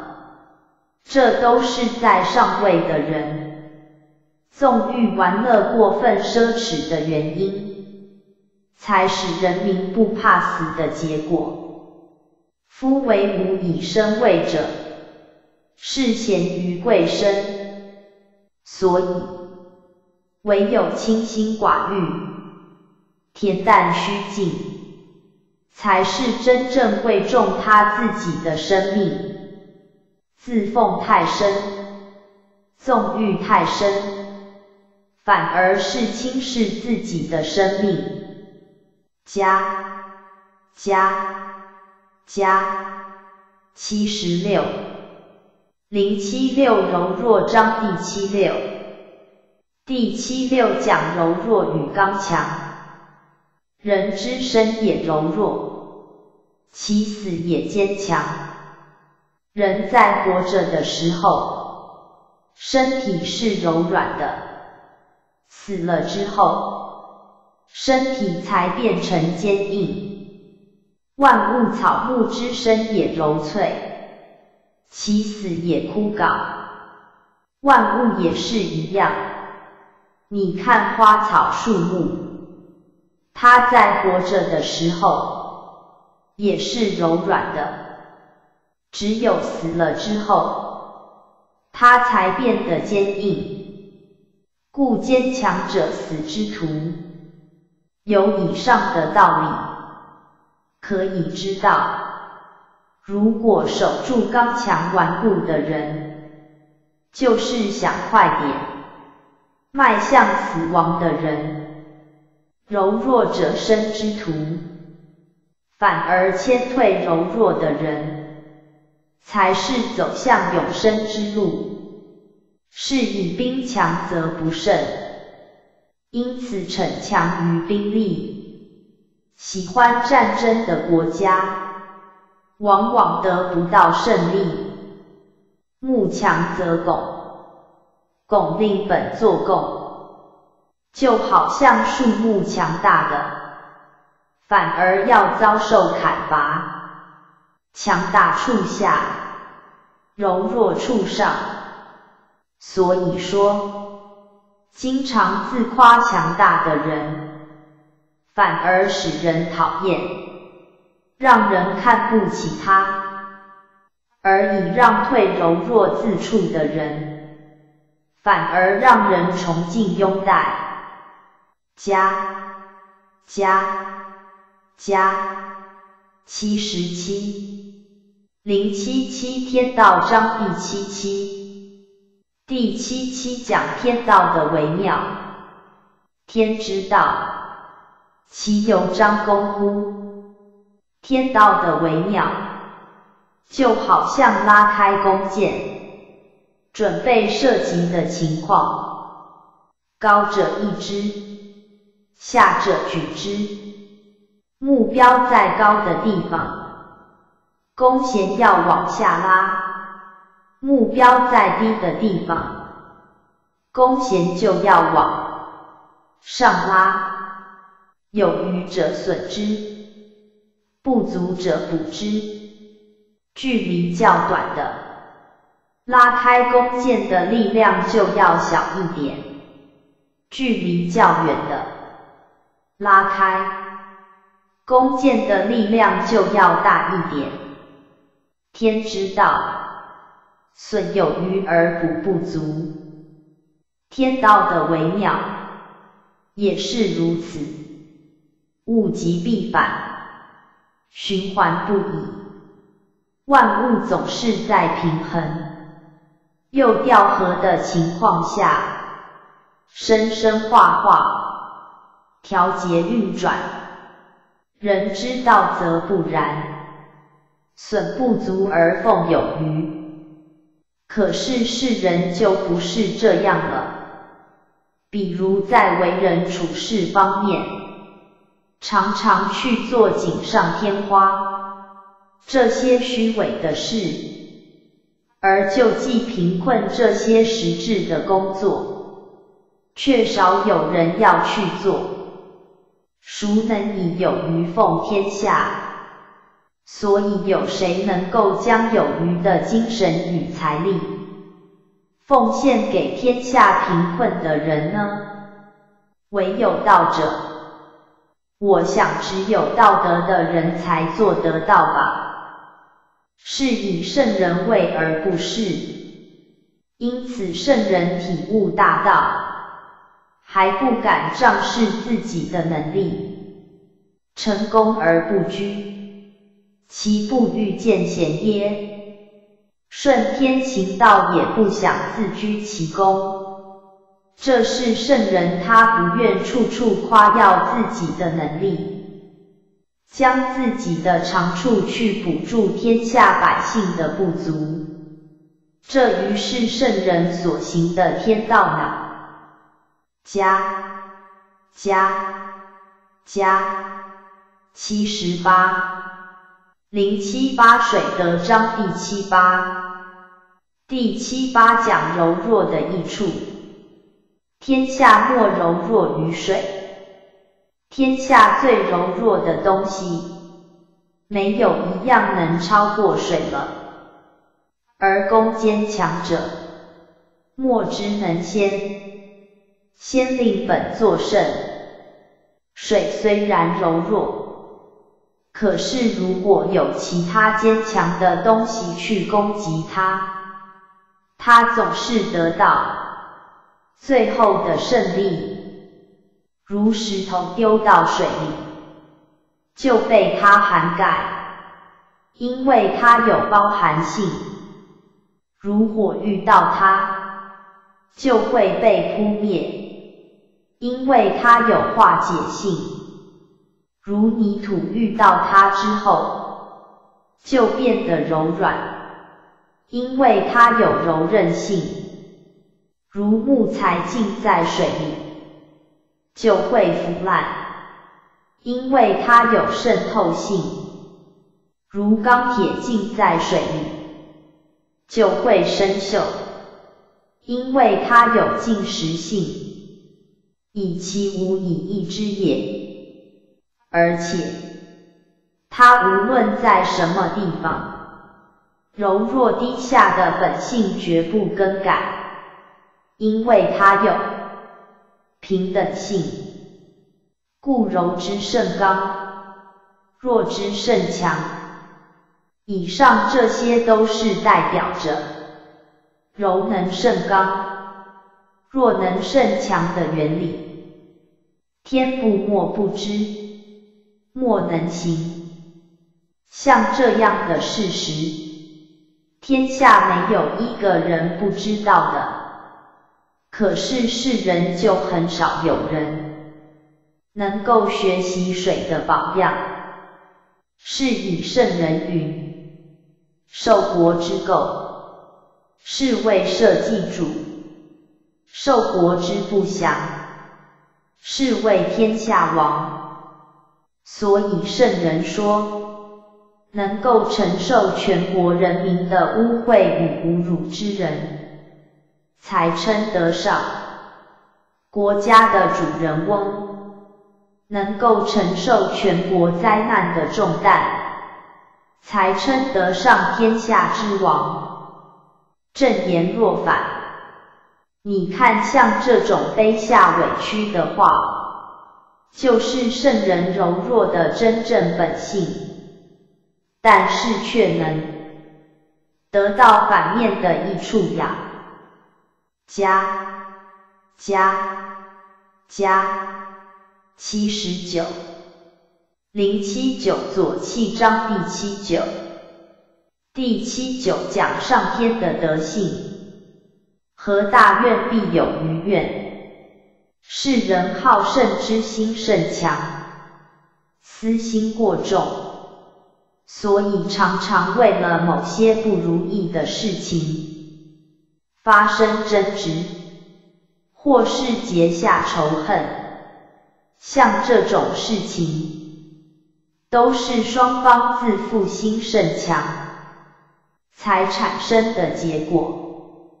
因此，纵然在某种机缘下，有人出面调解了恩怨，可是双方仍然有些不愉快的心情隐藏心中，还是难以化解的。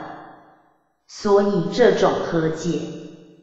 只是勉强的和解，安可以为善？像这种勉强的和解，难道可算是完善的结果吗？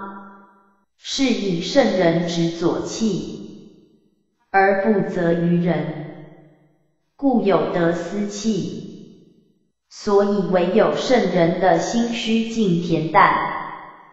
不与世人纷争计较，如果有恩于世人，也不惦念心怀，就好像放款的官员，尽管发出款项，没有舍不得的念头，也没有回报的思想，这就是有德之士的作为，无德撕扯。可是世人的心就不同了，就好像是催讨债款的人，借多少讨回多少，一点也不放松。这不就好像无德的人，布施了一些金钱财物，心里就一直惦念着回报吗？天道无亲。所以，只有上天的德性是最令人钦佩了，因为他养育万物，是不分亲疏贵贱，同样的施与恩惠，因此行善之人的心境应该学习上天的德性，常与善人，然后。你就是上天的知己，跟他一样，拥有一颗大公无私的心了。加加加八十零八零不喜章第八十第八十讲淳朴的世界，小国寡民，时有失百之器而不用，百令本作薄，如何回复到淳朴的世界呢？应该像人民很少的小国家一样，大家。都过着淳朴和谐的生活，使民众死而不远弃。在这个时候，人民安居乐业，相处无事，就会尊重自己，也不想到处搬家了。虽有舟车，摩所乘之。这个时候虽然有船有车，也没有人争先恐后想去乘坐。虽有甲兵，摩所乘之，使民复节省而用之，就是武装的兵器，也不知道要放在那里。甘其食，美其腹，安其居。乐其俗，这时候人民吃饭都觉得甘甜，粗衣都觉得华丽，居家都觉得安乐，风俗习惯都觉得乐趣，邻国相望，鸡犬之音相闻，邻近的邦国互相远望都觉得友好。听到鸡鸣狗吠的声音，都觉得调和，明智老死，不相往来。这时候，人民生活满足，就是活到老也是没有怨言，更不想搬家了。家，家，家。八十一。零八一不击章第八一。第八一讲圣人的使命，信言不美，信实的话。不是花言巧语，所以听到耳里总是不悦耳动听。美言不信，花言巧语的话虽然动听。可是不一定是从心里讲出来的，因此这种话总是缺乏信用实在。善言不辩，辩言不善，言令本作者。美好的事物，良善的言语，不必去费口舌争辩。费了口舌争辩的事情，便非良善的言语，也非美好的事物。知者不博，博令本作博。求真的大智慧者，社会知识不必广博，广博反而得了知障，这就。是圣人守义而万事毕的原理。博者不知，博令本作博。所以，求得外在广博的知识，不一定就是真知的大智慧者。因为追求外在的形象，越追越远，越追越迷。而且永远无法探求真正的答案。圣人不羁，因此圣人不必追求外在的知识，更不必追求物欲来占为己有。既以为人己越有，记忆已与人己越多，他只是奉献自己的力量去帮助人。去礼让人，然而他却没有想到，自己所做的结果，反而受人来钦佩，让人来崇敬。不但如此，另一方面更使他的博爱精神留在世人的心灵中，刻下了永恒的追思和怀念。天之道。利而不害，因此它好像上天的道理，只是利益万物，而不去侵害万物。圣人之道，为而不争。圣人的道理，只是负担调和大自然的使命，而并不与人群相争。回。道德经完。